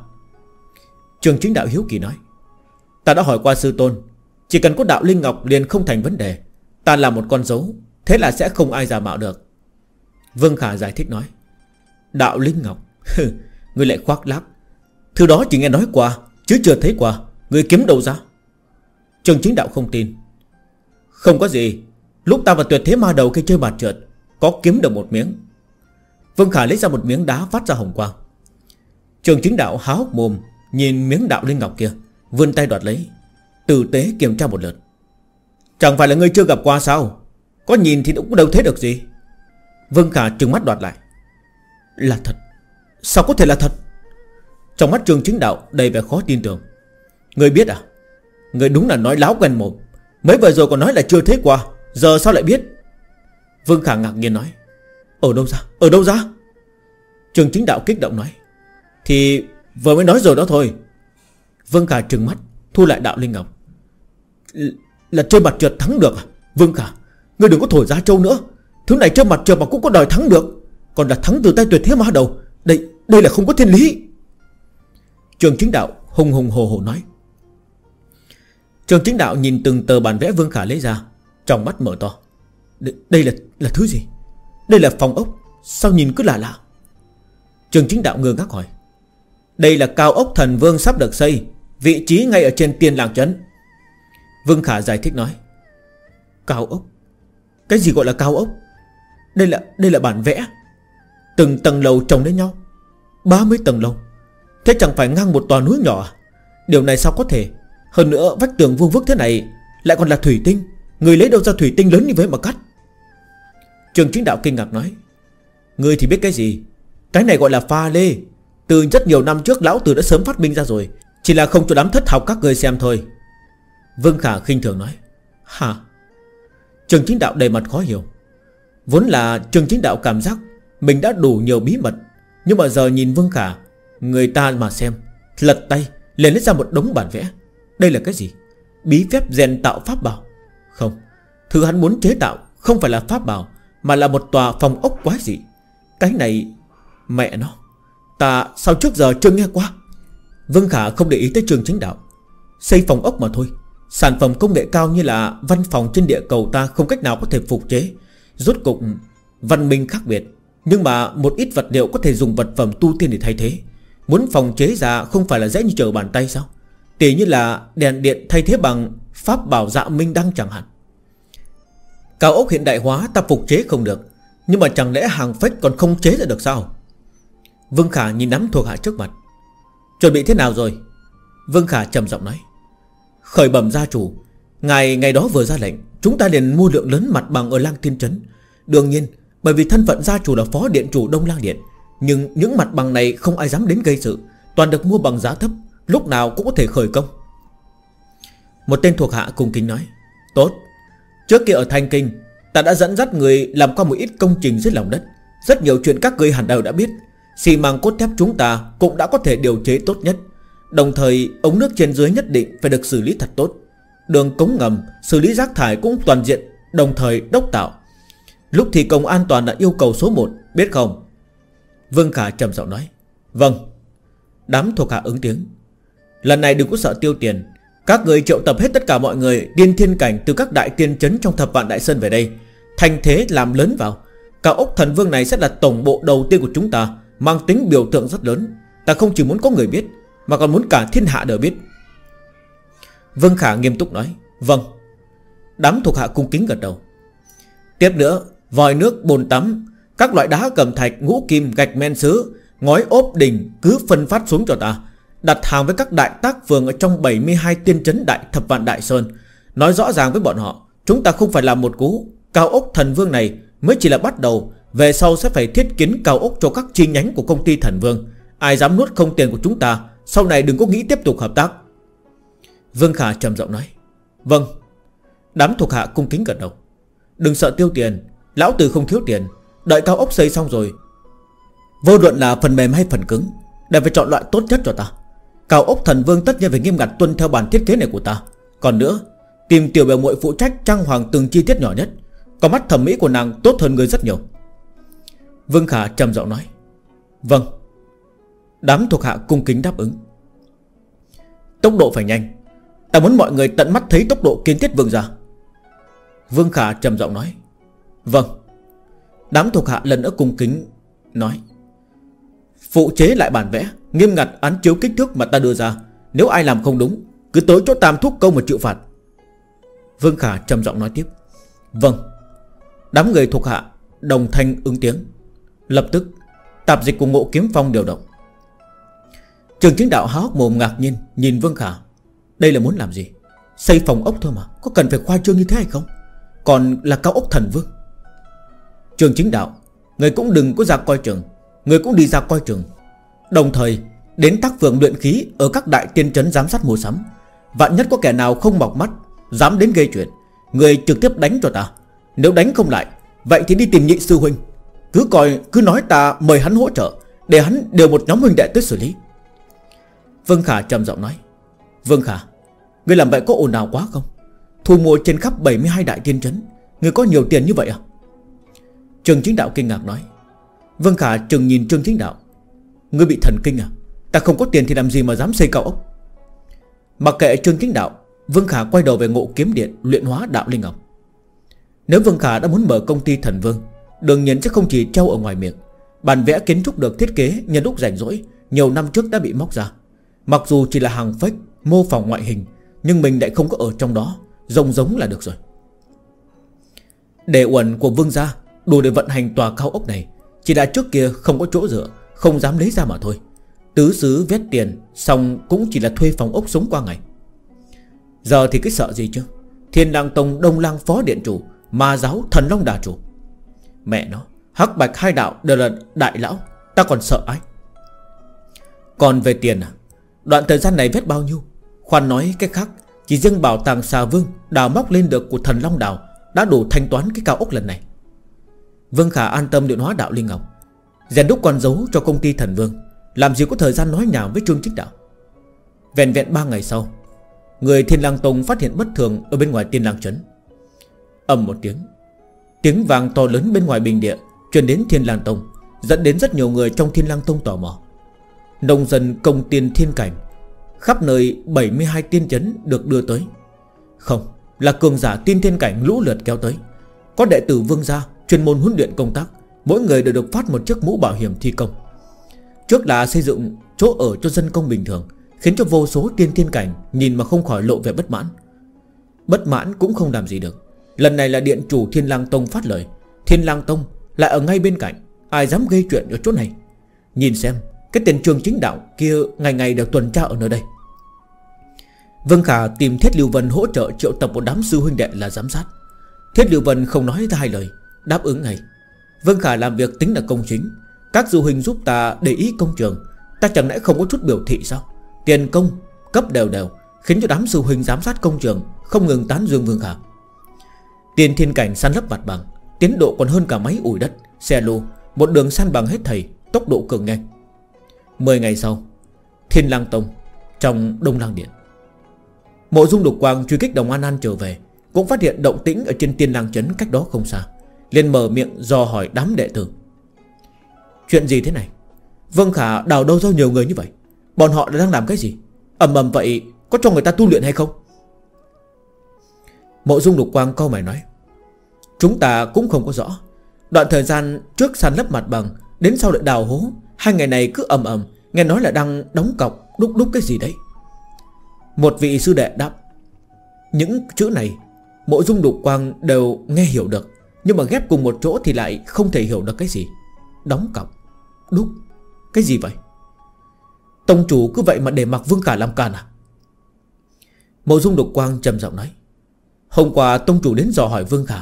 Vương Khả nói, Lần trước đã nhắc qua mọi người, Nói muốn mở hiệu. Hắn đang xây nhà làm cửa hàng, Hình như là kêu cái gì mà là cao ốc thần vương ấy. Tên sư đệ kia nói. Bộ dung lục quang sửng sốt. Đại sư huynh có cần chúng ta đi ngăn cản? Sư đệ kia có mày nói tiếp. Không cần. Vương Khả không chọc đến ta. Ta việc gì phải chọc đến hắn? Miễn người khác nói ta vì U Nguyệt công chúa Mà đi làm khó hắn. Làm càn ngay ngoài sân môn, Không có đại trận thù hộ. Để ta xem kết cục cuối cùng sẽ như thế nào. Mộ dung lục quang lạnh giọng nói. Vâng. Tên đệ tử kia gật đầu ứng tiếng. Đại sư huynh, Có đuổi bắt được đồng an an không? Sư đệ kia hỏi tiếp. Có chút tiền thức Hình như Đồng An An đang triệu tập đệ tử ma giáo. Chẳng qua không sao cả, Hắn không chạy thoát được đâu. Ta thăm dò được, Hiện tại ma giáo cũng chính là đang có người muốn đuổi bắt hắn. Mộ Dung đục Quang nói, Có tin tức là tốt rồi. Lần này nếu đại sư huynh bắt được Đồng An An, Tất sẽ khiến cho nhiều sư huynh đệ tin phục. Cái tên Vương Khả kia chỉ biết làm càn, Há có tư cách làm phó điện chủ Đông Lang Điện. Sư đệ chúc đại sư huynh Sớm ngày trở thành điện chủ Đông Lang Điện. Tên sư đệ vui vẻ nói, Sẽ sớm thôi. Mộ dung lục quang tự tin nói. Trên công trường tiên lang chấn, Vương Khả khó có được dịp buông lỏng đến đây thị sát một lần. Tận mắt chứng kiến hiệu suất khủng bố của công nhân kiến trúc Tên tiên thiên cảnh. Sau khi được huấn luyện, Hắn không khỏi gật đầu mãn ý. Quấn thép sao? Trên địa cầu muốn làm cần phải không ít công cụ. Nhưng ở đây thì sao? Công nhân tiên thiên cảnh vừa dùng lực Cốt thép liền bẻ cong, Căn bản không cần nhiều trình tự. Cần cầu ở như trên địa cầu. Chỗ này căn bản không cần một đống đồ, công nhân ôm một cái, Nhún người là nhảy lên lầu ba. Giàn giáo sao? Cũng không cần. Tiền thiên cảnh dù có là rơi xuống trên tầng đỉnh, Đến phủi cả bụi cũng không cần. Vâng cả Thế nào? Đã xây đến lầu 3 rồi. Trường chính đạo đắc ý lên tiếng. Giờ mới là bán thành phẩm thôi, Còn sớm lắm. Vương Khả lắc đầu. Thế đã là nhanh lắm rồi, Ngươi xem xem, Thuê bao nhiêu là tiên thiên cảnh Người lấy đâu ra nhiều tiền như thế?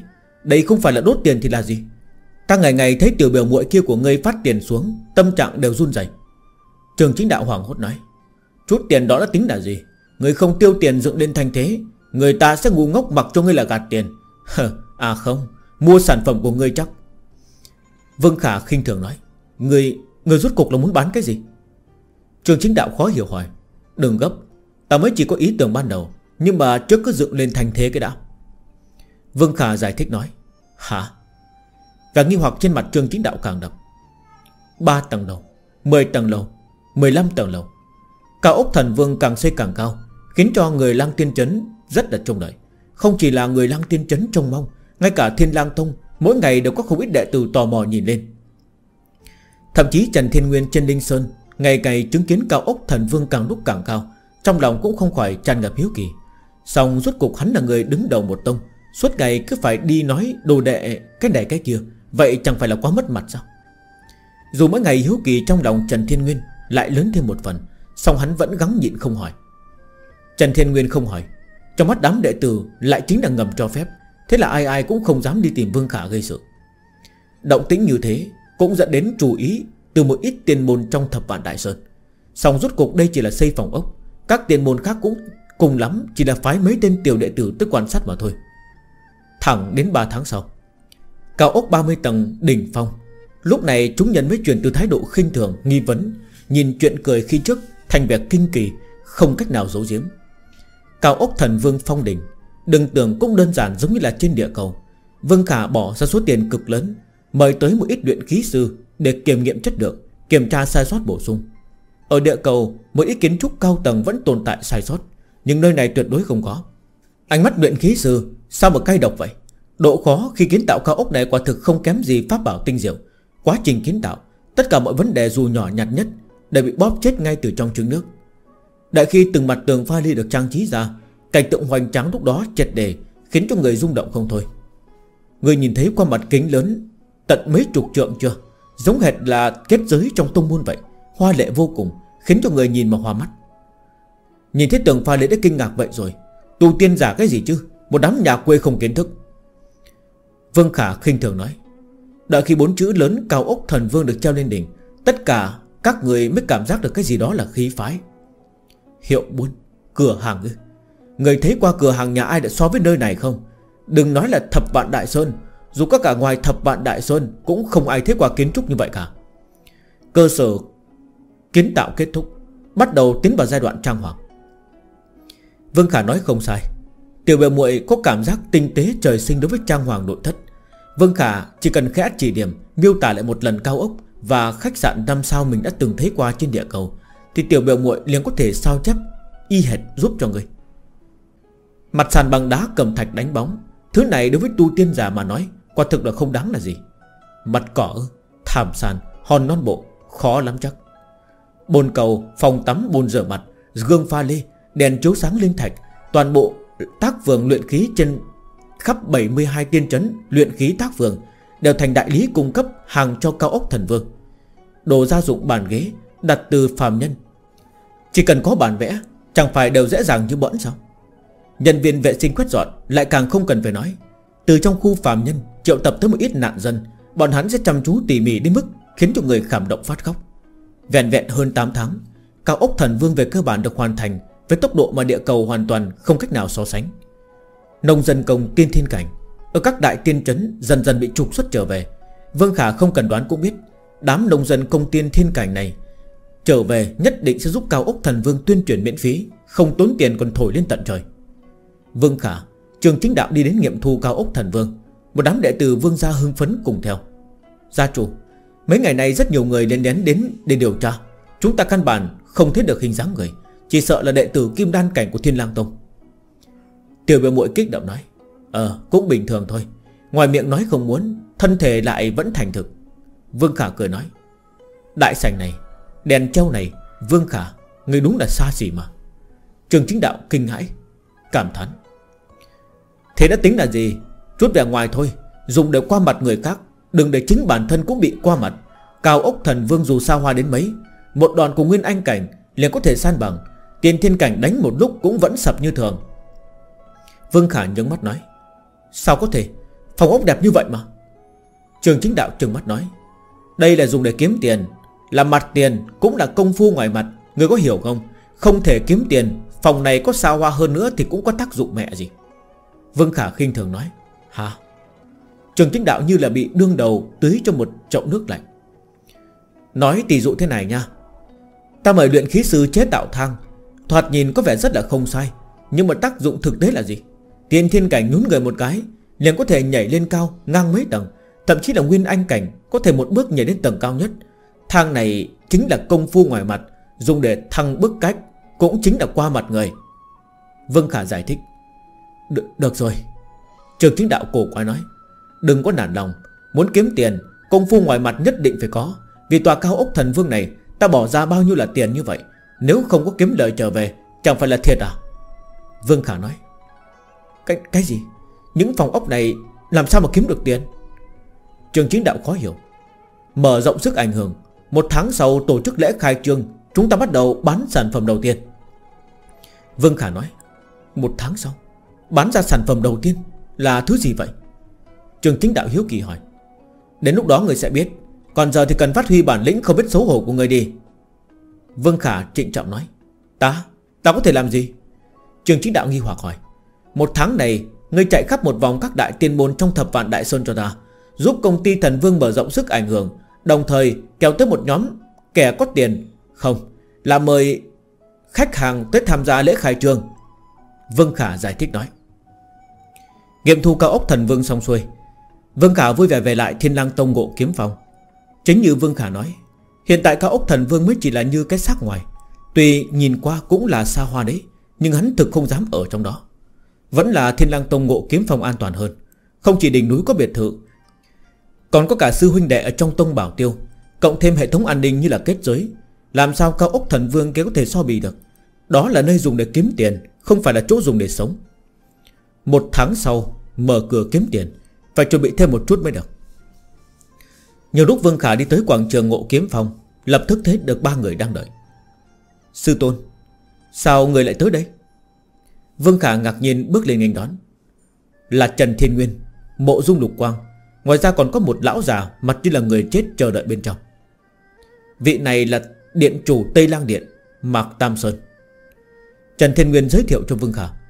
À Thì ra là điện chủ Tây Lang Điện, Không tiếp đón từ xa. Thất kính thất kính. Vương Khả gặp qua Mạc Điện chủ. Vương Khả cười thi lễ. Lão già mặt người chết kia Nhìn chằm chằm Vương Khả một lúc lâu, Sau đó mới lộ ra ý cười kinh dị, Nhìn khó hơn cả khóc, Nói, Nhị đệ tử của tông chủ quả nhiên là khác với người thường. Ta mới chờ thải trở về hai ngày, Lại toàn nghe được sự tích về ngươi, Anh hùng xuất thiếu niên. Dễ nói dễ nói, Đều là mọi người cất nhắc Mặc điện chủ khách khí rồi. Vương Khả cười nói Cười đùa tí tưởng Ra thể thống gì? Trần Thiên Nguyên khẽ trừng mắt. Không nghe được Mạc Tam Sơn Chỉ ra khách sáo thôi sao? Người đắc ý cái gì chứ? À vâng vâng. Vương Khả lập tức nói, Lời của sư tôn Tốt nhất đừng nên phản bác. Đại sư huynh, Sao người lại có thời gian tới ngộ kiếm phong? Vương Khả hiếu kỳ nhìn mộ dung lục quang. Mộ dung lục quang còn chưa có mở miệng, Trần Thiên Nguyên ở bên đã tiếp lời. Hôm nay bà chúng ta cùng tới đây Tự nhiên là tìm người có việc. Hả? Nét mặt Vương Khả lập tức chuyển về nghiêm túc. Nếu là chuyện bình thường, Sư Tôn chỉ cần triệu hắn một tiếng, Hắn tất nhiên lên Linh Sơn chờ đợi Sư Tôn phân phó. Hôm nay Sư Tôn lại đích thân tới đây, Xem ra có vẻ không giống là chuyện tốt rồi. Sư Tôn, Ngài có gì phân phó? Đệ tử cung kính lắng nghe. Vương Khả trịnh trọng nói, Không phải ta có phân phó, Mà là Mạc Tam Sơn và Mộ Dung Lục Quang có chuyện tìm gây Vi sư chỉ đến làm người chứng kiến thôi. Trần Thiên Nguyên giải thích nói, Nháy mắt Vương Khả liền hiểu được ý tứ trong lời của Sư Tôn, Mạc Tam Sơn và Mộ Dung Lục Quang Khả năng mang theo ý đồ xấu. Sư Tôn ta sợ chịu thiệt, Tới làm chỗ dựa giúp ta.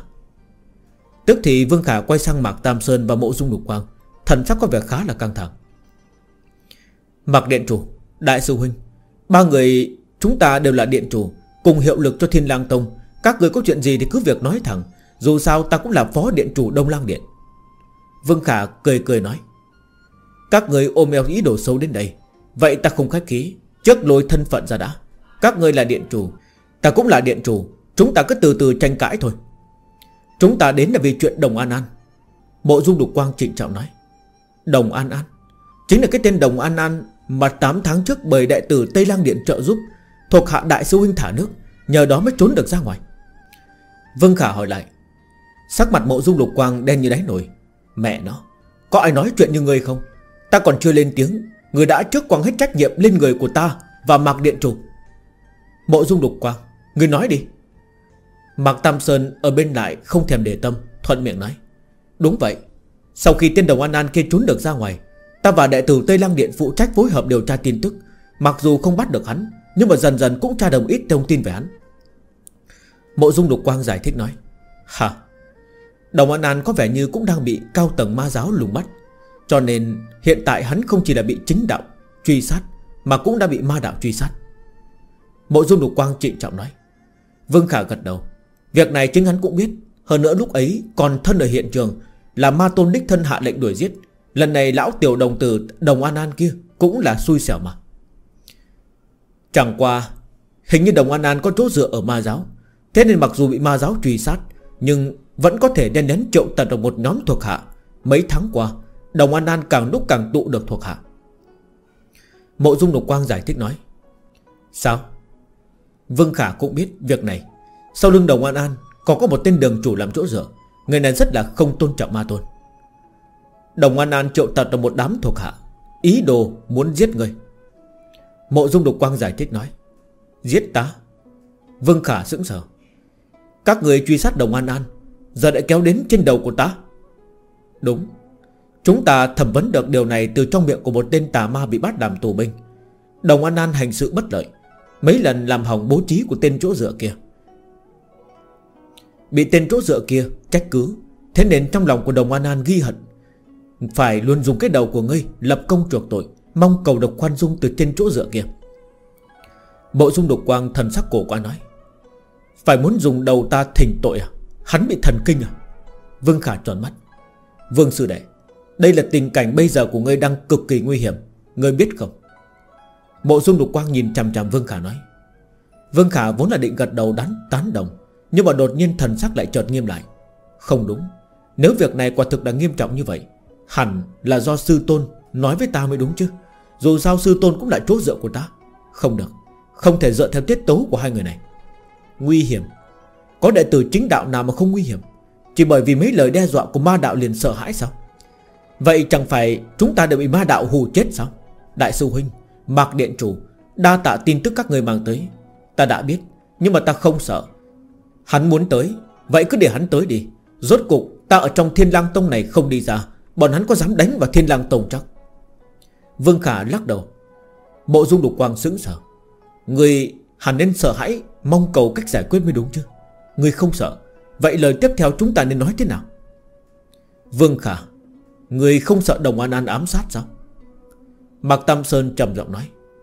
Mạc Điện Chủ, Ta cảm thấy Tất cả người ma đạo đều muốn giết người.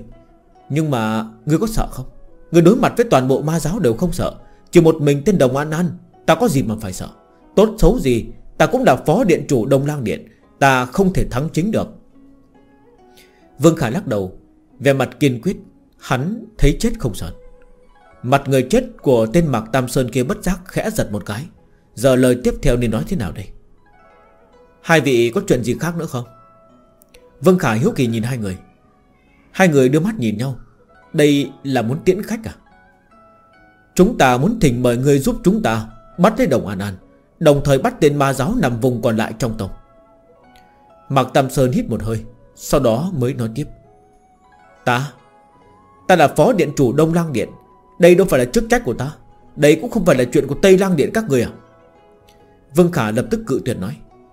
Tà ma ẩn núp quá kín đáo, Cho nên còn mong người phối hợp. Rốt cục, Điều này cũng là bởi vì Thiên Lang Tông. Mạc Tam trầm trầm giọng nói. Ta có thể làm gì? Vương Khả nhíu mày nói. Người hấp dẫn chú ý của Đồng An An Dẫn hắn đi ra, Đồng thời chúng ta sẽ bố trí thuận thế Để dẫn kẻ nằm vùng ở trong tông, Một mẻ hút gọn. Mạc Tam Sơn giải thích nói, Hả? Ý các người là để ta làm mồi nhử Câu ra đám ma giáo nằm vùng kia. Mạc Tam Sơn Mộ dung đục quang gật đầu. Vương Khả lườm bọn hắn một cái. Đùa cái gì vậy? Ta nhàn lắm chắc, Sắp đến lúc vét tiền tới nơi rồi. Các người có biết mỗi ngày của ta đáng giá bao nhiêu tiền không? Còn bắt ta chơi cái trò dê vào miệng hổ với các người à? Đùa chắc, Ta không có bệnh. Xin lỗi, không có hứng thú. Vương Khả lắc đầu. Mạc Tam Sơn mộ dung đục quang đồng loạt biến sắc, Mặt tối sầm cả lại. Vương Khả cũng tính là nhìn ra, Sư tôn biết rõ việc này Mới đến làm chỗ dựa cho mình. Cũng may, thân phận hiện tại của mình đã là phó điện chủ Đông lang Điện, Bằng không nào có tư cách cự tuyệt. Vương Khả, Chu ma là phận sự của Đông lang Điện chúng ta, Người sao có thể cự tuyệt được? Mộ dung đục quang trừng mắt nói. Ta biết Chu ma là phận sự của Đông lang Điện nhưng mà phương thức Chu ma của ta khác với các người. Dựa vào cái gì mà phải bắt ta phối hợp? Ta có kế hoạch Chu ma của riêng ta, Chính ta cũng sẽ Chu ma. Còn các người cứ Chu theo cách của các người. Đầu liên quan đến ta? Đừng có lấy cái đạo đức bắt cóc ra. Ta không phải là thuộc hạ của ngươi, Đừng có kêu gào cái gì. Vân Khả không đáng nói. Ngươi thì có kế hoạch chu ma gì? Mộ dung lục quang không tin. Ngươi ngày ngày dựng cao ốc ở chỗ này, Đây cũng là kế hoạch chu ma sao? Đây là tuyệt mật. Sao có thể tùy tiện nói được? Vạn nhất bị gian tế Tây Lăng Điện nghe được, Tiết lộ cho ma giáo, Thế chẳng phải là thất bại trong găng tức à? Vương Khả nhướng mày nói, Mạc Tam Sơn ở bên sầm mặt xuống, Người đây là mắng luôn cả ta. Được rồi, đừng cãi cọ nữa. Vương Khả, Kế hoạch lần này là do Mạc Tam Sơn và Mộ Dung Đục Quang sắp đặt. Hôm nay mời ta đến chính là muốn hỏi một tiếng, Xem người có nguyện ý tham gia hay không. Nếu người không nguyện, Sẽ không ai ép buộc người hết. Trần Thiên Nguyên trầm giọng nói Đa tạ sư tôn. Vương Khả cảm kích thì lễ. Quả nhiên có sư tôn làm chỗ dựa. Đám người các người muốn tính toán ta Thì cũng muốn nhìn mặt mũi sư tôn. Vâng Khả, Phải như thế nào ngươi mới chịu đáp ứng phối hợp với chúng ta? Mộ dung đục quang trầm giọng nói. Ta không có hướng. Vương Khả lắc đầu. Mạc Tam Sơn ở bên nhú mày, Nhìn Vương Khả một lúc, Sau đó lại nhìn về phía Trần Thiên Nguyên. Tông chủ, Việc này có phải làm phiền ngài? Mạc Tam Sơn thi lễ với Trần Thiên Nguyên, Mong đợi nói. Trần Thiên Nguyên khẽ nhú mày, Tiếp đó lại thở dài. Vương Khả, Mạc Điện Chủ khó được mời ta hỗ trợ. Ngươi xem, Nếu không quá khó xử, Có thể giúp xem sao? Đương nhiên quyền quyết định vẫn là thuộc về ngươi. Rốt cục Trần Thiên Nguyên nói giúp Mạc Tam Sơn một câu. Vương Khả nghe xong, Biết sư tôn mặc dù làm chỗ dựa cho mình, Nhưng mà chút thỉnh cầu nho nhỏ này của sư tôn, Mình làm sao có thể không nể mặt? Sư tôn đã mở miệng. Vậy việc này tự nhiên có thể cân nhắc. Vương Khả lập tức biến sắc mặt. Mộ dung đục quang ngật người. Chẳng qua, Ta có hai điều kiện. Vương Khả nói tiếp. Hà Mộ dung đục quang, Mạc Tam Sơn Đồng loạt nhìn về phía Vương Khả. Đầu tiên, Các người lợi dụng ta dẫn ra Đồng An An, Nhất định phải thông báo cho ta biết toàn bộ quá trình. Rốt cuộc ta phải nên biết được Mình đang trong tình cảnh nào. Đúng chứ? Vương Khả nhìn hai người, Cường điệu nói, Có thể. Cái thứ hai là gì? Mạc Tam Sơn trầm giọng nói, Thứ hai, Ta đã hy sinh lớn vậy rồi. Một tháng sau, Công ty thần vương của ta tổ chức lễ khai trường Hy vọng đến lúc đó hai vị đi ra chung vui, Chống trường diện, Cắt bằng Khánh Thành giúp ta. Vương Khả giải thích nói, Hả? Mạc Tam Sơn sững sờ, Cắt bằng Khánh Thành, Lễ khai trương? Sư tôn, Đệ tử lần đầu tiên khai trương, Trường diện khả năng sẽ lớn chút. Sư tôn nhất định phải rút chút thời gian ra mặt giúp đại tử. Không cần sư tôn làm gì hết, Chỉ cần đứng đó và nhìn vào, Lộ mặt một lúc, Đồng thời cắt băng khánh thành. Sư tôn, được không? Vân Khả lần nữa quay sang Trần Thiên Nguyên thỉnh cầu. Mặc dù thần sắc của thần Thiên Nguyên có vẻ khá là cổ quái, Nhưng mà đối với đồ đệ này, Hắn vẫn rất yêu thích, Bèn gật đầu nói, Được. Đa tạ sư tôn.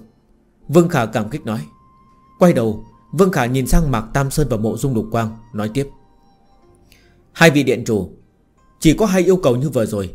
Nếu đáp ứng, ta điện phối hợp với các người. Thế nào? Mạc Tam Sơn và mộ dung lục quang nhìn nhau một cái. Hai người đều có lòng cự tuyệt. Bản thân đường đường là điện chủ Thiên lang Tông.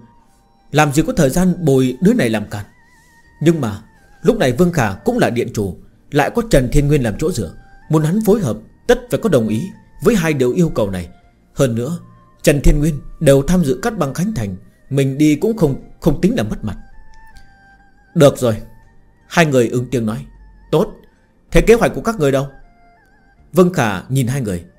Kế hoạch còn chưa xác định xong. Đợi làm xong sẽ thông báo cho người.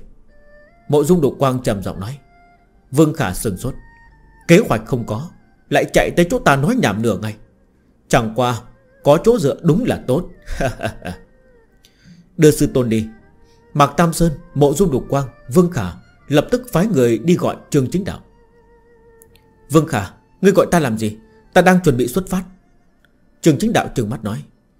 Trương Chính Đạo, Lúc người tới các đại tiên môn chập trờn đám có tiền, Nhớ phải nói rõ, Trong buổi lễ khai trương lần này, Tông chủ Thiên Lang Tông Sẽ dẫn theo bốn đại điện chủ Thiên Lang Tông cùng tham dự. Nhớ kỹ đấy. Vương Khả dặn dò. Cái gì? Tông chủ dẫn theo bốn đại điện chủ cùng tham dự? Người không khoác lác đấy chứ? Lời này mà truyền ra Công ty thần vương khai trương chẳng phải sẽ bị người tưởng là do Thiên Lang Tông chủ sự. Người chỉ là một cửa hiệu nhỏ thôi Nào có liên quan gì tới Thiên Lang Tông? Trường chính đạo trường mắt nói Người biết cái gì? Ta muốn chính là để Người các đại tiên môn hiểu lầm Bằng không đám người có tiền sao chịu tới? Một hiệu buôn bình thường khai trương Có hai ba tên đệ tử đến đã là cho mặt mũi lắm rồi. Bây giờ lôi toàn bộ lạ, lão đại thiên lang tông đi ra Bọn hắn khẳng định Sẽ cho rằng đây là đại sự. Đến lúc đó Lên một nhóm lớn có tiền Chúng ta bán được sản phẩm Hoa hồng của ngươi cũng nhiều lên đấy. Vương Khả trừng mắt nói. Hả? Nói thì có thể nói Nhưng ngươi biết hậu quả của việc này không? Trường chính đạo sắc mặt cổ quái nói. Ngươi to gan quá rồi đấy. Chẳng đã không sợ Trần Thiên Nguyên trách tội? Hậu quả gì? Ta đâu có nói mò. Sư Tôn, Mạc Tam Sơn, Mộ Dung Lục Quang Đều đã đáp ứng tham dự. Vương Khả nghiêm giọng nói. Hả? Bọn họ đáp ứng tham dự khai trương cái cờ hiệu. Mà đến cả thương phẩm nào để bán còn chưa có này sao? Đùa chắc. Trường Chính Đạo kinh ngạc nói, Đừng có nói nhảm. Mộ Dung Đục Quang đại biểu Đông Lang Điện, Mạc Tam Sơn là Tây Lang Điện, Trần Thiên Nguyên là Tông Chủ. Thế còn Điện Chủ Nam Lang Điện và Bắc Lang Điện thì sao? Trường Chính Đạo Hiếu Kỳ nói, Điện Chủ Nam Lang Điện không có ở nhà. Ta có nhị sư huynh giúp đỡ. Không sao. Hắn đại biểu Điện Chủ Nam Lang Điện là được. Về phần Điện Chủ Bắc Lang Điện, Hắn là sư huynh ruột thịt của ta. Ta đại biểu hắn không phải là được rồi sao? Vương Khả nói. Cơ mặt Trương Chính Đạo khẽ giật giật. Người đúng là không biết xấu hổ. Nhanh đi, Lấy thân phận khách khanh trường lão Thiên Lang Tông mà mời. Có thể giành được bao nhiêu hoa hồng, Phải xem mặt mỗi người giành được tới đâu. Vương Khả thúc giục. Biết rồi biết rồi. Mẹ nói chứ. Nếu không phát được tiền, Quay đầu để xem ta tính sổ với người thế nào.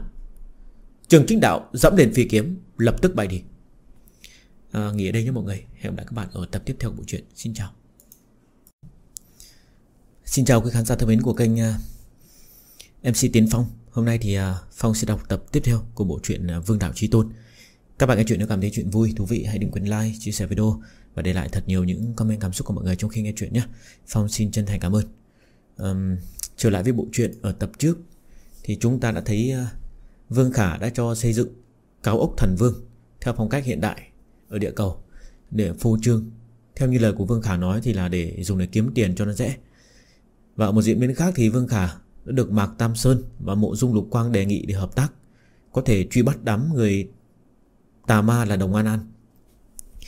Thì liệu rằng ờ, đây có âm mưu gì với Vương Khả? Tuy nhiên là chưa biết có âm mưu gì hay không, Nhưng Mạc Tam Sơn và Mộ Dung Lục Quang thì đã bị Lương Vương Khả lợi dụng Khi phải chấp nhận đến khai trương cao ốc thần vương của Vương Khả và chúng ta sẽ đến với diễn biến tập ngày hôm nay Để xem uh, những gì diễn ra tiếp theo nha mọi người. Xin mời các bạn vào nghe Tập số 30 Vương Đạo Chi Tôn Tập 30 Kim Ô Tông Trong một gian đại điện. Trương Đi Nhi đứng ở chính giữa. Bên cạnh là Trương Thần Hư. Cả hai đưa mắt nhìn theo Trương Chính Đạo Vừa rồi đưa đến thiệp mời. Lúc này chính đang quay đầu rời đi. Trương Lê Nhi nắm lấy thiếp mời Thần sắc cổ quái nói. Công ty thần vương Lễ khai trương Vương Khả. Tiền trường chính đạo này cũng thật là to gan Còn dám tới chỗ của, đà, của chúng ta? Trương Thần Hư cũng ngạc nhiên nói. Hắn có gì mà không dám tới?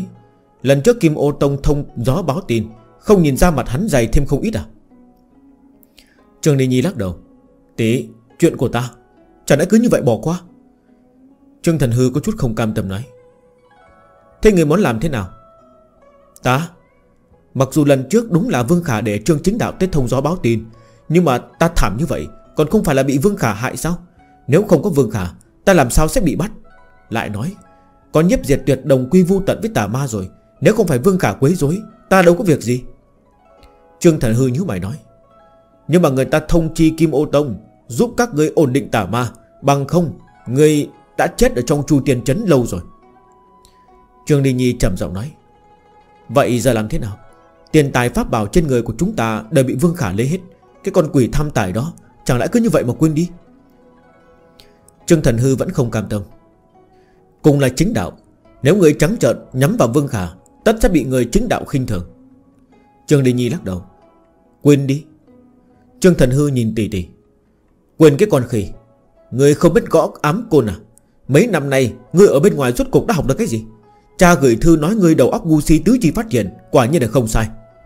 Thiếu nợ thì trả tiền, Thiên kinh địa nghĩa. Trước nay, chỉ có lão trương gia ta bắt nạt người, Nào có chuyện người khác bắt nạt lão trương gia chúng ta. Mấy năm nay người sống đến trên thân chó cả rồi. Trương Đình Nhi khẽ trừng mắt nói Hả Nhưng mà ta Thì Chuyện đó không thể trách ta được. Đều là cái tên Vương Khả kia không muốn mặt. Trương Thần Hư ủy khuất nói, Muốn mặt làm gì? Trương Đi Nhi nhìn Trương Thần Hư hỏi lại. Hả? Trương Thần Hư sừng sốt nhìn xem tỷ tỷ. Chỉ cần cầm được chỗ tốt, Thì còn cần gì mặt mũi? Mặt mũi có thể làm cơm ăn được chắc. Ngươi, đừng nói Vương Khả. Giờ ta mới phát hiện, Ngươi nghe cả tên Trương Chính Đạo kia không bằng. Trương Đi Nhi hận rèn sắt không thành thép nói. Tỷ, Sao ngươi có thể nói ra được lời như vậy? Trương Thần Hư cổ quái nói. Nơi này không có người ngoài. Ta đây chính là đang dạy ngươi đạo lý làm người. Ngươi nhìn xem tên Vương Khả kiếm tiền thế nào. Lần đó ở Chu Tiên Trấn, Hắn vét xong ma đạo lại vét đến chính đạo. Còn nữa, Ta cho rõ nguyên chuyện Vương Khả bán ra sản phẩm tài chính lúc trước. Mẹ nó, Ý tưởng quá là thiên tài. Sao trước kia ta không nghĩ ra được? Mấy tờ giấy rách cũng có thể kiếm tiền à? Trường Đi Nhi hưng phấn nói. Tỷ Ngươi là đại sư tỷ Kim Ô Tông, Có phải nên thục nữ một chút không? Sao cứ nói đến chuyện kiếm tiền là ngươi hưng phấn được? Trương Thần Hư mờ mịt nói. Lão nương không nghĩ kiếm tiền chỉ dập một chút bổng lộc của Kim Ô Tông Và mấy các tiền tiêu vật hàng năm cha đưa tới, Đủ cho ta tiêu xài chắc. Người biết lần trước ta mua chiếc vòng tay giữ vật bản giới hạn, Tối bắn tốn bao nhiêu tiền không? Không nghĩ cách kiếm tiền, Ta muốn đổi chắc. Ngươi nhìn đại đại người ta mà xem, Kiếm tiền cho tỷ tỷ tiêu. Hiểu biết chuyện mấy, Người nhìn lại ngươi đi. Nhiều năm như vậy rồi, Đừng nói là kiếm tiền, Ngày ngày bồi tiền. Ta không dựa được vào ngươi. Trương Đình Nhi thở ngắn than dài. Trương Thần Hư nghẹn mặt. Nước luộc Vương Khả vét được từ trên người các người Nhất định phải phun trả ra. Người không đòi Vậy để ta tới đòi. Đòi được chính là tiền tiêu vặt của ta. Lần này hắn mở công ty thần vương gì kia Ta cảm thấy mùi tương tự sản phẩm tài chính bán ở Chu Tiên Trấn lần trước. Mùi của kim tiền.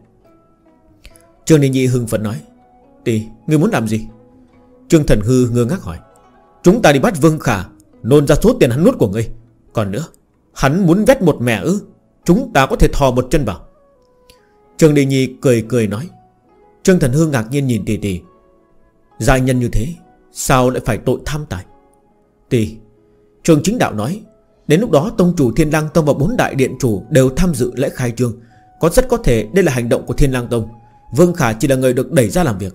Thiên Lang Tông mới là thế lực đứng sau công ty thần vương. Tỷ tỷ Làm sao có thể thò chân vào được?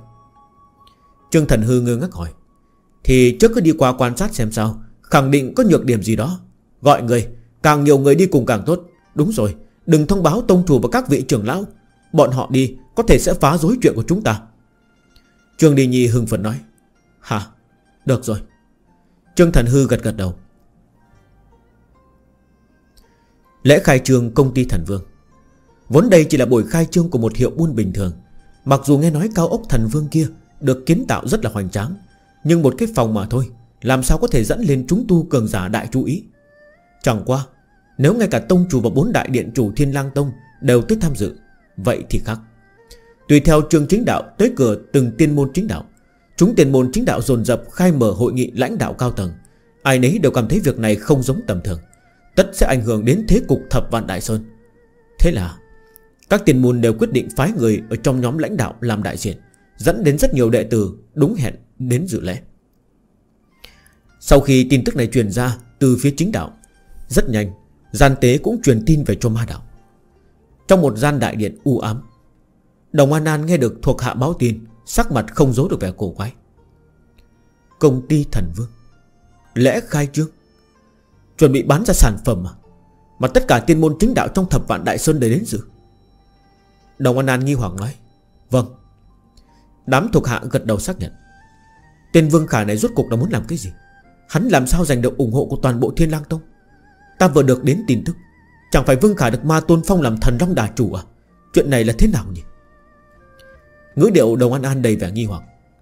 Lúc ở thần Long Đảo, Bởi vì trốn tránh cho nên không biết chuyện Vương Khả Được Ma Tôn Phong làm thần Long Đà Chủ. Lần này trốn ra Mới nghe được tin tức xác thực. Ma Tôn đích thân kiểm tra, Vương Khả nhất định là tà ma không thể nghi ngờ. Nhưng mà, Mẹ nó chứ. Vừa về Thiên Lang Tông lại liền trở thành đệ tử chính đạo. Bản thân còn mời dám Mời đám người khăn trắng, Mời mộ dung lục quang đích thân điều tra. Ngay cả Trần Thiên Nguyên Đều cho rằng Vương Khả là đệ tử chính đạo. Tà môn. Về mặt Đồng An An rất là buồn bực.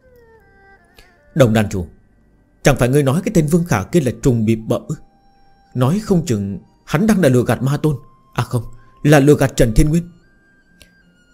Đám thuộc hạ nói Đồng An An nhíu mày, Sau đó gật gật đầu nói E là chỉ có khả năng này. Đàn chủ, Ngươi triệu tập chúng ta muốn lấy đầu Vương Khả, Nhưng mấy tháng nay, Vương Khả một mừng núp trong thiên lang tông, Không cách nào ra tay. Chỉ thỉnh thoảng mới rời sơn môn tới cái cao ốc thần vương kia. Chúng ta không tìm được cơ hội. Chúng thuộc hạ lo lắng nói. Đồng An An híp mắt. Vậy chúng ta chọn địa điểm ám sát cái tên chó má Vương Khả kia Ở ngay trong cao ốc thần vương. Hả? Chúng ta tiếp vụ cận thiên lang tông. Chúng thuộc hạ lo lắng nói. Có gì mà không được. Điển lễ khai trương. Khai trương cái con mẹ nó. Vương Khả, Người hại ta thảm như vậy. Lần này ta phải lấy mạng của ngươi. Đồng An An lạnh giọng nói. Cách thời điểm công ty Thần Vương Khai trương 10 ngày, Trường chính đạo thờ hồn hền Về lại Thiên Lang Tông, Ngộ kiếm phòng Vừa lên núi liền gặp được Vương Khả Ngồi ở trên ghế uống nước trái cây mát lạnh. Vương Khả Người còn có tâm tư ở đây hưởng thụ ư? Xảy ra chuyện lớn rồi đấy. Trường chính đạo lo lắng nói. Xảy ra chuyện gì? Vương Khả thả xuống cốc nước trái cây ướp lạnh. Ta mới từ các đại tiên môn chạy một vòng trở về. Vừa đến cao ốc thần vương, Liền thấy chị em Trương Thần Hư đến tìm ngươi đòi nợ đấy. Trường Chính Đạo nói. Đòi nợ? Nợ nào? Vương Khả hai chân vắt chéo nghi hoặc hỏi. Ngươi quên rồi sao? Lần ở Chu Tiên Trấn kia Ngươi ăn xong ma đạo, Lại ăn chính đạo. Lúc ấy vòng tay chữ vật pháp bảo phi kiếm của 20 tên cường giả Kim Ô Tông Đã bị ngươi lột sạch còn gì. Bọn họ là đến để đòi nợ. Nhìn cái bộ dạng có vẻ muốn còn đi tìm tông chủ để đòi đấy. Tiền này không dễ cầm đâu. Giờ chính là đang ồn ào ở cao ốc thần vương kia kìa. Trường chính đạo giải thích nói, Đùa cái gì vậy? Tiền đến trong túi của ta rồi. Còn mới lấy ra chắc? Vương Khả cổ quay nói, Vậy ngươi đi nói với bọn hắn. Giờ bọn hắn chính là đang la hét muốn gặp ngươi. Nếu không gặp được ngươi, Liền sẽ đi tìm Trần Thiên Nguyên đòi trả. Trường chính đạo giải thích nói, Bọn họ làm ra được chuyện này à? Vương Khả nhíu mày hỏi lại, Rốt cục, Lần trước là Trương Thần Hư mất mặt, Chuyện này làm sao có thể đặt ở trên bàn nói được? Tên Trương Thần Hư kia Khả năng sẽ ngại mất mặt không dám nói, Nhưng Trương Đi Nhi Thì chưa biết được, Không phải ta đã sớm nói với ngươi rồi sao? Ở thập vạn Đại Sơn này, Trương Đi Nhi nổi danh là nữ thổ phì Khoan nói cướp bóc. Dù sao cũng là loại không chịu thua thiệt bao giờ. Trường chính đạo giải thích nói. Vương Khả đứng dậy, Sắc mặt khó coi nói. Bọn hắn đây là bức ta ăn vả. Hả? Bức ngươi ăn vả? Ý gì? Vẻ mặt của Trương Chính Đạo không giấu được sự khó hiểu. Đi, Chúng ta đi gặp đôi chị em kia. Vương Khả trầm giọng nói. Vừa nói Vương Khả vừa đi xuống núi. Trường Chính Đạo theo sát ngay sau. Ở trong đầu còn đang ngẫm nghĩ câu, Bức ta ăn vạ Của Vương Khả. Lúc trước khi đến cửa sân môn Sắc mặt Trương Chính Đạo chợt cứng đờ.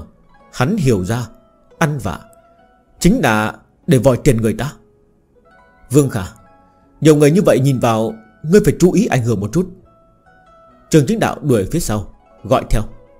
Đợi khi Vương Khả đến cửa cao ốc thần vương, Quả nhân chị em Trương Ly Nhi, Trương Thần Hư dẫn theo 30 tên đệ tử Kim Ô Tông Đang kêu gào ở bên ngoài cao ốc thần vương. Đám thuộc hạ Vương Khả Lưu lại thái độ rất là thành khẩn, Không hề làm khó dễ bọn chúng. Vương Khả đâu? Gọi hắn ra đây. Trương Thần Hư lớn tiếng kêu mắng. Gia chủ rất nhanh sẽ tới, Chư vị chờ một lát, Hay là tiến vào trong quán nhâm nhi chút hồng trà. Tiểu bè muội của Vương Khả, Tinh là quản lý tạm thời của đại sành Khách khí nói. Không được, Vương Khả không tới, Ta không vào. Trương Thần Hư lạnh giọng nói. Trương Đình Nhi ở bên lại âm thầm đánh giá cao ốc thần vương sang trọng trước mắt, Mí mắt bất giác nhảy loạn. Cái tên Vương Khả này quả như là cao thủ kiếm tiền. Cửa hàng này vừa trang hoàng đi ra, Bất kỳ vật gì mà không bán ra được ra giá tiền gấp 3 Thì đúng là có lỗi với mặt tiền nơi này. Trường Đề Nhi lầm bầm nói. Đúng lúc đó, Ánh mắt tiểu biểu muội chợt sáng lên. Gia chủ, Ngài đã tới.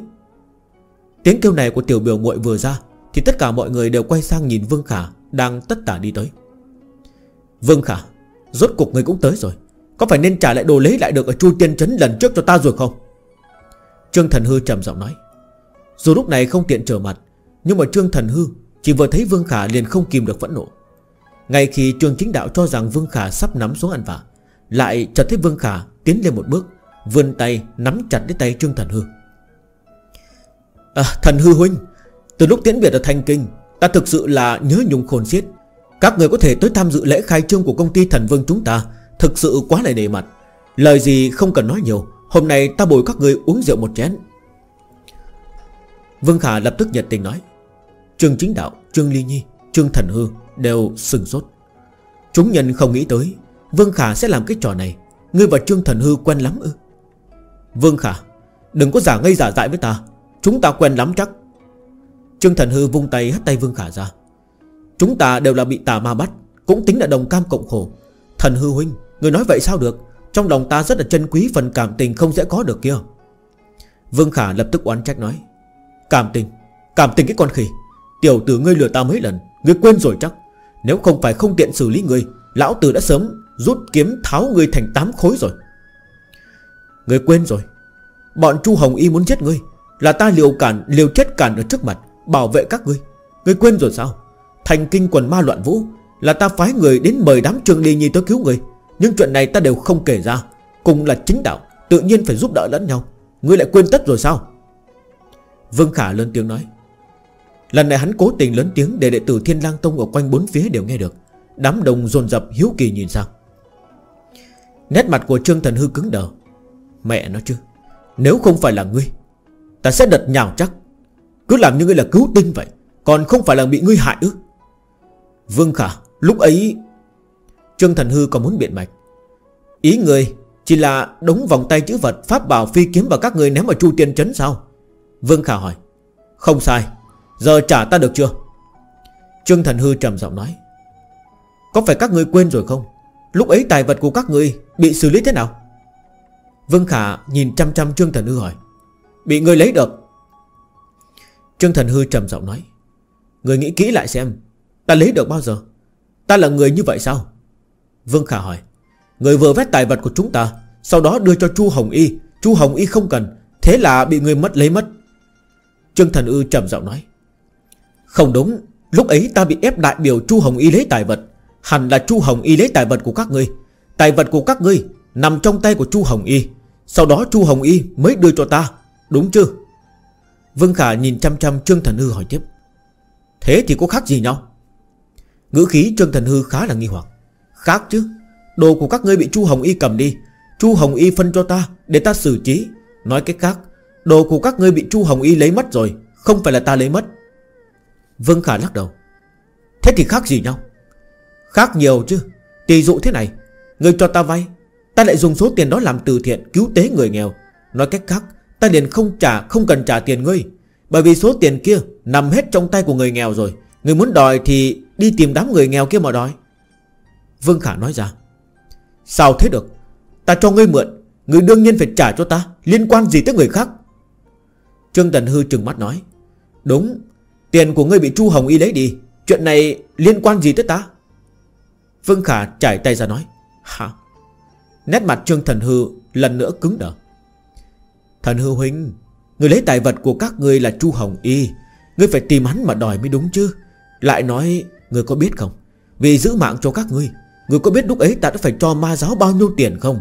Ta còn chưa tính món nợ này với các người đấy. Người còn không biết xấu hổ mà đi nói ra. Đúng là khiến người ta thất vọng mà. Hey, Không được làm người tốt rồi. Về mặt của Vương Khả rất là đau khổ. Cách đó không xa. Đám đệ tử Thiên lang Tông vây xem không ngừng chỉ trò. Nhìn khiến sắc mặt của Trương Tần Hư Rất là khó coi. Cái quái gì vậy? Làm sao mà tính một hồi? Tiền của ta liền biến mất tiêu. Ngược lại còn thiếu nợ ngươi không ít trường Chính Đạo ở bên không giấu được vẻ mặt cổ quái. Trương Thần Hư, Người muốn đi đo so độ vô sỉ với tên Vương Khả này sao? Còn non lắm. Vương Khả còn chưa ăn vạ người đã ngã sấp mặt rồi. Còn đòi nợ cái kỳ khô ấy. Cứ tiếp tục như thế này, Không chừng sẽ biến thành Vương Khả tìm các ngươi đòi nợ đấy. Qua một thôi một hồi giải thích của Vương Khả, Trương Thần Hư phát hiện toàn bộ tiền của đám người Bên mình đổ hết xuống sông xuống biển. Còn thiếu ngược Vương Khả tiền. Vương Khả Ngươi là muốn quyệt đồ của ta? Trương Thần Hư trừng mắt cả giận nói.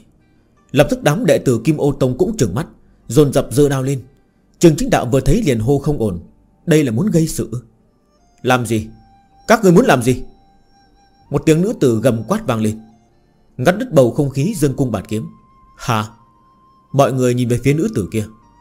Là Trương Ly Nhi nãy giờ một mực không lên tiếng. Đại sư tỷ Kim Ô Tông, Dù có tiếng là nữ thổ phỉ nhưng mà dung mạo nàng lại cực kỳ xinh đẹp mỹ lệ. Y phục màu đỏ càng tôn lên cá tính nóng bỏng của nàng. Tuy khoác lên đạo bào rộng thùng thình Lại vẫn khó che đi vóc người bốc lửa. Tì Người nghe thấy không? Tiểu vương khả này là muốn quyệt nợ. Trương Thần Hư lập tức kêu lên. Vương khả nhíu mày nhìn sang nói. À nguyên lai là đại sư tỷ Kim Ô Tông. À, Vừa rồi không có để ý Mong thứ lỗi cho. Vương khả Chẳng lẽ ta không chút sức hấp dẫn nào như vậy sao? Mãi đến bây giờ ngươi mới nhận ra ta? Trương Ly Nhi cười nói. Vương Khả sừng sốt quay đầu nhìn Trương Chính Đạo ở bên một cái. Trương Ly Nhi này Chẳng phải là nữ thổ phỉ mà ngươi nói ư? Sao lại nói chuyện nhỏ nhẹ như vậy? Đang là tán thán ta. Về mặt Trương Chính Đạo cũng rất mờ mịt. Tỷ, Người khách khí với Vương Khả làm cái gì? Trương Thần Hư cũng khó hiểu nói. Khách khí? Hừ, Vương Khả người ta cứu mạng các ngươi. Các ngươi lại đến đây để lấy oán trả ơn. Việc này mà truyền đi ra, Ngươi nói xem Đệ tử Kim Ô Tông chúng ta làm sao mà ngẩng đầu làm ngươi Trương Đi Nhi trách mắng nói. Vương Khả ngạc nhiên nhìn Trương Đi Nhi. Cái quái gì vậy? Một đứa hát đỏ mặt, Đứa còn lại hát mặt trắng. Còn muốn vét tiền của ta, Đừng có đùa. Trò này ta không phải là chưa chơi qua. Có tiền ta lập tức Nằm xuống cho ngươi, Sau đó mời sư tôn ra làm chủ không? Tỷ, Ngươi không phải Trương Thần Hư kinh ngạc nói. Tỷ, cái gì mà tỷ? Còn nói mấy lời như thế, Đừng trách ta không khách khí. Trương Đi Nhi trừng mắt nói. Ta Trương Thần Hư nhất thời không biết phải làm sao. Tỷ tỷ hóa điên rồi sao? Ta đại náo cao ốc thần vương không phải là do ngươi chỉ điểm sao? Giờ làm sao lại trách ta?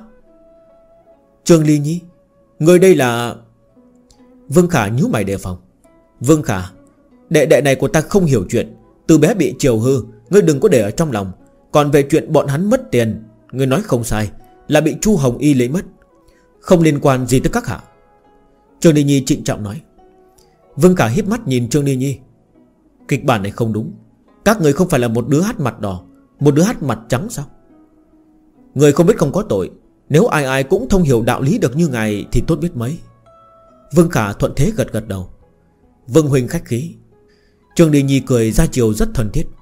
Tỷ, Sao ngươi lại kêu Huynh Hắn làm gì xứng?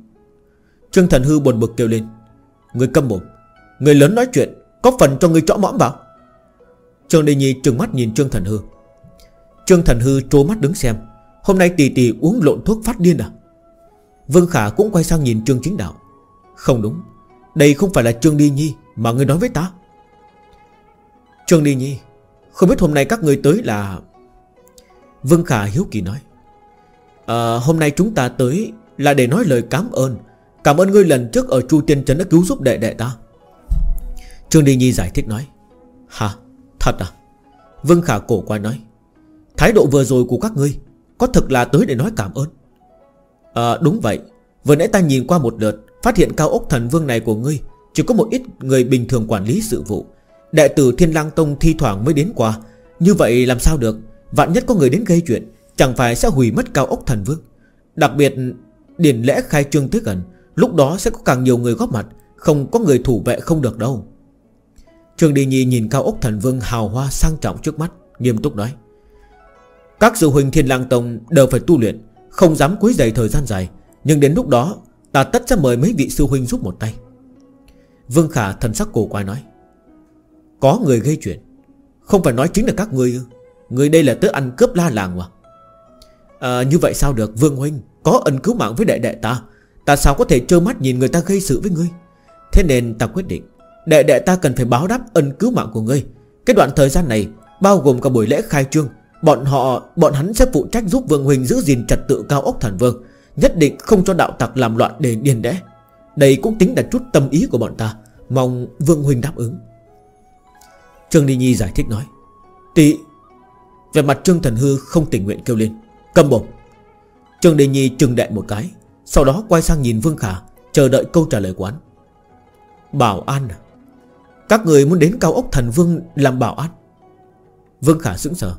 Hành vi gì đây? Mới rồi còn định lừa tiền của ta. Giờ cứ đổi thành muốn bảo an. Các ngươi là muốn làm gì? Bảo an. Bảo vệ an toàn. À ừ cái tên hay lắm. Vương Huynh, Ngươi cảm thấy thế nào? Mong người đáp ứng. Đừng có uổng tấm lòng đền ân của đệ đệ ta. Trường Đề Nhi vừa cười vừa nói. Vương Khả sừng sốt. Trường chính đạo ở bên lập tức đi đến sát người Vương Khả, Nhỏ giọng nhắc nhở. Cẩn thận có trá Trường chính đạo, Người nói cái gì? Đừng tưởng là ta nghe không được nha. Kim ô tông ta ân oán phần mình, Giờ đến đây trả ân. Ờ, ngươi ở bên khiêu khích ly gián là muốn làm gì? Có phải định vu khống Kim ô tông chúng ta, Hay là chúng ta sang một bên nói chuyện riêng đi? Trường Đi Nhi trừng mắt nhìn Trường Chính Đạo. Nói chuyện riêng? Ta có bị bệnh đâu. Nói chuyện riêng? Vậy chẳng phải là dơ mặt cho người đánh à? Trường Chính Đạo tức thì núp sau Ở một bên, không lên tiếng. Vương Huynh Người cảm thấy thế nào? Trương Đi Nhi cười nhìn Vương Khả. Đám người Trương Thần Hư ở bên vẻ mặt rất là không tình nguyện, Nhưng mà có Trương Đi Nhi đè ép, Ai cũng không dám mở mồm. Muốn đến cao ốc thần vương làm bảo an nữa cũng được, Nhưng mà ta thấy ánh mắt mấy người thần hư có vẻ không tình nguyện cho lắm. Vương Khả câu mày nói. Trương Thần Hư chừng Vương Khả, Tình nguyện cái giám ấy, Ai muốn làm bảo an cho ngươi? À yên tâm, Bọn hắn nhất thời là hồ đồ thôi, Để ta khuyên. Vương Huynh đây là đáp ứng chứ?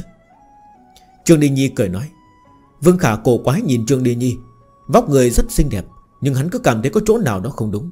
Theo như là trải nghiệm đoạn thời gian gần đây, Vương Khả biết Nữ nhân càng xinh đẹp Thì lại càng biết lừa người. Tỷ như U Nguyệt Công Chúa, Trương Đi Nhi chắc cũng không kém nhiều. Nhưng nếu ta không đáp ứng, Bọn họ nhất định sẽ từ phương diện khác quấy rối, Không bằng trước ổn định cái đã. Trương Đi Nhi, Nếu các ngươi thật muốn như thế, Vậy phải đáp ứng hai điều kiện ta mới đồng ý cho các ngươi làm thử. Vương Khả nhíu mày trầm tư một lúc, Sau đó mới nói, Hả? Điều kiện gì? Trường Đi Nhi hiếu kỳ hỏi lại, Đầu tiên, Có thể làm bảo an ở cao ốc thần vương, Nhưng mà tất cả phải tuân thủ theo chế độ điều lệ ở đây.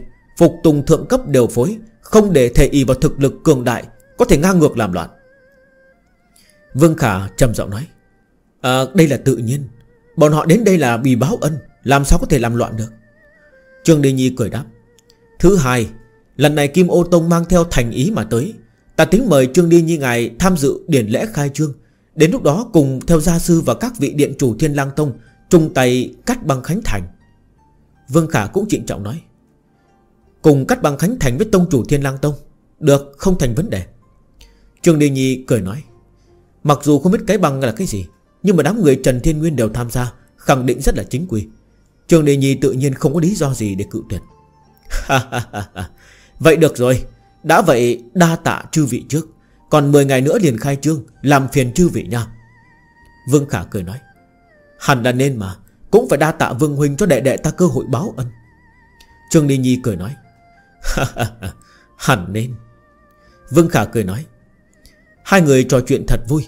Khiến đám người Trương Chính Đạo, Trương Thần Hư ở bên mà nghe trố cả mắt cứng lưỡi. Chuyện này là cuối cùng là thế nào? Các ngươi hẳn là phải gây sự, Ra tay đánh lớn mới đúng chứ. Giờ lại nói chuyện vui vẻ như vậy. Vương Khả, Người không phải định ăn vạ sao? Sao còn chưa nằm xuống? Sau đó Vương Khả dẫn đám người Trương Đi Nhi tiến vào trong đại sảnh một lầu một. Chứng kiến quang cảnh hoa lệ ở trong đại sảnh, Cả đám có cảm giác như đang tiến vào thủy tinh cung vậy. Chúng đệ tử Kim Ô Tông Cảm thán độ xa hoa của nơi này Xong đến nỗi quá mức Xong không đến nỗi quá mức trầm mê. Rốt cục đây cũng chỉ là chút vật chết không đáng tiền, Nhìn qua lộng lẫy mà thôi. Cự tuyệt nội dung độc hại, Phát huy năng lực tích cực. Trường Đề Nhi lầm nhầm 10 chữ lớn ở khắc tên cây cột Ở đại sành lầu 1 Thần sắc không giấu được vẻ cổ quái.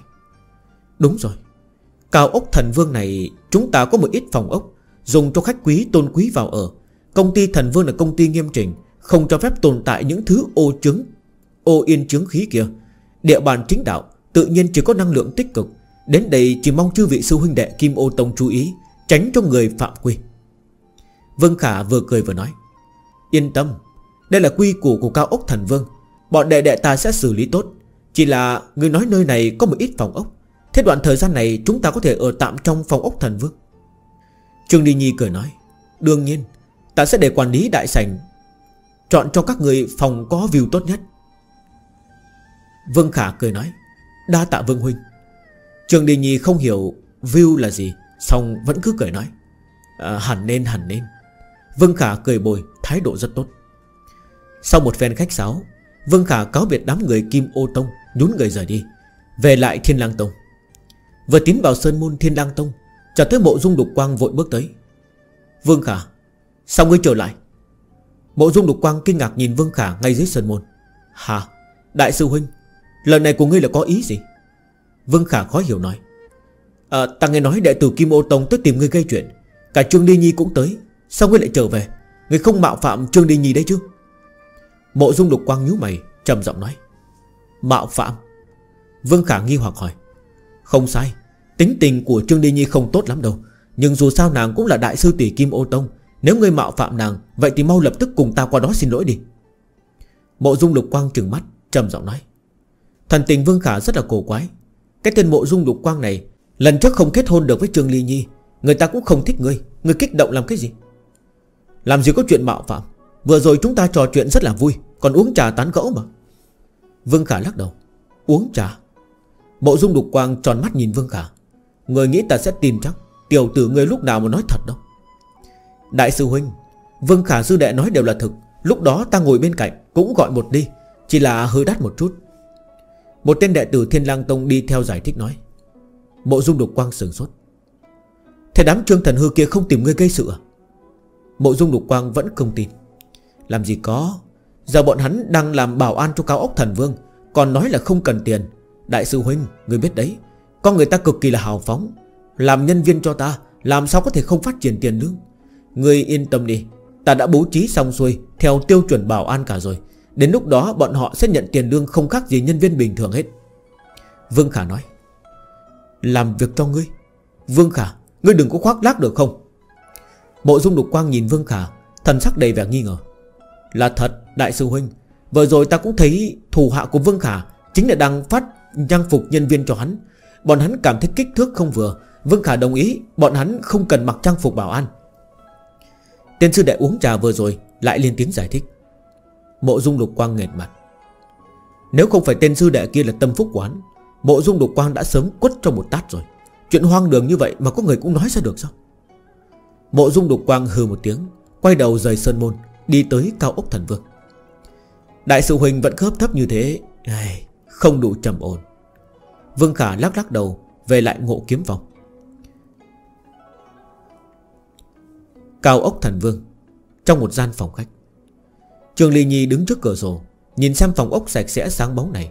Thần sắc rất là kinh kỳ, Ở trên mặt lộ ra ý cười. Tỷ Ngươi không phải nói đến tìm Vương Khả gây sự. Buộc hắn trả tiền sao? Vừa rồi ngươi là làm gì? Mặt mũi chúng ta đều mất sạch. Trương Thần Hư tức giận nói. Ta vừa tới, Nhìn bộ dạng phô trương này của cao ốc thần vương, Ta liền hiểu. Trương Đình Nhi hít mắt nói. Hiểu cái gì? Trương Thần Hư ngơ ngác. Vương Khả muốn vét tiền hơn nữa còn vét lên một mẻ lớn nữa. Trương Đình Nhi kích động nói. Sau đó thì sao? Trương Thần Hư khó hiểu nói. Trương Đình Nhi nhú mày nhìn đệ đệ. Ngươi bị ngu à? Ta? Nét mặt Trương Thần Hư cứng đờ. Hiện tại chúng ta có thể móc được bao nhiêu tiền Từ trong tay của Vương Khả? Trương Đình Nhi trận mắt nói. Hả? Cứ từ từ. Đợi công ty thần Vương khai trương, Đợi khi Vương Khả kiếm tiền, Vét thật nhiều tiền, Mập rồi, Chúng ta lại Trương Đình Nhi hưng phấn nói. Tìm hắn đòi tiền. Thần sắc Trương Thần Hư cũng khẽ động, Đánh giấm. Đường đường chính chính đòi hắn Thì đòi được bao nhiêu? Trương Đình Nhi trừng mắt. Hả? Thế vậy làm thế nào? Gõ ám côn, Lấy hết tiền hắn vét được lần này, Nhét vào trong túi của chúng ta. Ta không muốn lấy các bạc lẻ. Ta ta muốn tất. Trong mắt của Trương Đi Nhi lóe lên quang mang hưng phấn. Muốn tất á? Trương Thần Hư há hốc mồm kinh ngạc. Không sai. Ta muốn tất. Cố chờ đi, nhịn đi. Trương Đi Nhi phấn khích nói, Khó trách người ta gọi ngươi là nữ thổ phỉ. Trương Thần Hư cổ quái nói, Nữ thổ phỉ cái gì? Còn không phải là vì ngươi vô năng sao? Ngươi xem đệ đệ người ta kiếm tiền cho tỷ tỷ tiêu, Nhìn lại ngươi xem, Ngày ngày chỉ biết bồi tiền, Nếu ngươi có bản lĩnh kiếm tiền cho ta tiêu, Ta còn tính toán sao? Thành danh của ta đều bị ngươi làm hỏng rồi đấy. Trương Đi Nhi trừng nhìn đệ đệ, Nét mặt Trương Thần Hư lập tức cứng đờ, Tỷ, ta Đừng nhắc tới chuyện này nữa được không? Nói xem chuyện bảo an lần này đi. Vì cái gì? Tại sao đệ tử Kim Ô Tông chúng ta lại phải làm bảo an cho Vương Khả Người chẳng biết cái gì cả. Người không có thân phận, Làm sao tiện gõ ám côn người ta? Nghe cho kỹ đây. Đoạn thời gian này, Các người ngày ngày tuần tra khắp trong ngoài cao ốc thần vương, Thăm dò rõ ràng từng góc cách cao ốc thần vương cho ta. Vẽ lại chi tiết thật là cặn kẽ. Bảo an Không phải chính là tuần tra sao? Mỗi một góc đều không được bỏ qua, Nhớ chưa? Trương Đi Nhi trừng mắt nói Hả ờ, được rồi. Trương Thần Hư sắc mặt cổ quá nói 9 ngày sau, Thiên Lang Tông, Trong một gian đại điện ở Tây Lang Phong, Điện chủ Tây Lang Điện Mạc Tam Sơn Nhàn nhã uống trà xanh ngồi bên cạnh là mộ dung lục quang, Sắc mặt nhìn có vẻ rất khó coi. Ngày mai sẽ là ngày công ty thần vương của Vương Khả khai trương. Làm sao? Đến giờ người vẫn chưa nắm xuống được Trương Ly Nhi. Lại mũi dính đầy cho quay về đấy. Bạc Tam Sơn nhấp một ngụm trà, Bình tĩnh nói. Cái khuôn mặt người chết kia, Dù có đang cười thì cũng vô cùng kinh dị. Mạc Điện Chủ, Chuyện này buồn cười đến vậy à? Mộ dung đục quang trầm giọng nói. Không có gì buồn cười hết, Chỉ là cảm thấy hơi kỳ quái. Mấy ngày gần đây, Mỗi lần Vương Khả đến cao ốc thần Vương, Trường Đi Nhi đều tươi cười chào đón. Sau đó lần đến đợt ngươi, Lại mặt lạnh như tiền. Cái tên Vương Khả kia thì có điểm nào tốt hơn ngươi? Mạc Tam Sơn nhấp ngụm trà, Thản như nói. Sắc mặt mộ dung đục quang tái xanh. Luận về tu vi, Người người quang Vương Khả không biết bao xa. Luận về thân phận, Vương Khả dù cũng là đông lang phó điện chủ, Nhưng mọi người đều biết đó là hư. Chỉ có người sau này mới có tư cách kế thừa vị trí điện chủ đông lang điện. Luận về tướng mạo, Mộ dung đục quang, Người cũng học ngọc thụ lâm phong. Chẳng lẽ mấy cô nương xinh đẹp kia đều là mắt mù sao? U Nguyệt công chúa như thế, Trường Đề Nhi cũng như thế. Vứt phát ngọc là người không cần, Lại đi nhặt cục đá vừa mới thối vừa cứng. Vương khả kia Đúng là quái lạ. Mạc Tam Sơn cười nói, Mộ dung đục quang, Đen như đáy nồi. Nói, Mạc Điện Chủ, Người có lời gì cứ nói thẳng, Đừng có vòng vo được không? À ta chỉ là hiếu kỳ thôi. Chẳng qua ở Tây Lang Điện này, Của ta quả thực là tra ra được không ít tin tức. Mạc Tam Sơn bình tĩnh nói, Hả? Lúc trước Vân Khả đáp ứng phối hợp chúng ta dẫn ra Đồng An An Tin tức lần này chính là có liên quan tới Đồng An An. Hắn tới rồi. Mạc Tam Sơn sững sờ nói, Đến, Ai tới? Mộ Dung Đục Quang sững sờ, Đương nhiên là Đồng An An, Hắn muốn đến tham dự lễ khai trương công ty thần vương. Mạc Tam Sơn nhấp một ngụm trà, Nhẹ giọng nói tiếp, Thật thay giả đấy. Tên Đồng An An này muốn tìm chết sao? Vương Khả mời bao nhiêu cường giả chính đạo đến đây, Hắn còn muốn tự chui đầu vào lưới? Mộ dung đục quang cả kinh kêu lên, Không sai được. Ta xác minh qua mấy lần rồi. Đồng An An muốn ám sát Vương Khả ngay trong ngày khai trương công ty thần vương. Mạc Tam Sơn giải thích nói. Ngay ngày khai trương, Đến cả ma tôn đều không có bản lãnh như thế. Khoan nói xung quanh có vô số cao thủ chính đạo. Lúc đó ngay cả tông chủ cũng có mặt tại hiện trường mà. Mộ dung đục quang kinh ngạc nói. Bởi vì Vương Khả núp bóng trong thiên lang tông suốt 9 tháng này. Đồng An An lo lắng Vương Khả sẽ cứ tiếp tục xúc ở trong này. Thế nên hắn bí quá hóa liều, Lấy kim đan cảnh ám sát tiên thiên cảnh Vương Khả. Độ khó cũng ở đâu lớn. Hơn nữa, Chỉ ngày mai Vương Khả mới ra ngoài trong thời gian dài, Tông chủ có thể thời thời khắc khắc ở sát bên người Vương Khả không? Nếu người như vậy, Một khi loạn lên mới càng thuận tiện ám sát. Mạc Tam Sơn nói, Trên mặt mộ dung lục quang hiện ra vẻ cổ quái, Sau đó gật đầu một cái, Tiếp nhận lý do này. Vậy chúng ta có cần thông báo cho tông chủ không? Mộ dung lục quang hỏi. Mạc Tam Sơn lắc đầu đây cũng là nguyên do Ta tìm ngươi. Ta cảm thấy lần này không cần thông báo tông chủ. Vì sao? Mộ dung đục quang nhíu mày nói. Ta trao qua một chút về thói quen hành sự làm việc của Vương Khả. Đứa này có vẻ khá là tham sống sợ chết. Một khi báo cáo tông chủ, Vương Khả sẽ biết được. Đến lúc đó Vương Khả sợ chết một mực trốn ở bên người tông chủ. Vậy tên đồng an an kia Liền vĩnh viễn không có khả năng lộ diện. Chúng ta làm sao mà bắt? Mạc Tam Sơn trầm giọng nói. Vậy ý ngươi là cứ để chúng ta nhìn chằm chằm Vương Khả được rồi. Không cần Vương Khả biết rõ, Để chăng hắn không phối hợp. Chỉ cần đồng an an lộ diện, Chúng ta liền bắt hắn lại. Như thế mọi chuyện liền kết thúc. Mạc Tam Sơn giải thích nói, Làm vậy không tốt lắm đâu. Trước đó chúng ta đã đáp ứng tông chủ. Nét mặt mộ dung lục quang thoáng hiện vẻ khó xử nói, Cho nên ta mới tìm ngươi thương lượng. Có lẽ bởi vì bỏ lỡ lần này, Lần sau muốn bắt được đồng an an, Không biết còn phải chờ đến khi nào nữa. Dù sau này để Vương Khả dẫn dụ đồng an an Cũng chưa chắc hẳn là có thể dẫn dụ ra được. Không sai. Dựa theo ý tưởng này của ta, Vương Khả tất sẽ gặp nguy. Nhưng không phải là còn có ta và ngươi bảo hộ sao? Đương nhiên, Nếu ngươi vẫn thực sự không yên tâm cho an toàn của Vương Khả, Vậy coi như ta chưa nói lời này ra. Mạc Tam Sơn lắc đầu. Thần sắc mộ dung đục quang không giấu được vẻ phức tạp. Nếu trước đó Mạc Tam Sơn không nhắc tới thái độ của Trương Ni Nhi, Có lẽ mộ dung đục quang còn sẽ bầm báo tông chủ. Nhưng mà lúc này, Ngọn lửa đố kỵ bùng lên trong lòng Khiến cho bộ dung đục quang không còn quá để ý Đến an nguy của Vương Khả nữa. Được rồi, Không nói thì không nói. Lần này chắc là không đến nỗi xảy ra sơ suất gì đâu. Bộ dung đục quang tự an nổi nói, Yên tâm, Trước này ta hành sự đã có lúc nào có sơ suất chưa? Mạc Tam Sơn tự tin nói, Làng tiên trấn Trong một gian phòng khách sạn. Đồng An An quả nhiên tới. Gian phòng còn đứng 10 tên nam tử áo đen, Cả đám cùng kính vái chào Đồng An An. Đàn chủ Sao chỉ có 10 người chúng ta? Những người khác đó Một tên nam tử áo đen nghi hoặc nói. Gần nhất ta không ngừng kiểm kê nhân số, Phát hiện liên tục có người biến mất. Khẳng định là đã bị thiên lang tông bắt đi. Bí mật của chúng ta không chừng đã bị tiết lộ. Đồng An An lạnh lùng nói. Hả? Ám sát Vương Khả không cần quá nhiều người. Đám kim đan cảnh chúng ta ra tay đủ rồi. Những người thực lực yếu kém kia, Theo tới cũng chỉ là vương víu. Ngày mai là trường hợp nào? Bao nhiêu cường giả chính đạo tụ tập tới Bọn họ có đến cũng là tìm chết. Đồng An An trừng mắt nói Vậy tại sao chúng ta còn phải chọn vào ngày mai? Một tên nam tử áo đen lo lắng nói Con rùa đen ruột đầu Vương Khả kia Cứ chờ đợi tiếp Không biết còn phải kéo đến khi nào. Đã 9 tháng hắn không rời khỏi Thiên Lang Tông Còn mẹ nó lại hao thêm mấy năm Lão tử chắc bị đường chủ số 3 giết, giết sống mất. Không được Ngày mai nhất định phải thừa làm loạn tìm cơ hội ám sát Vương Khả. Trong mắt Đồng An An chớp qua một tia kiên định. Nhưng mà Không nhưng nhị gì hết, Yên tâm. Cái cả ốc thần vương dám chó gì kia, Chỉ được mỗi mẽ ngoài thôi. Đến lúc đó các người chỉ cần phối hợp với ta là được. Hơn nữa, Đường chủ số 3 cũng tới, Các người sợ gì? Đồng An An quét mắt nhìn chúng nhân, Nghiêm giọng nói, Đường chủ số 3 cũng tới. Vậy thì tốt rồi. Chúng nhân không khỏi yên tâm phần nào. Còn nữa, Đây là chỗ nào các người còn không biết sao? Bao nhiêu đệ tử chính đạo đang ở trong lăng tiên trấn, Các người thế này không cảm thấy quá rêu rao. Đồng An An trừng mắt nói, Chúng ta? Thần sắc 10 người đều hiện việc khó hiểu. Cả người đen xì, Sợ người khác không để ý sao? Đây là địa bàn chính đạo, Phải cải trang. Đồng An An trừng mắt nói Vâng.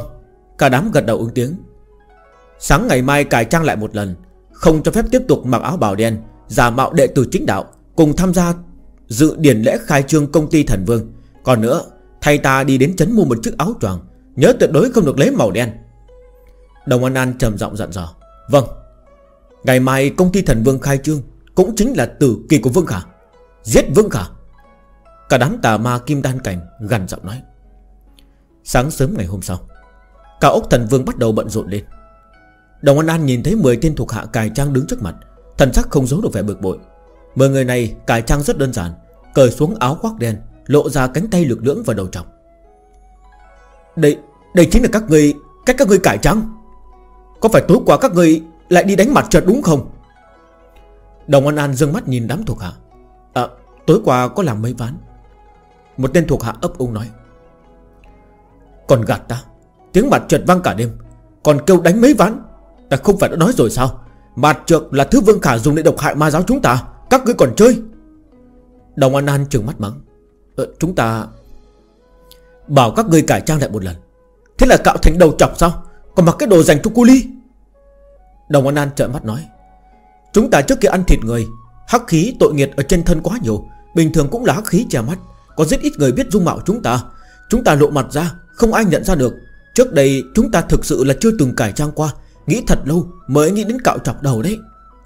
Một người nói Then chốt là, Trên đầu các người không có giới sẹo, Không phải là hòa thượng, Mà là cái đầu chọc đứng chung một chỗ, Nhìn gai vắt hơn cả áo đen. Các người đang làm cái quái gì vậy? Đồng An An tức giận mắng. Mười người ngơ ngác nhìn nhau, Nét mặt cứng đờ. Thật đúng là trong đám đông ai nấy đều tóc đẹp gọn gàng. Chỉ có cái đám người mình để đầu trọc Không trói mắt mới là lạ đấy. Còn nữa, Ta dặn các người giúp ta mua một chiếc áo khoác không phải là màu đen, Mà các người mua về cái gì thế này? Màu hồng phấn sao? Vì sao? Các người nghĩ gì vậy? Ta lại mặc áo khoác hồng phấn sao? Đồng An An trừng mắt nhìn tên thuộc hạ đi mua đồ. Ờ hôm qua đi mua lúc trời tối, Ánh sáng không được tốt lắm. Lúc ấy ta đi tiệm may kia, Có mỗi một kiểu áo khoác là bán sẵn. Còn một tên đệ tử Thiên lang Tông định chế, Ta liền mua xuống luôn. Người kia nói, Người không thể chạy thêm mấy tiệm khác xem xem à? Đồng An An trừng mắt nói, Chạy rồi không có. Người kia nói Đồng An An nghệt mặt. Chạy cái rắm ấy. Người vội vã quay về trước mặt chờ có đúng không? Đàn chủ. Phía công ty thần vương rộ lên động tĩnh không nhỏ. Hình như là sắp bắt đầu. Giờ mà lên chấn đi mua áo khoác sợ rằng là không kịp nữa đâu. Một tên thuộc hạ nhắc nhở. Đồng An An tức giận. Quét nhìn 10 tên thuộc hạ trước mắt. Đồng An An gắng gượng để ép huyết áp đang lên cao. Được rồi. Mười tên đầu chọc các người tách ra cho ta. Lần lượt tiến vào tham dự điển lễ khai trương cao ốc thần vương. Đừng dỡ chung một chỗ. Còn chê không đủ bắt mắt ư. Tách ra. Không có lệnh của ta. Tuyệt đối không được phát đứng gần nhau. Đồng An An trừng mắt nói. Vâng. Mười tên đầu chọc đồng thanh ứng tiếng. Đồng An An nhìn xuống áo khoác màu hồng phấn nam tính ở trong tay. Cơ mật quát lại một lúc lâu. Sau đó mới nhịn xuống cảm giác ghê gớm. Mặc vào. Đồng An An vốn hơi béo. Mặc lên chiếc áo khoác màu hồng phấn nữ tính này. Thịt thừa liền xiết đi ra. Nhìn rất chi là quỷ dị. Cũng mày áo khoác có mày liền mũ tròn Đồng An An tức tối đều lên. Mời một người phân tán trên quảng trường cao ốc thần vương. Lúc này quảng trường bên ngoài cao ốc thần vương Đã tụ đầy người. Hơn nữa tiền môn chính đạo thập vạn Đại Sơn Đều có đệ tử tới đây. Mỗi một tông tới hơn 10 người. Chẳng mấy chốc trên quảng trường đã có hơn 2-3 ngàn người. Đồng An An và 10 tên đầu chọc Lẫn trong đám đông kia đi tới quảng trường. Ở trên đường gặp phải một ít đệ tử Thiên lang Tông. Đệ tử Thiên lang Tông thấy bộ dáng bập mạp Kết hợp với áo khoác màu hồng phấn kia của Đồng An An Đều bất giác tránh người nghiêng đầu đi. Đại sư Huynh Không phát hiện nam tử nào có dung mạo Thể hình tương tự Đồng An An. Một tên đệ tử hướng về phía mộ dung đục quang Trong góc bầm báo. Tìm, tiếp tục tìm. Đồng An An cho dù có cải trang Thì cũng không biến hình được. Người béo như thế Đâu có khó tìm. Tra cho kỹ Tất cả nam tính to béo các người lại gần xác minh xem xem. Mộ dung đục quang trầm giọng nói Vâng. Tất cả năm tính to béo Đều bị thuộc hạ mộ dung đục quang để ý tới Lại vừa khéo Để lọt mất nữ tử áo hồng phấn Đồng An An. Một gian phòng ngủ bên trong cao ốc thần vương. Trong tay Trương Đi Nhi Cầm lấy bản vẽ cao ốc. Tất cả các nơi đều đi, đi qua một lần. Trương Đi Nhi trầm giọng hỏi Tỷ ngươi yên tâm đi. Mọi ngóc cách chúng ta đều điều tra qua mấy lần, Trừ tầng cao nhất ra. Tầng cao nhất là văn phòng của Vương Khả, Còn những nơi khác chúng ta đều tra xét rất kỹ. Trương Thần Hư vỗ ngực nói, Văn phòng Vương Khả? Trương Đình Nhi câu mày nói, Không sai, Là thư phòng của Vương Khả, Còn dán biển gọi cái là cái gì mà văn phòng Vương Khả, Cách tên thật là lạ. Nơi đó không cho người tiến vào, Mà lại hình như có pháp bảo che lấp khí tức, rèm cửa sổ cũng bị kéo xuống, Tiếng động ánh sáng ở bên trong không đọt ra được. Đó là nơi duy nhất chúng ta không đi qua. Mỗi lần Vương Khả đến Đều tiến vào văn phòng Nơi đó rất thần bí. Trương Thần Hư giải thích nói À. Hai mắt Trương Đình Nhi thoáng nhắm lại. Tầng cao nhất Văn phòng Vương Khả Có trận pháp ngăn cách thanh âm ánh sáng. Nơi tốt Đó chẳng phải là nơi thích hợp cho mình gõ ấm côn. Ha ha ha ha. Các người làm tốt lắm Quay đầu phối hợp ta. Trương Đình Nhi trầm giọng nói Tỷ, ngươi yên tâm. Tất cả chúng ta đều nghe theo ngươi. Trương Thần Hư vỗ ngực bảo chứng. Tốt, thời gian không còn nhiều, đi. Chúng ta trước đi cắt băng Khánh Thành cho Vương Khả. Cắt băng xong Hắn sẽ giúp ta vét tiền. Tâm tình Trương Đi Nhi rất là sảng quái Hớn hở nói. Thiên Lang Tông Ngộ Kiếm Phòng Vương Khả Người đều đến cả rồi. Người sao không gấp gáp gì vậy? Trường chính đạo vội vàng nhanh đón Vương Khả. Gấp cái gì? Trên quảng trường ngoại cao ốc thần Vương đã bố trí người tổ chức tiệc đứng. Thời gian còn chưa tới mà. Vương Khả nhìn vào trong gương, Phun keo tạo kiểu tóc. Người xuất hiện nhiều chút không sao. Thèn chốt là, ngươi định kết thúc chuyện này như thế nào? Hôm nay công ty thần Vương khai trương, Cửa hàng lại trống rỗng. Có cái gì cũng không có. Trường chính đạo buồn bực nói. Đến hôm nay, Trường chính đạo vẫn không thấy có gì gọi là sản phẩm Vương Khả đâu cả. Mở cửa hàng, định bán cái giám chắc. Làm ra động tĩnh lớn như vậy, Chỉ để mời đệ tử các đại tiên môn để ăn uống vui đùa sao? Sản phẩm đã kết thiết kế xong. Yên tâm đi Hôm nay nhất định sẽ phát đại tài. Người kéo tới người như vậy Hoa hồng cũng sẽ vượt ngoài sức tưởng tượng đấy. Vương Khả tự tin nói. Sản phẩm. Thương phẩm đúng không? Nó ở đâu? Mắt ta bị mù à? Sao ta chẳng thấy gì? Trường chính đạo khó hiểu nói. Lát nữa sẽ biết. Được rồi chúng ta đi. Vương Khả chỉnh lý đầu tóc xong xuôi Tự tin nói. À, Mình xin phép ngừng đây nha mọi người. Và các bạn ở tập tiếp theo. Xin thì các bạn hãy like, chia sẻ video rộng rãi giúp Phong nhé. Cảm ơn. Xin chào.